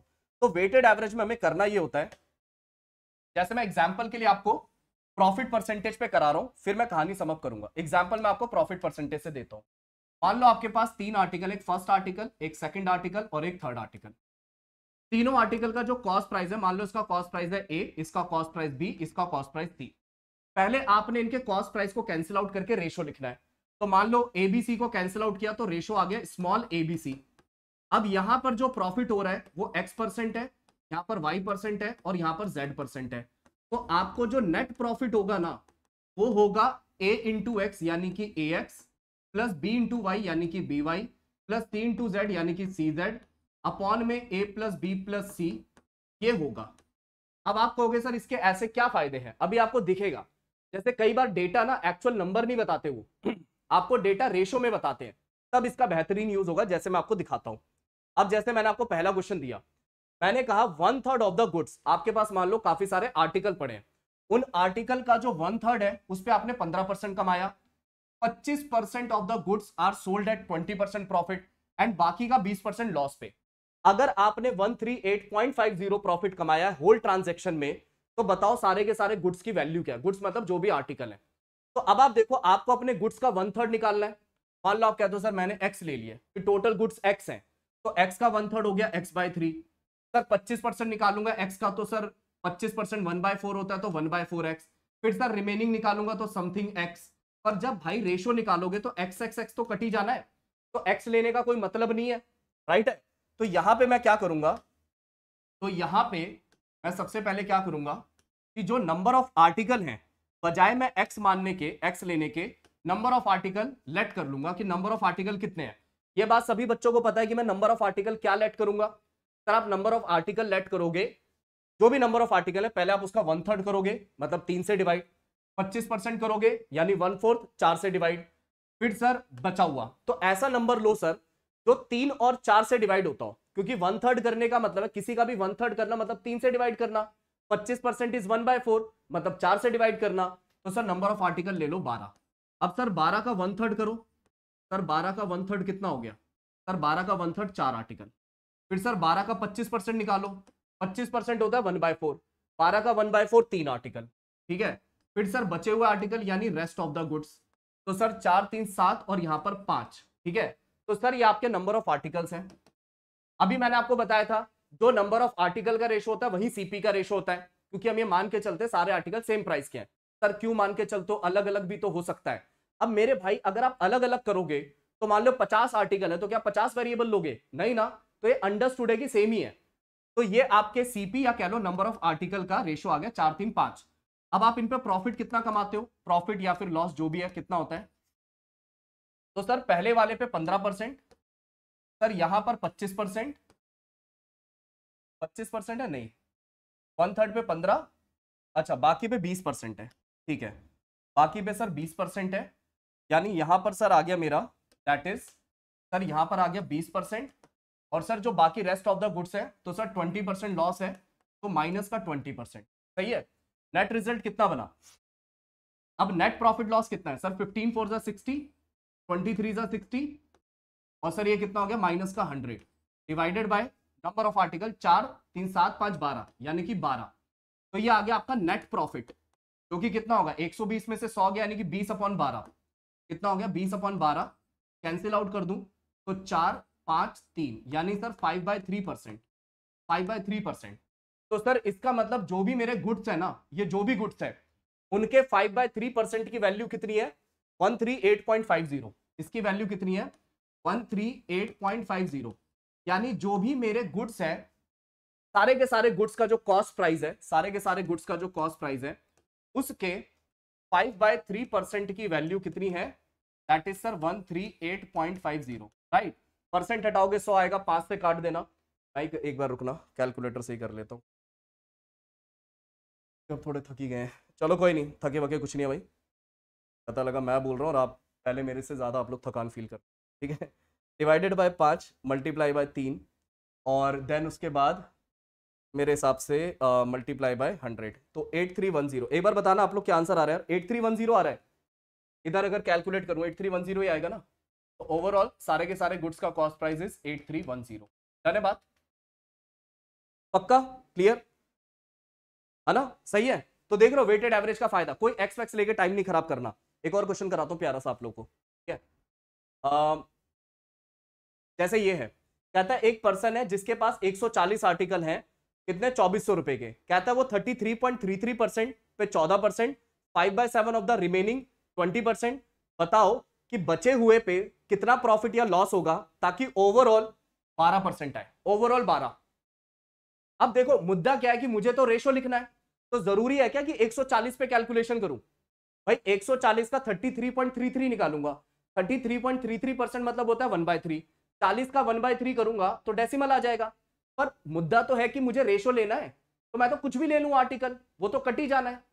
तो एक काम करूँगा 33.33 परसेंट का मतलब होता है वन बाय तो जो भी आर्टिकल है वो तीन से डिवाइड होने चाहिए। फिर five seven of the remaining मतलब सात से डिवाइड होना चाहिए। तो मैं सात और तीन का मल्टीपल इक्कीस ले लेता हूँ। तो मैं ले लेता हूँ कि नंबर ऑफ़ आर्टिकल कितने हैं? इक्कीस है। तो पहले इक्कीस का thirty three point three three percent यानी वन थर्ड कितना हो गया? सर, सात हो गए। फिर सर रिमेनिंग सर 21 में से सात हो गए, बचे 14 सर 14 का 5 बाय सेवन करूँगा, कितना आएगा? सर, दो इसको काटेगा 10 आ गया। सर 10 ही हो गए। हो गए ना? क्योंकि 21 में से सात गए, बचे 14 14 का 5 बाय सेवन दस हो गया। अब उसके बाद आपके जो रिमेनिंग है मैंने बोला एट वट प्रॉफिट और loss should he sell the remaining remaining कितने हुए? दस सात सत्रह सर चार हो गए। तो सर ये तो हो गए नंबर ऑफ़ आर्टिकल और you can say CP CP बोलो चाहे नंबर ऑफ़ आर्टिकल बोलो एक ही बात है जो मैं बता चुका हूँ। अगर मैं बात करूँ प्रॉफिट या फिर लॉस की तो सर यहाँ पे जो सात आर्टिकल है इस पे चौदह परसेंट प्रॉफिट है। Sir five by seven of the remaining twenty percent है। और सर उसके बाद कितने प्रॉफिट या सॉल्व पे आ, मैं रिमेनिंग बेचूँगा नहीं पता। सर एक्स मान लो। ठीक है? अब सर नेट प्रॉफिट कितना आएगा? फोर्टीन सेवन जा नाइनटी एट दो सौ चार एक्स डिवाइडेड बाय इक्कीस। राइट मेरे हिसाब से सर ये आएगा नेट रिज़ल्ट जो कि क्वेश्चन के अकॉर्डिंग कितना है? बारह। तो this is equal to what बारह। अब इसको कैलकुलेट करते हैं। इक्कीस इंटू बारह कितना हो जाएगा? सर ये हो जाएगा इक्कीस बयालीस two fifty two two fifty two में से टू नाइनटी एट माइनस करूँगा। 252 में से 298 माइनस करूँगा तो कितना आ जाएगा? 252 में से 298 अरे। चलो ठीक है। तो खैर ये हो गया 252 और 298 माइनस करूँगा तो ये हो जाएगा मेरा 46 हो जाएगा और 46 को मैं चार से डिवाइड कर दूँगा, ठीक है? जैसे कितना हो गया मेरा? 298 प्लस फोर और ये हो गया आपका 252 ठीक है? इसको इधर लेकर आया 46 हो गया तो x की वैल्यू कितनी होगी? माइनस फोर्टी डिवाइडेड बाई चार यानी x की वैल्यू आ गई माइनस का 11.5 तो जो बचे हुए आर्टिकल है, वो लॉस पे जाएँगे और कितने? 11.5 परसेंट लॉस होगा। आई बात पकड़ में सभी के? ये फ़ायदे वेटेड एवरेज के। एक क्वेश्चन देखो एवरेज का कराता हूँ, बड़ा बढ़िया सा क्वेश्चन ये वाला। जो अभी मैंने एक देखो, कराया था ना, आपको तीन बार एवरेज होती है, उसको सुनो। कहता है, एक क्लास है स्कूल एक्स है, जिसमें तीन क्लास है एबीसी जो एवरेज स्कोर है क्लास बी का is 16 more than the average score of class C और जो स्ट्रेंथ है क्लासेस एबीसी की उसका रेशो दे रखा है। देखो, अब ये कहीं ना कहीं तीन क्लासेस हैं, तीनों की क्वांटिटी का रेशो है और उनकी एवरेज पे बात कर रहा है। तो वेटेड एवरेज लगाते हैं। तो अगर मैं नंबर ऑफ़ बच्चे देखूँ ए बी और सी क्लास में ए क्लास में बच्चे हैं दो बी में है तीन सी में है पाँच। ओके अगर मैं एवरेज पे बात करता हूँ तो सर यहाँ पे कहता है the average score of class B sixteen more than class C class B की एवरेज क्लास सी से 16 ज़्यादा है, यानी इनकी एवरेज एक्स है तो इनकी एवरेज एक्स प्लस सोलह है। कहता है if the average score of the school is two less than the class A अच्छा क्लास ए की एवरेज पे बात करनी क्योंकि पूरी स्कूल की एवरेज पे बात कर रहा है तो मान लो क्लास ए की एवरेज कितनी है वाई है तो पूरी स्कूल की जो एवरेज है, यानी जो नेट एवरेज है नेट एवरेज जो है, वो वाई माइनस टू होगी राइट अब जरा नेट एवरेज निकालते हैं तो कितना हो जाएगा टू वाई प्लस को मल्टीप्लाई करता हूँ थ्री एक्स प्लस में forty eight plus five X upon quantity पाँच तीन आठ दो दस right and that is equal to कितना? तो सर यहाँ पर लिखा हुआ है वाई माइनस टू लिखा है। राइट है बात? कोई दिक्कत तो नहीं किसी बच्चे को? ठीक है? तो या तो मैं ये निकाल, वैसे बताना क्या? Find the difference between the average of A and C अच्छा ए और सी तो अपने को क्या बताना है? वाई माइनस एक्स बताना है यानी कि, है ना? आ जाएगा मेरे ख्याल से वाई माइनस एक्स यहीं से आ जाना चाहिए। देख लेते हैं। कितना हो जाएगा ten Y minus ten two ज़ा ट्वेंटी और ये कितना हो गया मेरा? टू वाई और ये हो गया एट एक्स और ये हो गया फोर्टी एट हो गया। तो सर ये हो जाएगा मेरा एट वाई हो गया। है ना? ये इधर आ करके एट एक्स हो गया। और ये ट्वेंटी उधर जाएगा तो सिक्सटी एट हो गया। एट कॉमन निकाल लूँ तो वाई माइनस एक्स कितना आ जाएगा मेरा? That is sixty eight by eight, कितना हो जाएगा? एट एट ज़ा सिक्सटी फोर, यानी एट पॉइंट फाइव आ गया। तो कहता है क्लास ए की एवरेज जो कि वाई है क्लास ए ठीक है? एट पॉइंट फाइव आंसर है। आया समझ में सभी बच्चों को? यस नो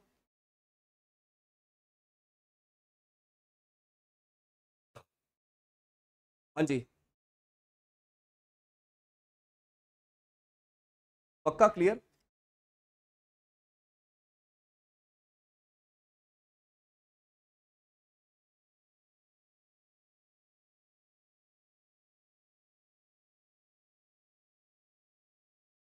ठीक है? आगे सुनना। ओके यहाँ पर देखो, एक क्वेश्चन और देखो। यहाँ पर, अब जैसे ये सब क्वेश्चन होते हैं simple interest compound simple interest वाले क्वेश्चन ठीक है? अब उसमें क्या होगा, अगर मैं प्रिंसिपल वाले पे बात करूँ, जैसे प्रिंसिपल होता है, रवि इन्वेस्टेड इतना पैसा इतने रेट पे, इतना पैसा इतने रेट पे, इतना पैसा इतने रेट पे तो अगर चार साल में अमाउंट मैंने इतना रिसीव किया तो बताओ टोटल सम कितना है? तो यहाँ पर भी वही होता है कि सर इंटरेस्ट प्रिंसिपल पे कैलकुलेट होता है है ना? तो प्रिंसिपल देख लेते हैं, सर। अब यहाँ पर वन फोर्थ कैपिटल है two fifth two fifth of the remaining और फिर है रेस्ट तो एक काम करता हूँ कि जो प्रिंसिपल है, वो एक ऐसा नंबर ले लेता हूँ, क्योंकि प्रिंसिपल का पहले वन फोर्थ करना है, फिर टू फिफ्थ करना है। तो प्रिंसिपल ट्वेंटी ले लेता हूँ। तो पहले ट्वेंटी का मैं वन फोर्थ करूँगा। ट्वेंटी का वन बाय फोर कितना होगा? पाँच। फिर सर क्या था? Two by five of the remaining भाई, बीस में से पाँच हो गया रिमेनिंग बचा पंद्रह। अब पंद्रह का टू बाय फाइव करो। तो पंद्रह का टू बाय फाइव कितना होगा? तीन, यानी कि छह हो जाएगा। तो सर, ये हो गया छह। बाकी कितना बचा सर? ग्यारह बच गए। नहीं, छह, पाँच, ग्यारह, नौ बच गए। तो सर, बाकी कितना बच गया? दैट इज़ नाइन बच गया। तो सर, ये नाइन हो गया। ये तो हो गया सर प्रिंसिपल अब सर, अगर मैं देखूँ तो मैंने इन पे ये रेट है ना, कि मैं रेट कितना कमा रहा हूँ? यानी आर कितना है? रेट कितना है? अच्छा आर परसेंट का मतलब क्या होता है? सर आर परसेंट का मतलब होता है interest percent for one year ये पता होगा सभी को। आर परसेंट का मतलब होता है एक साल का। जैसे अगर कोई आपको बोलता है कि भैया जो रेट है, वो टेन परसेंट पर एनम है। का मतलब वो कह रहा है एक साल का इंटरेस्ट दस परसेंट लगेगा। तो रेट परसेंट जिसे कि मैं इंटरेस्ट परसेंट एक साल का कह सकता हूँ वन फोर्थ पे सेवन पॉइंट टू परसेंट बाकी पे five point three percent and इधर कितना? फाइव पॉइंट एट परसेंट तो देखते हैं जी नेट रेट कितना बना। तो सर, यहाँ पे इसको मल्टीप्लाई करो। सेवन पॉइंट टू को पाँच से करूँगा, कितना हो गया? थर्टी सिक्स हो गया। कर लेना thirty six five point three को करूँगा सिक्स थ्री जा एटीन का एट वन कैरी है तीस और एक इकतीस. थर्टी वन पॉइंट एट ये हो जाएगा बहत्तर का दो, सात, पैंतालीस और सात. फिफ्टी टू पॉइंट टू इनको उठा के ऐड करो डिवाइडेड बाय द प्रिंसिपल जो कि है बीस. तो ये आ गया आपका क्या? ये आ गया आपका नेट रेट आ गया. कि नेट रेट आप कितना कमाते हो? मतलब नेट एक साल का आप कितना कमाते हो? ठीक है? ये ऑब्वियसली परसेंट में. इनको ऐड करो, कितना आ गया आपका? ठीक है? एक बार ऐड कर लेता हूँ मैं। तो यहाँ पर ये हो गया आपका that is thirty one point eight plus fifty two point two plus आपका थर्टी सिक्स कितना? वन ट्वेंटी छह परसेंट आ रहा है। छह परसेंट आ रहा है ना सबका? तो सर यहाँ पर आ गया, छह परसेंट आ रहा है नेट राइट है? क्योंकि ऐड कर लेंगे। हाँ ठीक है, छह परसेंट ठीक है, छह परसेंट है। तो एक साल का मैं कितना कमा रहा हूँ? छह परसेंट कमा रहा हूँ। अब ये क्या दिया हुआ है? सर ये दिया हुआ है आपको amount received after four year कि चार साल बाद आपको अमाउंट कितना मिला? भाई, एक साल का आप इंटरेस्ट कमा रहे हो छह परसेंट, अब है तो ये सिंपल इंटरेस्ट अगर एक साल का छह परसेंट तो अगले साल छह परसेंट, अगले साल छह परसेंट, अगले साल छह परसेंट। अगर एक साल का छह परसेंट तो चार साल में, चार साल में आप इंटरेस्ट कितना कमा लोगे? सर, चौबीस परसेंट। तो रिटर्न कितना आएगा? कई बच्चे कहते हैं, सर, चौबीस परसेंट रिटर्न आएगा। ये आपका फ़ायदा हुआ क्या? मतलब आप मुझे सौ रुपए दे दो और मैं आपको रिटर्न में चौबीस रुपए दे दूँ। ये बोल के कि देखो आपने कमा लिए चौबीस रुपए, पकड़ो। भैया, आपके सौ रुपए कौन लौटाएगा? आपने मुझे सौ रुपए दिए इंटरेस्ट बना चौबीस, और मैं आपको चौबीस देखे कहूँ, लो जी, मुबारक को आपने इंटरेस्ट कमाया चौबीस रुपए का, और आप भी खुश हो रहे हो। फिर से मेरे जो सौ रुपए मुझे दिए थे, वो नहीं वापस मांगोगे? दोगे ना कि भैया, ठीक है, अच्छी बात है, चौबीस दे दिया, सौ रुपया कौन लौटाएगा? लाइए वापस, ये कोई तरीका होता है? तो आपकी ये बात सुन के मैं आपको, आपका जो सौ परसेंट है, वो भी दूँगा, और साथ में चौबीस परसेंट और दूँगा तो चार साल में मैं आपको अमाउंट कितना दूँगा? That is one twenty four percent किसका? ऑब्वियसली प्रिंसिपल का। And that is equal to double nine two double zero तो प्रिंसिपल टोटल सम कितना हो जाएगा? तो सर 124 सौ चौबीस अपॉन सौ, एक सौ चौबीस इसे आठ पे काटेगा। तो सर 800 के साथ डबल ज़ीरो राइट है? तो सर ये हो गया आपका प्रिंसिपल उम्मीद है कि बात क्लियर है। चलो, अगले क्वेश्चन पे आते हैं। ठीक है? नेक्स्ट पे आते हैं, अगला क्वेश्चन देखना। अगला क्वेश्चन आपके सामने कुछ इस तरह का। अब जैसे ये काइंड ऑफ़ कपिल करके क्वेश्चन है, ठीक है? कपिल है कपिल है कपिल है कपिल है। कपिल ने इन्वेस्ट किया इतना, पाँच percent for two year scheme A में। इतना, छह percent two year two year total one six seven four find the total interest by the Sudeep in three year if the sequence of this that ठीक है? बाकी यार modulus का distance concept हम लोग कल ही करेंगे, ठीक है? आज नहीं हो पाएगा, क्योंकि जैसे मैंने बताया, सुबह फ़्लाइट भी और वो चार बार बजे। ताकि मैं यार थोड़ा इंटरेस्ट के साथ पढ़ा पाऊँ, समझ लो थोड़ा फील के मैं जल्दबाजी वाला नहीं चाहता। बाकी ठीक है, आज के लिए भी इतना तो करा ही दिया। जैसे मैंने कहा था कि एक दो क्वेश्चन तो पक्के होंगे वनडे क्लियर होंगे। ठीक है? है ओके आगे बढ़ू मैं? नहीं, एक सौ चौबीस इंटू चार थोड़ी करेंगे। जनेंद्र एक सौ चौबीस इंटू चार थोड़ी करेंगे। भैया, एक साल का छह परसेंट है तो चार साल का ट्वेंटी फोर परसेंट हो गया तो अमाउंट कितना हो? One twenty four percent right वो वाली बात है। अब देखो, Kapil invest one eight of a certain sum eight five percent per annum for two year पहले पैसे का वन एट करना है, फिर three by five of the sum and फिर आ गया रिमेनिंग आ गया एंड देन टोटल इंटरेस्ट ये सब चीज़, ठीक है ना? तो पहले मैं प्रिंसिपल क्या लेता हूँ? सर ऐसा नंबर लो जो आठ और पाँच से डिवाइड हो मतलब कि चालीस रुपए। पहले चालीस का वन बाय एट करता हूँ, कितना आ जाएगा? सर पाँच आ गया। फिर उसके बाद sir three fifth of the sum कर दो थ्री फिफ्थ तो कितना हो जाएगा सर ये पाँच इसको आठ पे चौबीस। सर चौबीस हो गया। फिर उसके बाद आता है सर रिमेनिंग उनतीस, सर ये ग्यारह हो गया। तो सर ये हो गया आपका प्रिंसिपल ये। ठीक है? अब इस पर रेट कितना कमा रहे हो आप? तो सर यहाँ पे अगर आप देखोगे जो वन एट पैसा है विच इज़ पाँच रुपए, उस पर पाँच परसेंट ठीक है? दो साल बाद में कर लेंगे। जैसे यहाँ पर बोला for two year for two year for two year उसको बाद में देखेंगे टू ईयर को। ठीक है? Find the total interest received by Sudeep अरे वही, कपिल है मतलब है। टोटल इंटरेस्ट दे रखा है ना? फाइंड द टोटल इंटरेस्ट अच्छा कि अगर मैं इसको रिवर्स कर देता हूँ तो टोटल इंटरेस्ट कितना होगा? ठीक है। तो यहाँ पर पाँच परसेंट है राइट और फिर उसके बाद यहाँ पर कितना है, सर? सिक्स परसेंट है। और यहाँ से कितना है, जो आपका रिमेनिंग वाला है, यहाँ से टेन परसेंट। ठीक है? तो कितना कमाए यार, अगर मैं देखूँ तो सर यहाँ से जो नेट रेट आ रहा है नेट रेट कितना आ रहा है? That is sir five five जो ट्वेंटी फाइव चौबीस छः एक सौ बीस, है ना? एक सौ बीस और चौबीस, यानी वन फोर्टी फोर और सर, ये आ गया आपका एक सौ दस हो गया। आगे सबको ऐड कर देता हूँ, कितना हो जाएगा? चालीस हो जाएगा। तो सर, मेरे हिसाब से जो नेट रेट आ रहा है, यानी एक साल का जो रेट आ रहा है, वो कितना आ रहा है आपका? दैट इज़ सर ऐड कर लेता हूँ।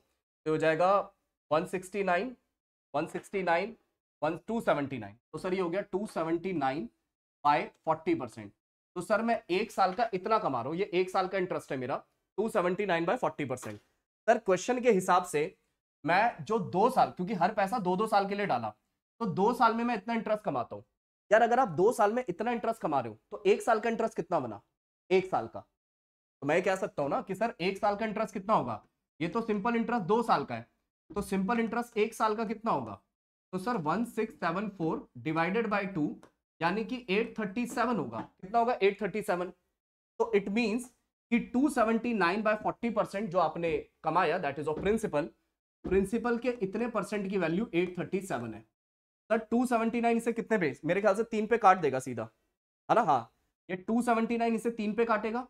40 इंटू तीन, एक राइट इंटू हंड्रेड एक के साथ डबल ज़ीरो तो यहाँ से प्रिंसिपल कितना आ गया? सर 120 के साथ डबल ज़ीरो अगर मैं प्रिंसिपल पूछता तो बात खत्म हो चुकी है, लेकिन नहीं। मैंने प्रिंसिपल नहीं पूछा। मैंने ये कहा कि अगर मैं ये जो इंटरेस्ट की परसेंटेजेस हैं, अगर इनके सीक्वेंस को रिवर्स कर दूँ तो बताओ ये कितना इंटरेस्ट कमाएगा। अगर मैं सीक्वेंस को रिवर्स कर दूँ, ठीक है? तो सर, अगर आप इस सीक्वेंस को रिवर्स कर दोगे जगह बना ले। ओके। अगर सर, आप इस सीक्वेंस को रिवर्स कर दोगे यानी आपका प्रिंसिपल तो वही है दैट इज़ पाँच ट्वेंटी फोर और ग्यारह। ठीक है? और मुझे क्या बताना है? Find the total interest earn in three अच्छा तीन साल का इंटरेस्ट बताना है, ठीक है? तो पाँच, चौबीस, ग्यारह, लेकिन जो रेट है ना, वो मुझे चेंज करना है। मतलब जो पाँच, छह, दस था, अब उसको रिवर्स करना है, दस, छह, पाँच करना है। ठीक है? तो दस परसेंट, छह परसेंट, पाँच परसेंट। कितना बना मेरा? नेट रेट कितना हो गया? तो सर नेट रेट हो गया that is fifty plus one forty four plus fifty five divided by कितना हो गया? दैट इज़ चालीस हो गया। ऐड करो कितना हो गया? सर ये हो गया आपका आई थिंक एक सौ पाँच, एक सौ पाँच हो गया ना? Two forty one forty four में पाँच, वन टू फोर्टी नाइन है ना? Two forty nine by forty two forty nine by forty percent ये हो गया एक साल का। लेकिन मैं बात कर रहा हूँ तीन साल की, मैं बात कर रहा हूँ तीन साल की। तो तीन साल का कितना हो जाएगा? तो सर एक बार डिवाइड कर लेते हैं। ठीक है? तीन साल का। ये सही आ रहा है ना यार? पचास हो गया वन फोर्टी फोर हो गया, पचपन हो गया। हाँ तब भी चेक कर लेता हूँ वन फोर्टी फोर प्लस पचपन प्लस पचास, वैसे आना तो वही है टू फोर्टी नाइन ठीक है। Two forty nine by forty आ रहा है, लेकिन ये एक साल का इंटरेस्ट है, हमें तीन साल का बताना है राइट तो two forty nine by forty ठीक है, जो भी आया मल्टीप्लाई तीन करता हूँ। सेवन फोर्टी सेवन तो तीन साल का इंटरेस्ट कितना आ रहा है मेरा? जगह बना लेते हैं। तो सर, यहाँ पे जो तीन साल का इंटरेस्ट आ रहा है सर, जो इंटरेस्ट मैं कमाऊँगा, तीन साल का। सर, तीन साल का मैं कमाऊँगा। एक साल का तो two forty nine by forty है। सर, तीन मल्टीप्लाई कर दो। तो ये आ जाएगा सर तीन साल का। क्योंकि तो कितना आ रहा है sir? Seven forty seven by forty percent किसका? ऑब्वियसली बारह हज़ार का। ये जो निकालना है, इतना आप कमा रहे हो, लेकिन किसका? बारह हज़ार। फिर आप अपनी कैलकुलेशन कर लेना, यहाँ पे देख। ठीक है? ये तो कैलकुलेशन वाला पार्ट हो गया। बात क्लियर है सभी को? चलो, अब देखो यार, एक क्वेश्चन और देखना दैट इज़ ये वाला, ठीक है? बस ये एक दो क्वेश्चन और है, ये मैं और खत्म करा देता हूँ आपको बस, फटाफट से। हमारा वेटेड एवरेज डन हो जाएगा, ठीक है? चलो, इसको सुनना। जैसे एक क्वेश्चन है अनडाउटेडली बहुत प्यारा क्वेश्चन है, अगर मैं मिक्सचर की बात करूँ, ठीक है? अगर मैं मिक्सचर की बात करूँ तो यहाँ पे कहता है the strength of salt solution is N percent देखो, ये तो पहले मीनिंग समझाया कि भाई स्ट्रेंथ का मतलब क्या होता है। जैसे फॉर एग्ज़ाम्पल अब अगर आप किसी लैब वगैरह में जाते हो और वहाँ पर आपको एक बॉटल है, ठीक है, एक बॉटल है और उस पर लिखा हुआ दिख रहा है कि जो स्ट्रेंथ है वो एन परसेंट है। तो उसका मतलब ये है कि अगर बॉटल हंड्रेड एम की है तो उसके अंदर एन ग्राम सॉल्ट है। अगर कहीं पर लिखा है कि जी सॉल्ट की स्ट्रेंथ है सत्रह परसेंट इसका मतलब बॉटल हंड्रेड एम की है तो उसमें सत्रह ग्राम सॉल्ट है। ये बेसिकली मतलब है राइट देखो, अब तीन सॉल्ट है एक्स वाई जेड उनकी क्वांटिटी दो तीन चार ली, ठीक है? एक्स वाई जेड नाम के तीन सॉल्ट है। इनकी जो आप क्वांटिटी ले रहे हो, वो किस रेशो में ले रहे हो? सर, दो तीन चार। ये दो, ये तीन, ये चार। और सर, अगर इसमें स्ट्रेंथ देखे, सर रिज़ल्ट पूरे रिज़ल्ट की जो स्ट्रेंथ है वो थर्टी परसेंट आ रही है। अब सर, देखो, ये जो एक्स वाई जेड नाम के सॉल्ट है, इनकी स्ट्रेंथ कितनी है? तो मान लो मैं कह देता हूँ X percent Y percent Z percent यही ले लेता हूँ कि एक्स की जो स्ट्रेंथ है मतलब इनकी जो स्ट्रेंथ है वो कितनी है? तो मान लो मैंने कहा एक्स की स्ट्रेंथ है एक्स परसेंट इसकी स्ट्रेंथ है वाई परसेंट इसकी स्ट्रेंथ है जेड परसेंट अब ये कह रहा है नेट रिज़ल्ट जो है ओवरऑल जो स्ट्रेंथ है, वो थर्टी परसेंट है। तो मैंने कहा, ठीक है जी ओवरऑल स्ट्रेंथ मेरे हिसाब से जो बन रही है, मेरे हिसाब से जो बन रही है, वो बन रही है two X plus three Y plus four Z upon चार तीन सात दो नौ and that is equal to thirty right मेरे हिसाब से बन रही है। थोड़ा सा अगर मैं इक्वेशन फॉर्म में जाऊँ तो जी two X plus three Y plus four Z equal to दो सौ सत्तर। तो मेरे हिसाब से तो ये कहानी आ रही है। अच्छा वो कहता है, अगर आप इस प्रोपोर्शन को इंटरचेंज कर दो मतलब दो तीन चार की बजाय चार तीन दो कर दो, ठीक है, चार तीन दो कर देते हैं तो जो स्ट्रेंथ है चालीस परसेंट आएगी, ठीक है। मैंने कहा, भाई, अब मैं थोड़ा डायरेक्ट लिख देता हूँ, इसी चीज़ को डायरेक्ट लिखता हूँ, ज़रूरत से ज़्यादा बार बार एक चीज़ नहीं लिखनी चाहिए। तो ये जो अभी आपका दो तीन चार था ना, अब इसको चार तीन दो कर दो। तो अगर चार तीन दो करूँगा तो ये आपको क्या दिखेगा?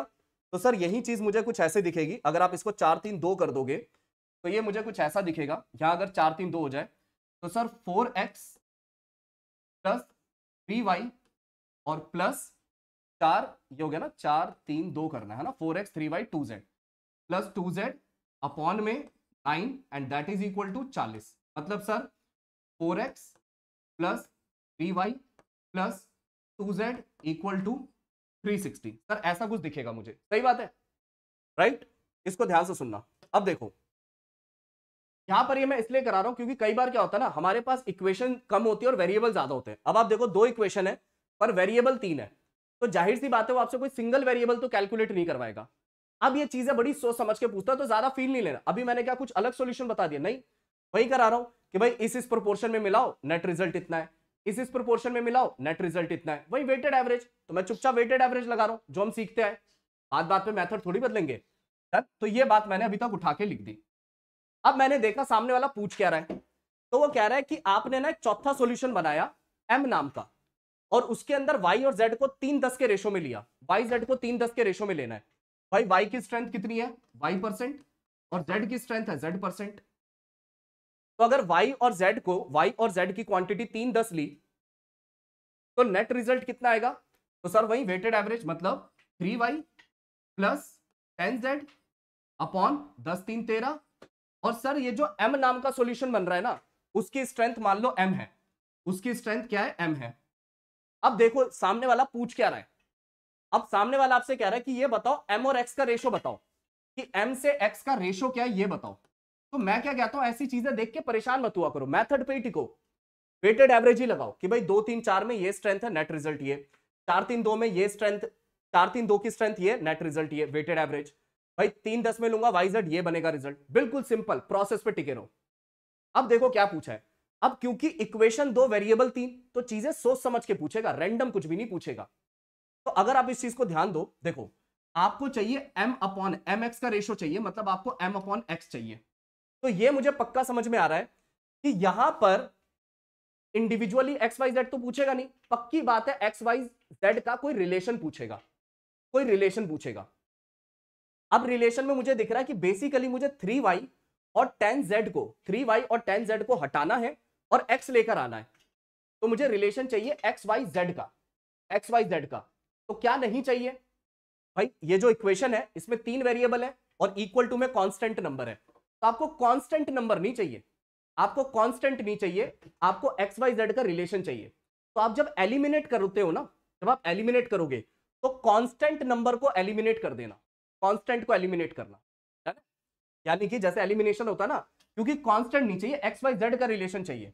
तो यहाँ पर जब मैं एलिमिनेट करूँगा तो यहाँ से मैं एलिमिनेट करूँगा किसे? That is X Y Z को मैं एलिमिनेट ठीक है? जो इक्वेशन आपको दिख रही है तो अब जरा बात को ध्यान से सुनना।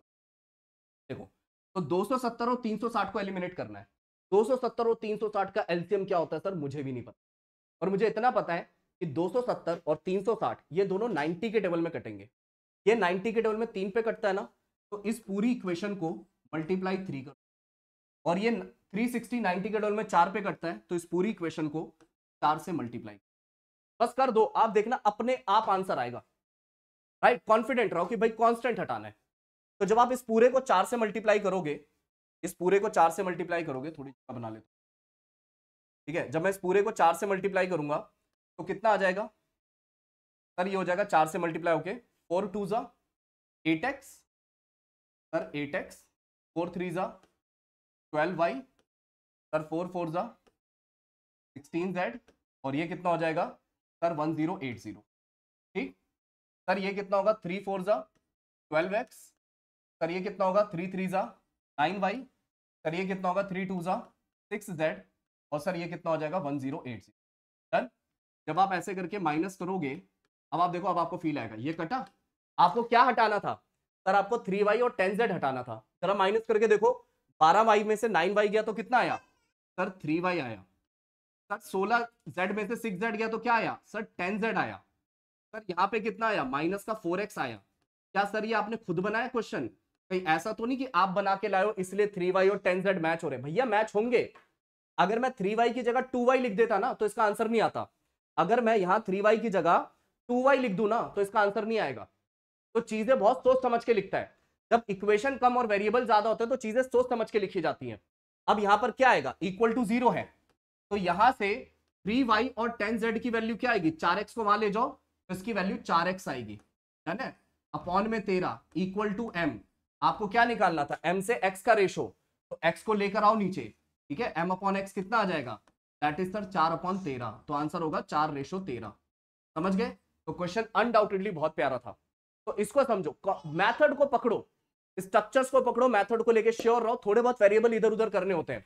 और इस बात को लेके श्योर रहो कि अगर इक्वेशन क्या, अगर आप देखो तो बहुत कुछ बड़ा कोई अलग सा सोल्यूशन नहीं किया मैंने यहाँ पे। तो अभी तक हम सीख रहे हैं, वही कर रहा हूँ मैं। कि भैया एक्स वाई जेड नाम के सॉल्ट है, ये स्ट्रेंथ है, ये परसेंटेज है। तो भैया एक्स वाई जेड दो, तीन, चार में लेने, ये स्ट्रेंथ है तो चलो ये होगा, ये बनी इक्वेशन अच्छा चार, तीन दो कर दो अच्छा चालीस आएगी तो बन गई इक्वेशन अच्छा निकालना क्या तीन दस का रेशो तो three Y ten Z upon तेरह एम है। अब मुझे पता है कि इक्वेशन दो वेरिएबल तीन। तो सामने वाला मेरे से इंडिविजुअल वेरिएबल नहीं पूछेगा।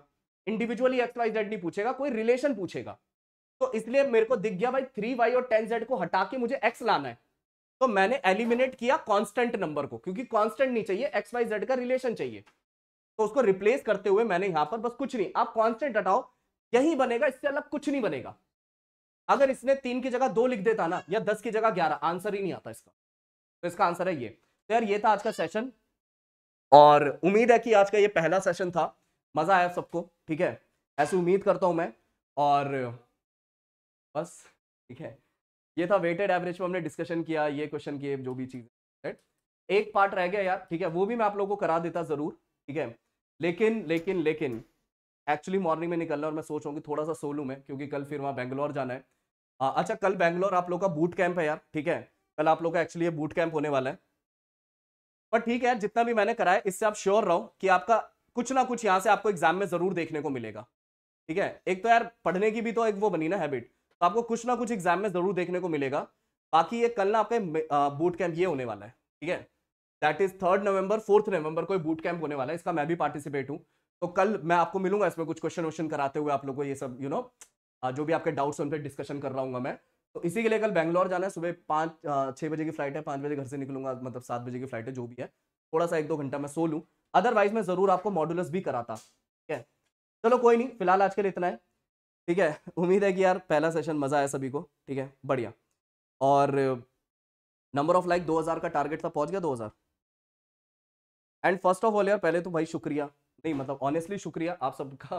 इतना विश्वास बनाने के लिए मतलब ये मेरे साथ एक्चुअली फ़र्स्ट टाइम हुआ कि 1.1 के से ऊपर बच्चे थे लाइव हाँ बट मैं उसकी भावनाओं में नहीं बहना चाह रहा था, मुझे था पहले भाई पढ़ा लेता हूँ, जिस काम के लिए बच्चे आए पहले वो तो कर लूँ मैं, ठीक है? पता लगा मैं एक्साइटेड होता जा रहा हूँ, वो काम, ठीक है? डन है? बाकी यार ये बूट कैंप है कल होने वाला थर्ड और फोर्थ आप लोग कनेक्टेड रहना टेलीग्राम पर मैं अपडेट करूँगा। आपका ऑल इंडिया मॉक टेस्ट होने वाला है फिफ्थ ऑफ़ नवंबर को अगेन पार्टिसिपेट रहे। और बाकी एक फ्री स्पेशल क्लास का आपका वो चल रहा है, क्या नाम है? है अन अकेडमी ऐप पे फ्री स्पेशल क्लासेस आपके लिए चलेंगे, इसमें बहुत कुछ सीखोगे। तो फोर्थ और सिक्स नवंबर को ये आपको देखने को मिलेगा। एंड सर दैट्स इट आज के लिए यही है, और तो कुछ खास नहीं। बाकी मेरा टेलीग्राम ग्रुप है अन अकेडमी रमन इसको ज्वाइन कर लेना। अगर कोई भी डाउट है, वहाँ के आप पूछ सकते हो। और ये मेरा रेफरल कोड है R M N one zero ठीक है, इस रेफरल कोड को अप्लाई कर देना, ताकि मैक्सिमम डिस्काउंट आपको सब्सक्रिप्शन के वक्त मिले। बाकी यार, ध्यान रखना क्लासेस में रेगुलर रहना। ठीक है? क्लासेस में आप सभी ने रेगुलर रहना मुझे पता है कि आज 1100 बच्चे थे। मैं, मुझे पता है वो नेक्स्ट सेशन में 500 600 ही रह जाएँगे, क्योंकि फ़र्स्ट डे बच्चे आते हैं, इस चीज़ को समझना है। कुछ भी शुरू करेंगे, पहले बच्चा जोश में आता है, ठीक है? और वो अब, जैसे मैंने बोला, आज ग्यारह तो नेक्स्ट में मुझे पता है वो सिर्फ़ पाँच सौ रहेंगे। रीजन क्योंकि हम कोई चीज़ शुरू करते हैं, पर कंसिस्टेंट नहीं रह पाते, इस चीज़ को समझो। हर कोई भी टॉपर आता है ना, कोई भी एक्स वाई जेड इंसान आप उठा लो, हर कोई अपनी बात को समझ करके ये बोलता है कंसिस्टेंसी इज़ द की जो कंसिस्टेंट है, वो खेल जाता है, जो कंसिस्टेंट नहीं है, वो नहीं खेल पाता मतलब कि रिज़ल्ट नहीं ला पाता। सारा का सारा खेल कंसिस्टेंसी का है राइट बस कंसिस्टेंट रहना है सेशंस में रहना है। आ, अगर आप थक जाते हो मान लो मेरे सेशन दो ढाई घंटे के होंगे आप थक जाते हो थोड़ा देखो जो भी पार्ट है उसके बाद रिकॉर्डिंग पे चले जाओ। लेकिन ध्यान रहे कंसिस्टेंट रहना है ठीक है? पीडीएफ इसकी शेयर करने की पीडीएफ शेयर करनी है। चलो मैं इसकी कर दूँगा बाकी यार आप लोग स्क्रीनशॉट वगैरह लेते रहना ठीक है ना? बाकी इसकी पीडीएफ आप लोग कह रहे हो तो मैं कर दूँगा शेयर है ना? चलो। ओके बाय टेक केयर यार। मिलते हैं बाकी नेक्स्ट क्लास में, आज के लिए इतना ही है, ठीक है? ओके बाय टेक केयर बाकी उम्मीद है यार, आप लोगों ने स्क्रीनशॉट वगैरह लिए होंगे, ठीक है? स्क्रीनशॉट ले लिया करो। पीडीएफ वगैरह कई बार क्वेश्चन होते हैं और कई क्वेश्चन तो मैं हैंड रिटर्न लिखता हूँ, वो मिल नहीं पाते, ठीक है? बाकी